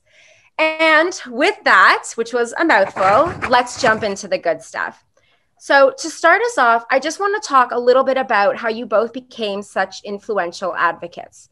Rudy, you have tens of thousands of followers online. Tell us a little bit about how you got to where you are now. Sure. So first of all, I actually identify myself as an ad- activist and not an advocate. Um, in my view, an advocate is someone who supports a cause, whereas an activist is someone who realizes the problems that exist and make efforts to push their people forward or their cause forward. So I identify as an activist. Different people have different definitions. Uh, for me, the way I started in this space on social media was actually by coincidence because I've moved through so many different places, uh, different countries, different states, and grown up really meeting new people. I extended the amount of friends that I was allowed to have on Facebook. So I passed the 5K, and Facebook in 2015 suggested that I create a page so that I would do all of my activism and Israel related things on a page and keep my private life on my private Facebook. And from there, I just started posting my content and my expression and my work on this page, and slowly it grew as I went to Columbia. I started to make more videos over there, and it started to become more, more mainstream. And Instagram became relevant when IGTV uh, came out because previously it was only post, and you couldn't post any longer content than two minutes. And now with TikTok coming for for Gen Z and for younger ages, it's just these are tools to be able to communicate to the generation that we have. And I think there's a lot of cons and also pros to social media. A lot of people talk about the cons of it being an echo chamber, of it, uh, you know, having confirmation bias or whatever you look into, you're going to find. But there's a lot of pros also to social media. Sure, you can spread false information, but you could also pre- spread the truth. You could also interconnect and unite people. And something that I've actually realized with TikTok in specific is that it's based not only on the algorithms of what you like, but the geolocation that you have. So when you go to France, you'll see French TikToks. When you're in America, you'll see American TikToks. And in Israel, because Israelis and Palestinians are so close in proximity, mm-hmm. they're actually experiencing each other's TikToks. They're seeing their expression, their individuality, their pain, their suffering, their humor, and who they really are. So it's a lot harder to convince an entire generation that the other side is your enemy when they've experienced them firsthand and see their humanity. So I think so. Just following up on that. So do you think? You know, I, I've heard a lot about the idea of the echo chamber, and it's definitely a big thing. But do you think that this idea of like geolocation and, and how, you know, social media platforms can kind of decide what to show you depending on where you are, do you think that'll have an impact? I mean, I can see that you, you believe that it, it's it's meaningful, but do you think that'll have an impact as you move forward with your advocacy work as well? Yeah, I mean, I think the millennials, Gen Z, and generations to come afterwards that either grew up with social media coming into their lives or social media already being in their lives have a different way of looking at the world. We're way more interconnected. We believe very quickly that you can reach someone, be able to communicate with someone. And I, I notice it within a lot of the older generations, whenever they're talking about Israelis and Palestinians, it's like, that'll never happen. That's impossible. And this idea of it's impossible doesn't really exist with younger generation. Of course, there are individuals that are older, individuals that are younger that have the opposite views. But for the most part, there's a lot of optimism and the ability to think outside of the box and the ability to believe that you can very quickly connect with someone else uh, is really predominant within the younger generation. So I think that plus the fact that specifically when it comes to the Israeli Palestinian conflict, because we're in such close proximity on the land, because it's such a small place, that because of the geolocation on certain applications that allows people to see different content based on where they're located, allows the younger generation to actually connect with others. And I think that's a, a beautiful way to, to look at social media. For sure. Absolutely. I think I'm going to be thinking about that for a while because that's a really interesting um, new thing that I hadn't really thought about before. Uh, Liora, I just want to turn to you for a second and get a little bit about your background and your history as well. So, you first became an influencer as Jewish chick, um, but have become increasingly involved in the fight against anti Semitism since then. So, tell us your story. Why did you pivot towards combating anti Semitism? Give us a little bit of insight. Sure. So in 2012, I had a baby. And prior to that, I had worked in structured finance. Um, and my husband and I decided, uh, with the crash of the commercial real estate markets a few years before, you know, it was a good time. I would be a, become a stay at home mommy. So, with my personality, that didn't exactly go too well. So, I connected in, I, I want to say 2012, 2013. Um, I started an Instagram page and connected literally to other stay at home moms who were previous professionals that were in their late 20s and early 30s um, that were looking for an out. And I would concentrate on, um, you know, fashion, lifestyle, parenting, but then sprinkle my love of Judaism and my Zionistic opinions, um, literally not in a purposeful way, but in my naive mind, I'm like, duh, isn't every Jew a proud Jew and isn't every Jew a Zionist? So I didn't know any different. Um, fast forward to today, it's kind of like, no, that's not how life is. But the, as the page exploded and as I, um, you know, merged onto different platforms. I created a website, which I fully monetized, and then a Facebook page. I noticed that the amount of anti Semitism that I was experiencing grew as my, uh, as the popularity of the brand grew. And I noticed that the anti Semitism wasn't stemming from society's acceptable norm of the white supremacist neo Nazi. I was receiving so much hate from um, you know the radical left even um, from jews from muslims um, and i was very frustrated as why those channels of anti-semitism were never really spoken about that mm-hmm. the existing organizations that were there to fight anti-semitism barely spoke about it. And if they did, they were whispering about it. So in 2018, I sort of said to myself, I'm like, you know what? I amassed this great audience. And while I love what I'm doing and I'm very fortunate, I want to take it to the next level and you know, really do something that affects me personally. I'm an immigrant from the Soviet Union. We came here to escape the horrors of socialism and anti Semitism that frequently follows um, those economic policies and political beliefs of communism. And I said to myself, I'm like, I cannot believe just 30 years after I'm sitting here, and as a mother to a small child myself, I'm literally dealing with something that my parents and grandparents and mm-hmm. other family had to deal with. That this is in America, that literally fast forward to 2020, I'm thinking to myself, and I have friends that are saying, you know what, it's not good for our children to attend so and so college. It's very anti Semitic. Yeah. So I said to myself, I'm like, you know what, I've had enough. I've never been, you know, the quiet source, the quiet sort of person. I've never, you know, been afraid to ruffle any feathers. And in 2018, I started this um, grassroots organization.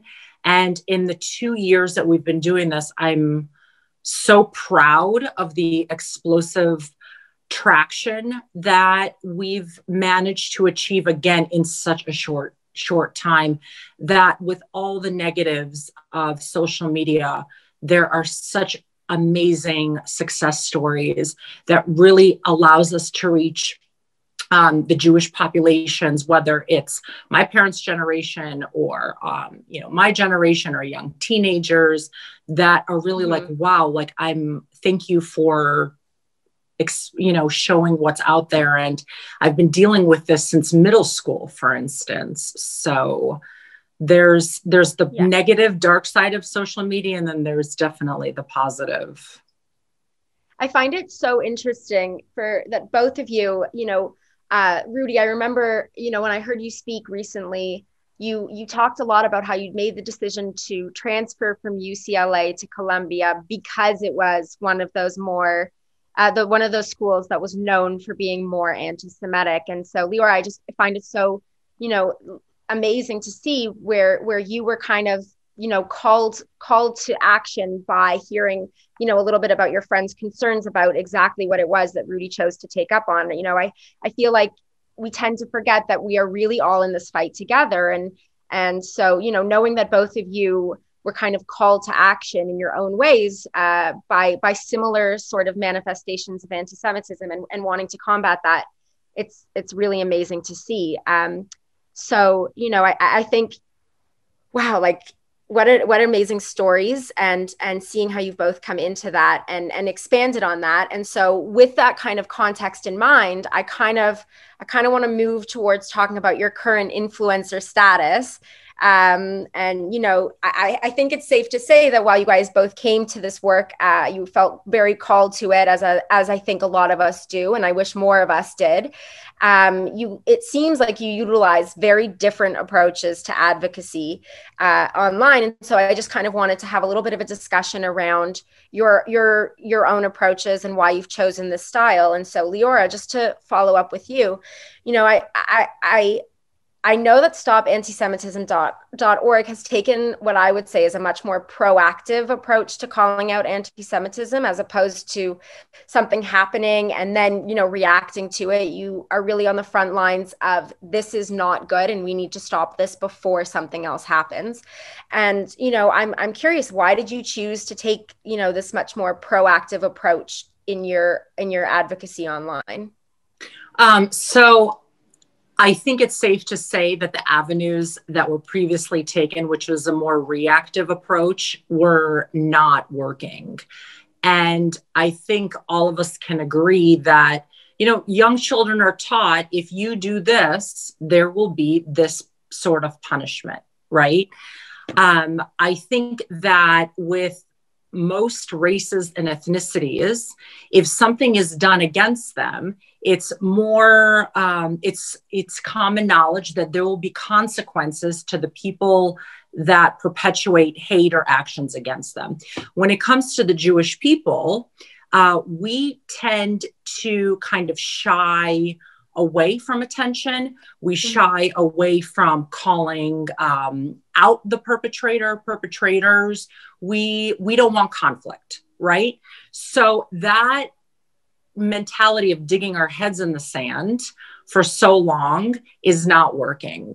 Mm-hmm. We believe, and I'm a firm believer, that if you don't want something to happen, you have to set a subsequent pathway that shows A, B, and C are going to happen if you do it, right? And it goes back to the psychological um, sort of child rearing that we were all brought up with that if you do this and it is wrong, you will be punished and you will a, B, and C will happen. So I take this mentality, and even though it sounds so elementary and trivial, but it appears to be working. And when we do call out these anti Semites, whether it be on social media, whether it be in person on college campuses, um, you know, th- they're not, it's not expectant. Um, we've received, I can tell you, a lot of critique from even our own um, colleagues, which again, I respectfully disagree at times with.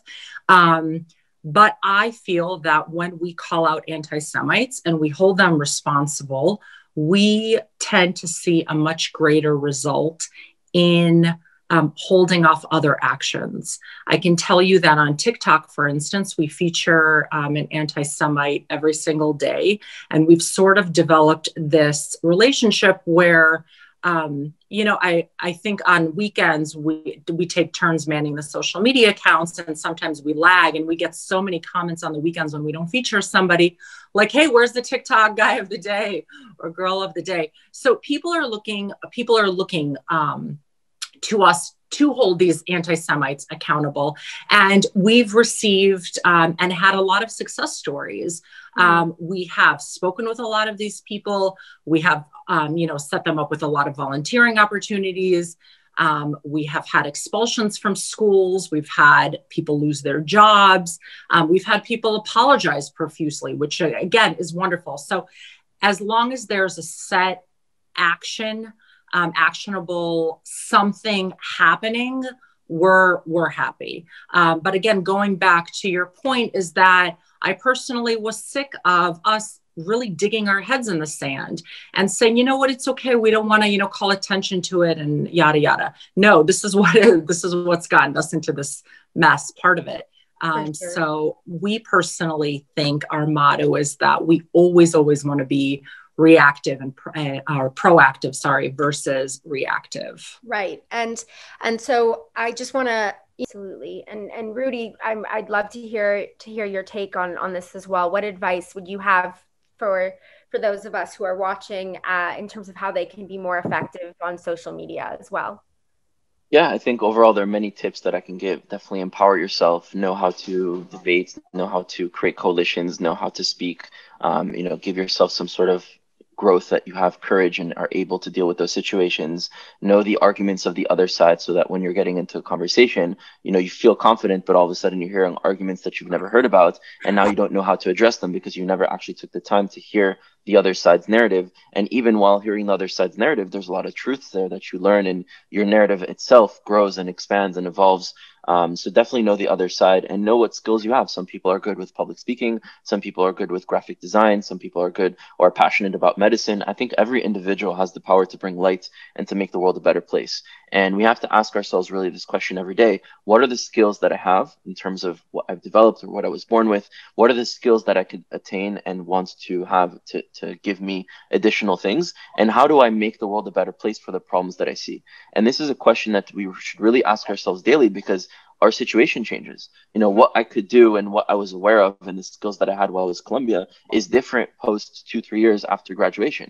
will be different in 10 years, was different 10 years before Columbia. And so every individual is in a situation one day, you know, we'll have kids and those kids also is our responsibility to help empower them and bring light. And that becomes an element of what we need to do. Um, you know you may be in a, in a social circle that it's important to spread light there. You may be in a professional circle that it's important to do there. You can do it on a micro level. You can do it on a macro level. You can do them simultaneously. So i think each individual has to ask themselves questions daily of what am i good at what can I develop in order to become better? What are the problems that I see around me, and how do I make this world a better place? So there's no answer that I can give to people, and this is what you need to do because everyone is different and everyone has their own path, and it's up to them to find their path to, to make it better. However, we need to also realize that, you know, it, you're, no one is perfect. So a lot of people look at the content that I make and they're like, oh, well, we have Rudy. Or, you know, Rudy knows how to argue and he knows, I don't know everything and I wasn't born with with knowledge. I was born like anybody else. So everything that I've picked up is from trial and error and experience and going out there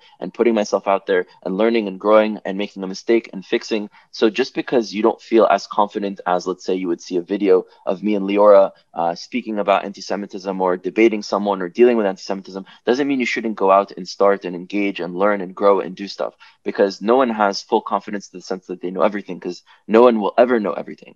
So don't be afraid to to step out there, to put yourself uh, out there, to engage, to learn, to grow, and to have the humility to know that we each have to work on ourselves to become better every day.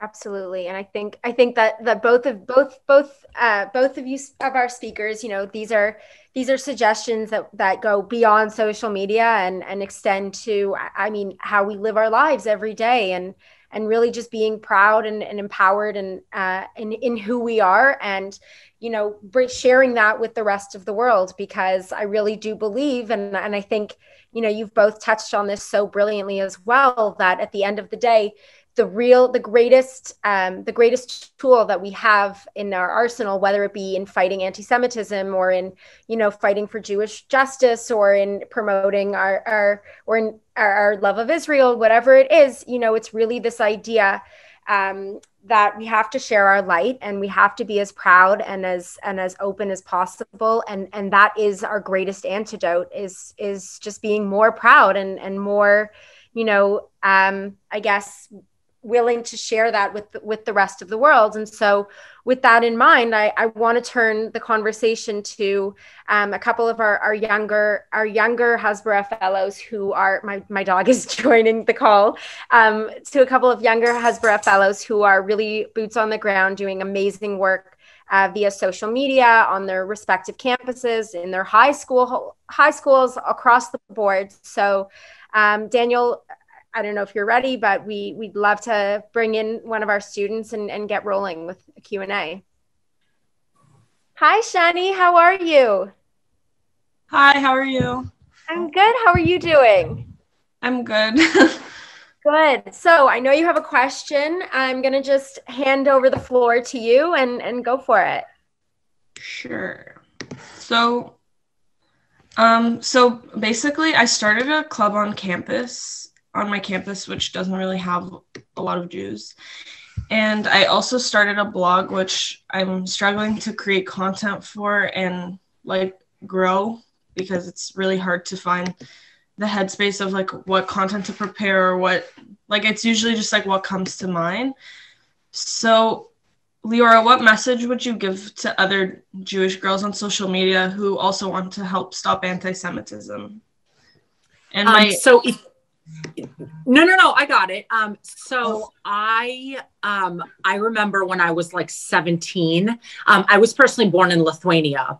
And um 16 or 17, this happened is when Lithuania was trying to enter the European Union. Um, and once you enter the European Union, economic benefits galore.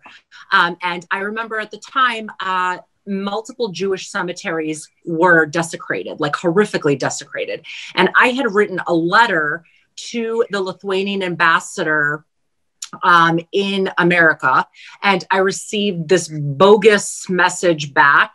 I wrote another letter and copied um, a DC uh, local channel, and they actually featured um, my anger and outrage.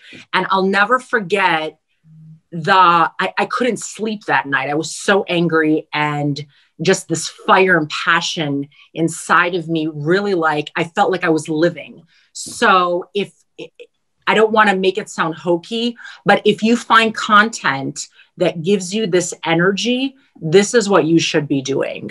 So whether it's focusing um, on exposing different facets of anti Semitism, whether it's um, pro Israel work, whatever that excites you and get in ignites that fire, that's what I would suggest to be focusing on.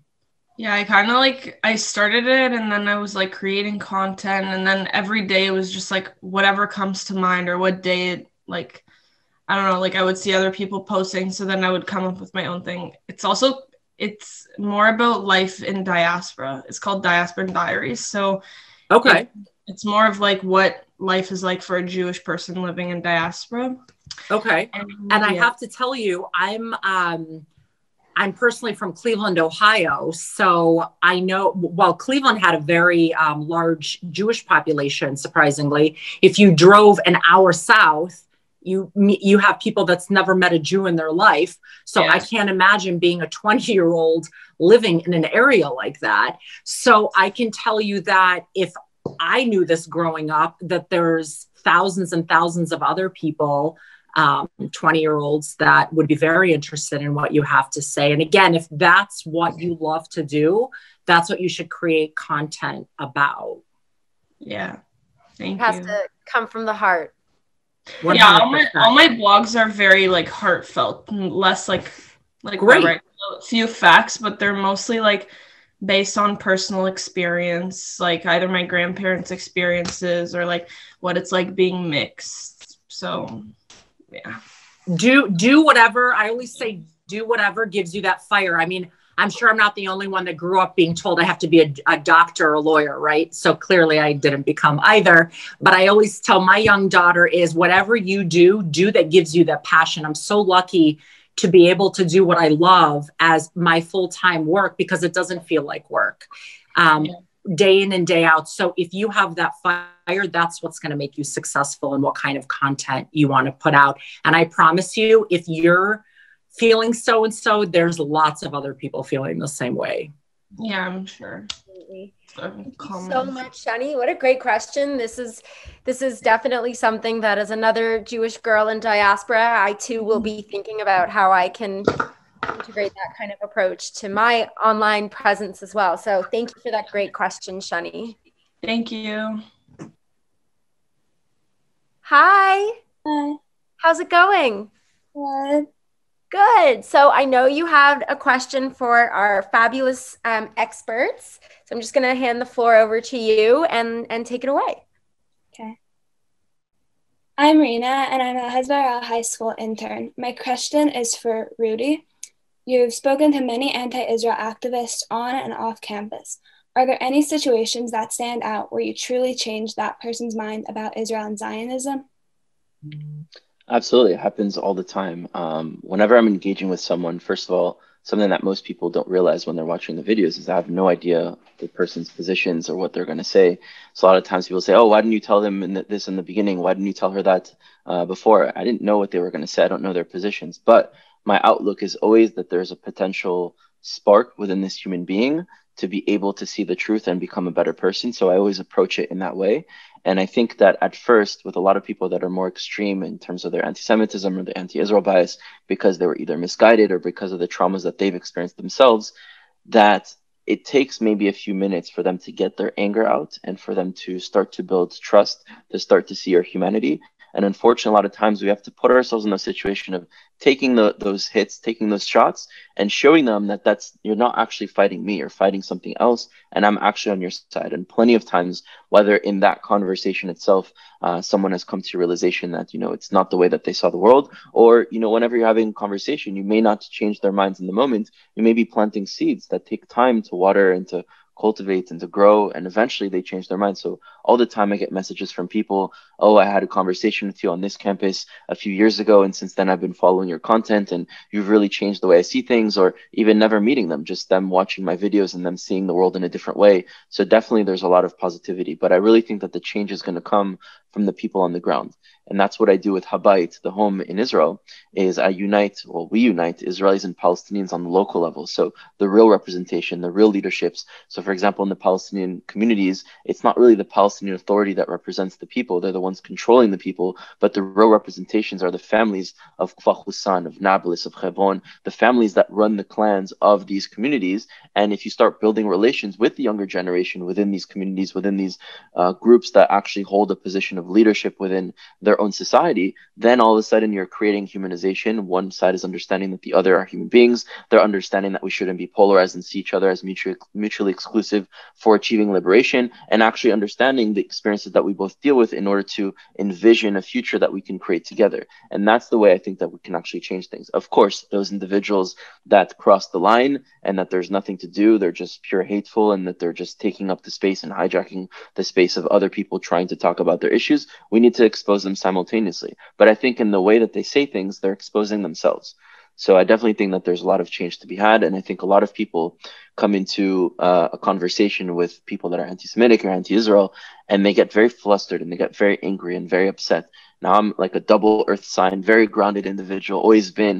Um, but I think when we put ourselves in those situations, we have to realize that in those moments, we represent way more than just ourselves. In those moments, we represent the collective that we belong to. And it may that may be that individual or the people that are even listening to that conversation, it may be their first time that they hear from a Jew, and it may be their last time that they hear from a Jew. And so in that moment, you have the responsibility to tell the collective story of the people you represent, even if you were not elected to it. So I think that when we look at the situation in that way, and you approach you approach people with compassion and with a real desire to find you know common ground and to have them understand, and for you also to learn and to understand that sometimes, most of the time, in my opinion, people will see through that and accept you and be able to move forward. But you also have to have patience and um, and compassion.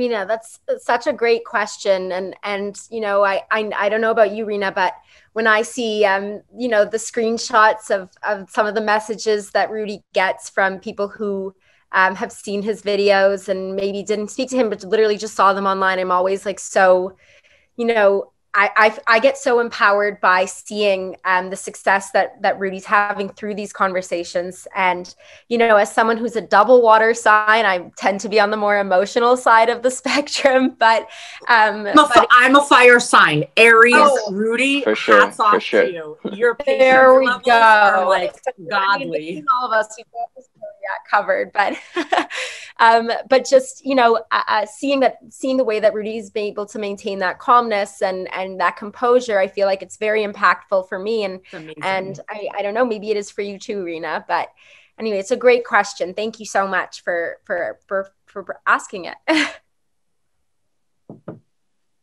Hi, Chaim. How's it going? Great. How are you? Good. Um, thank you so much for joining us. I know you have a question, so I'm going to hand the floor off to you and go for it. Uh, thank you. Uh, so, hi, Rudy. Uh, I'm Chaim Strauss. I'm from Toronto, Canada. I go to Yeshivat Or Chaim, and I am a Hasbara high school intern. Uh, so, my question was um, do, you, do you think that the recent peace deals between Israel and the some Arab countries will make BDS less effective on campus? And as fellow activists, how can we build on this momentum?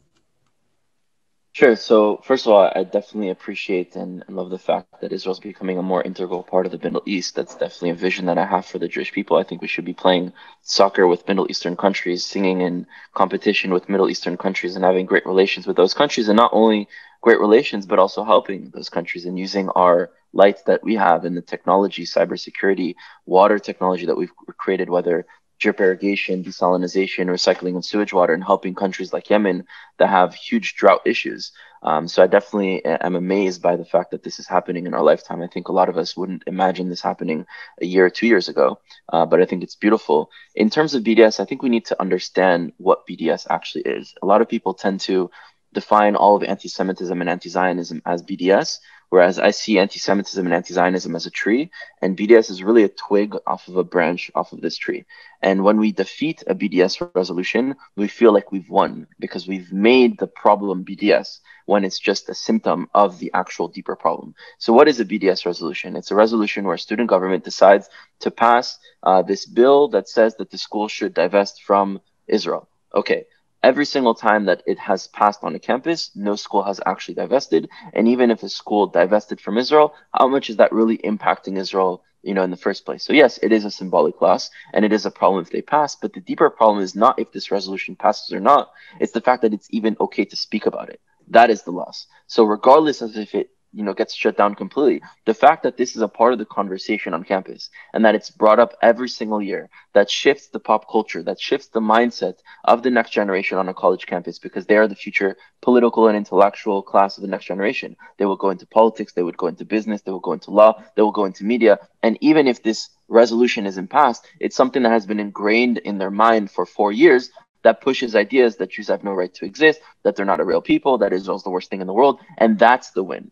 So in order to actually solve the problem, it's not about making it legal or illegal from the top down uh, that BDS should not be seen. It's really from the bottom up, getting the culture and the society to recognize what is a problem with BDS and being able to move forward. And if Jews themselves aren't doing that on college campuses, we're not going. We can't expect anyone else to, anyone else to do that. So I do think that it opens the door. The fact that these peace accords and these deals are, are happening, it opens the door to a lot of uh, Arabs from the Middle East or Middle Easterners in general that you know would have been negative towards Israel because that was the position their country took, or negative towards Israel because that was the media that they were digesting within their their community, and now it's less so. So a lot of other Arab students would be open to the idea of normalizing relations and having you know conversations or being open minded to Israeli. So I do think it does have an impact, but really to, to solve BDS, we have to shift the pop culture from the ground up and not only from the top down. They're both important, but I think the Jewish community has focused way too much of their efforts on the top down rather than the bottom up.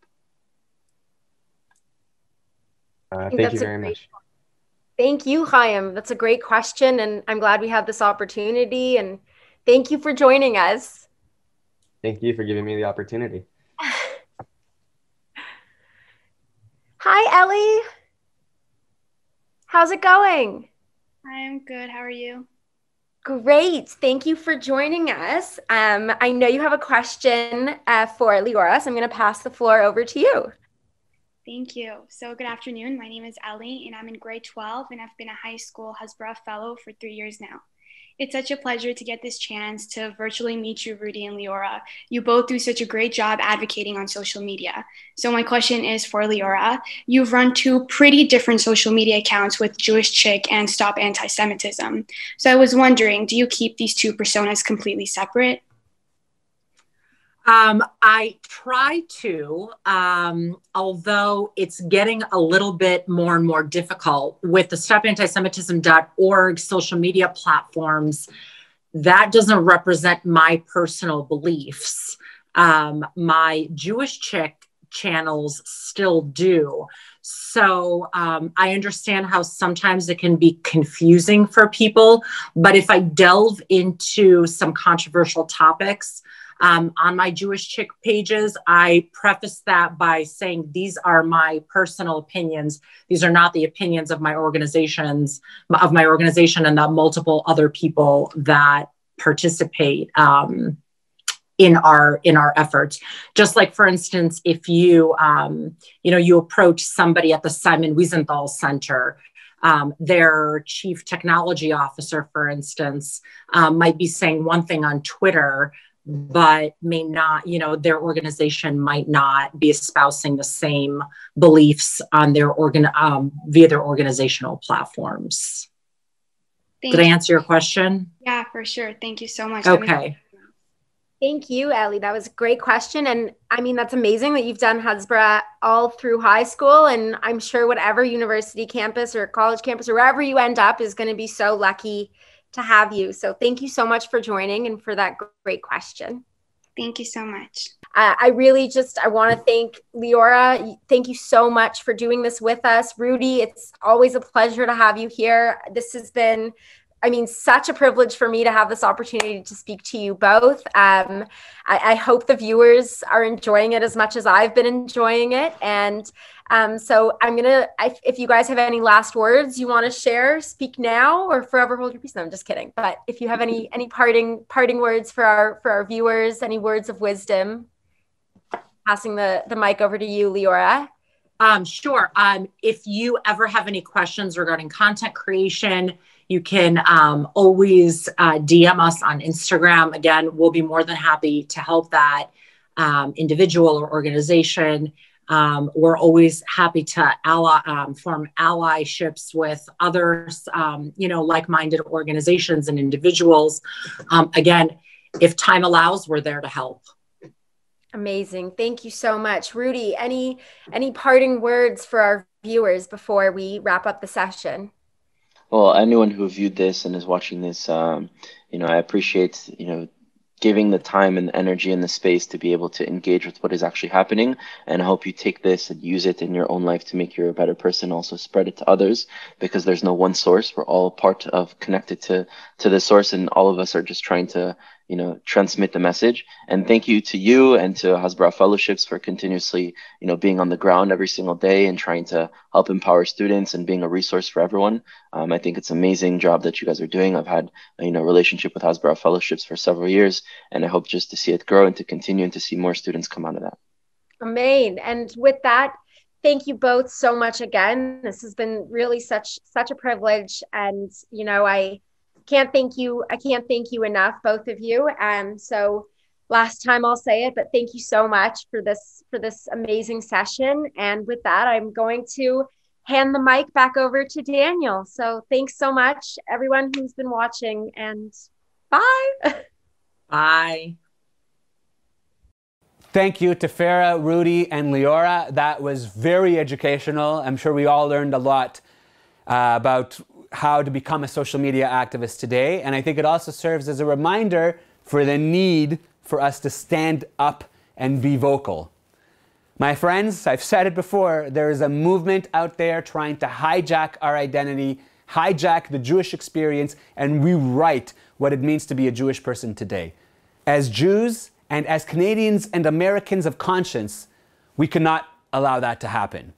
I hope that we all utilize the lessons that we've learned today and I ask all of you again to support Hasbara today at hasbarafellowships.org slash donate.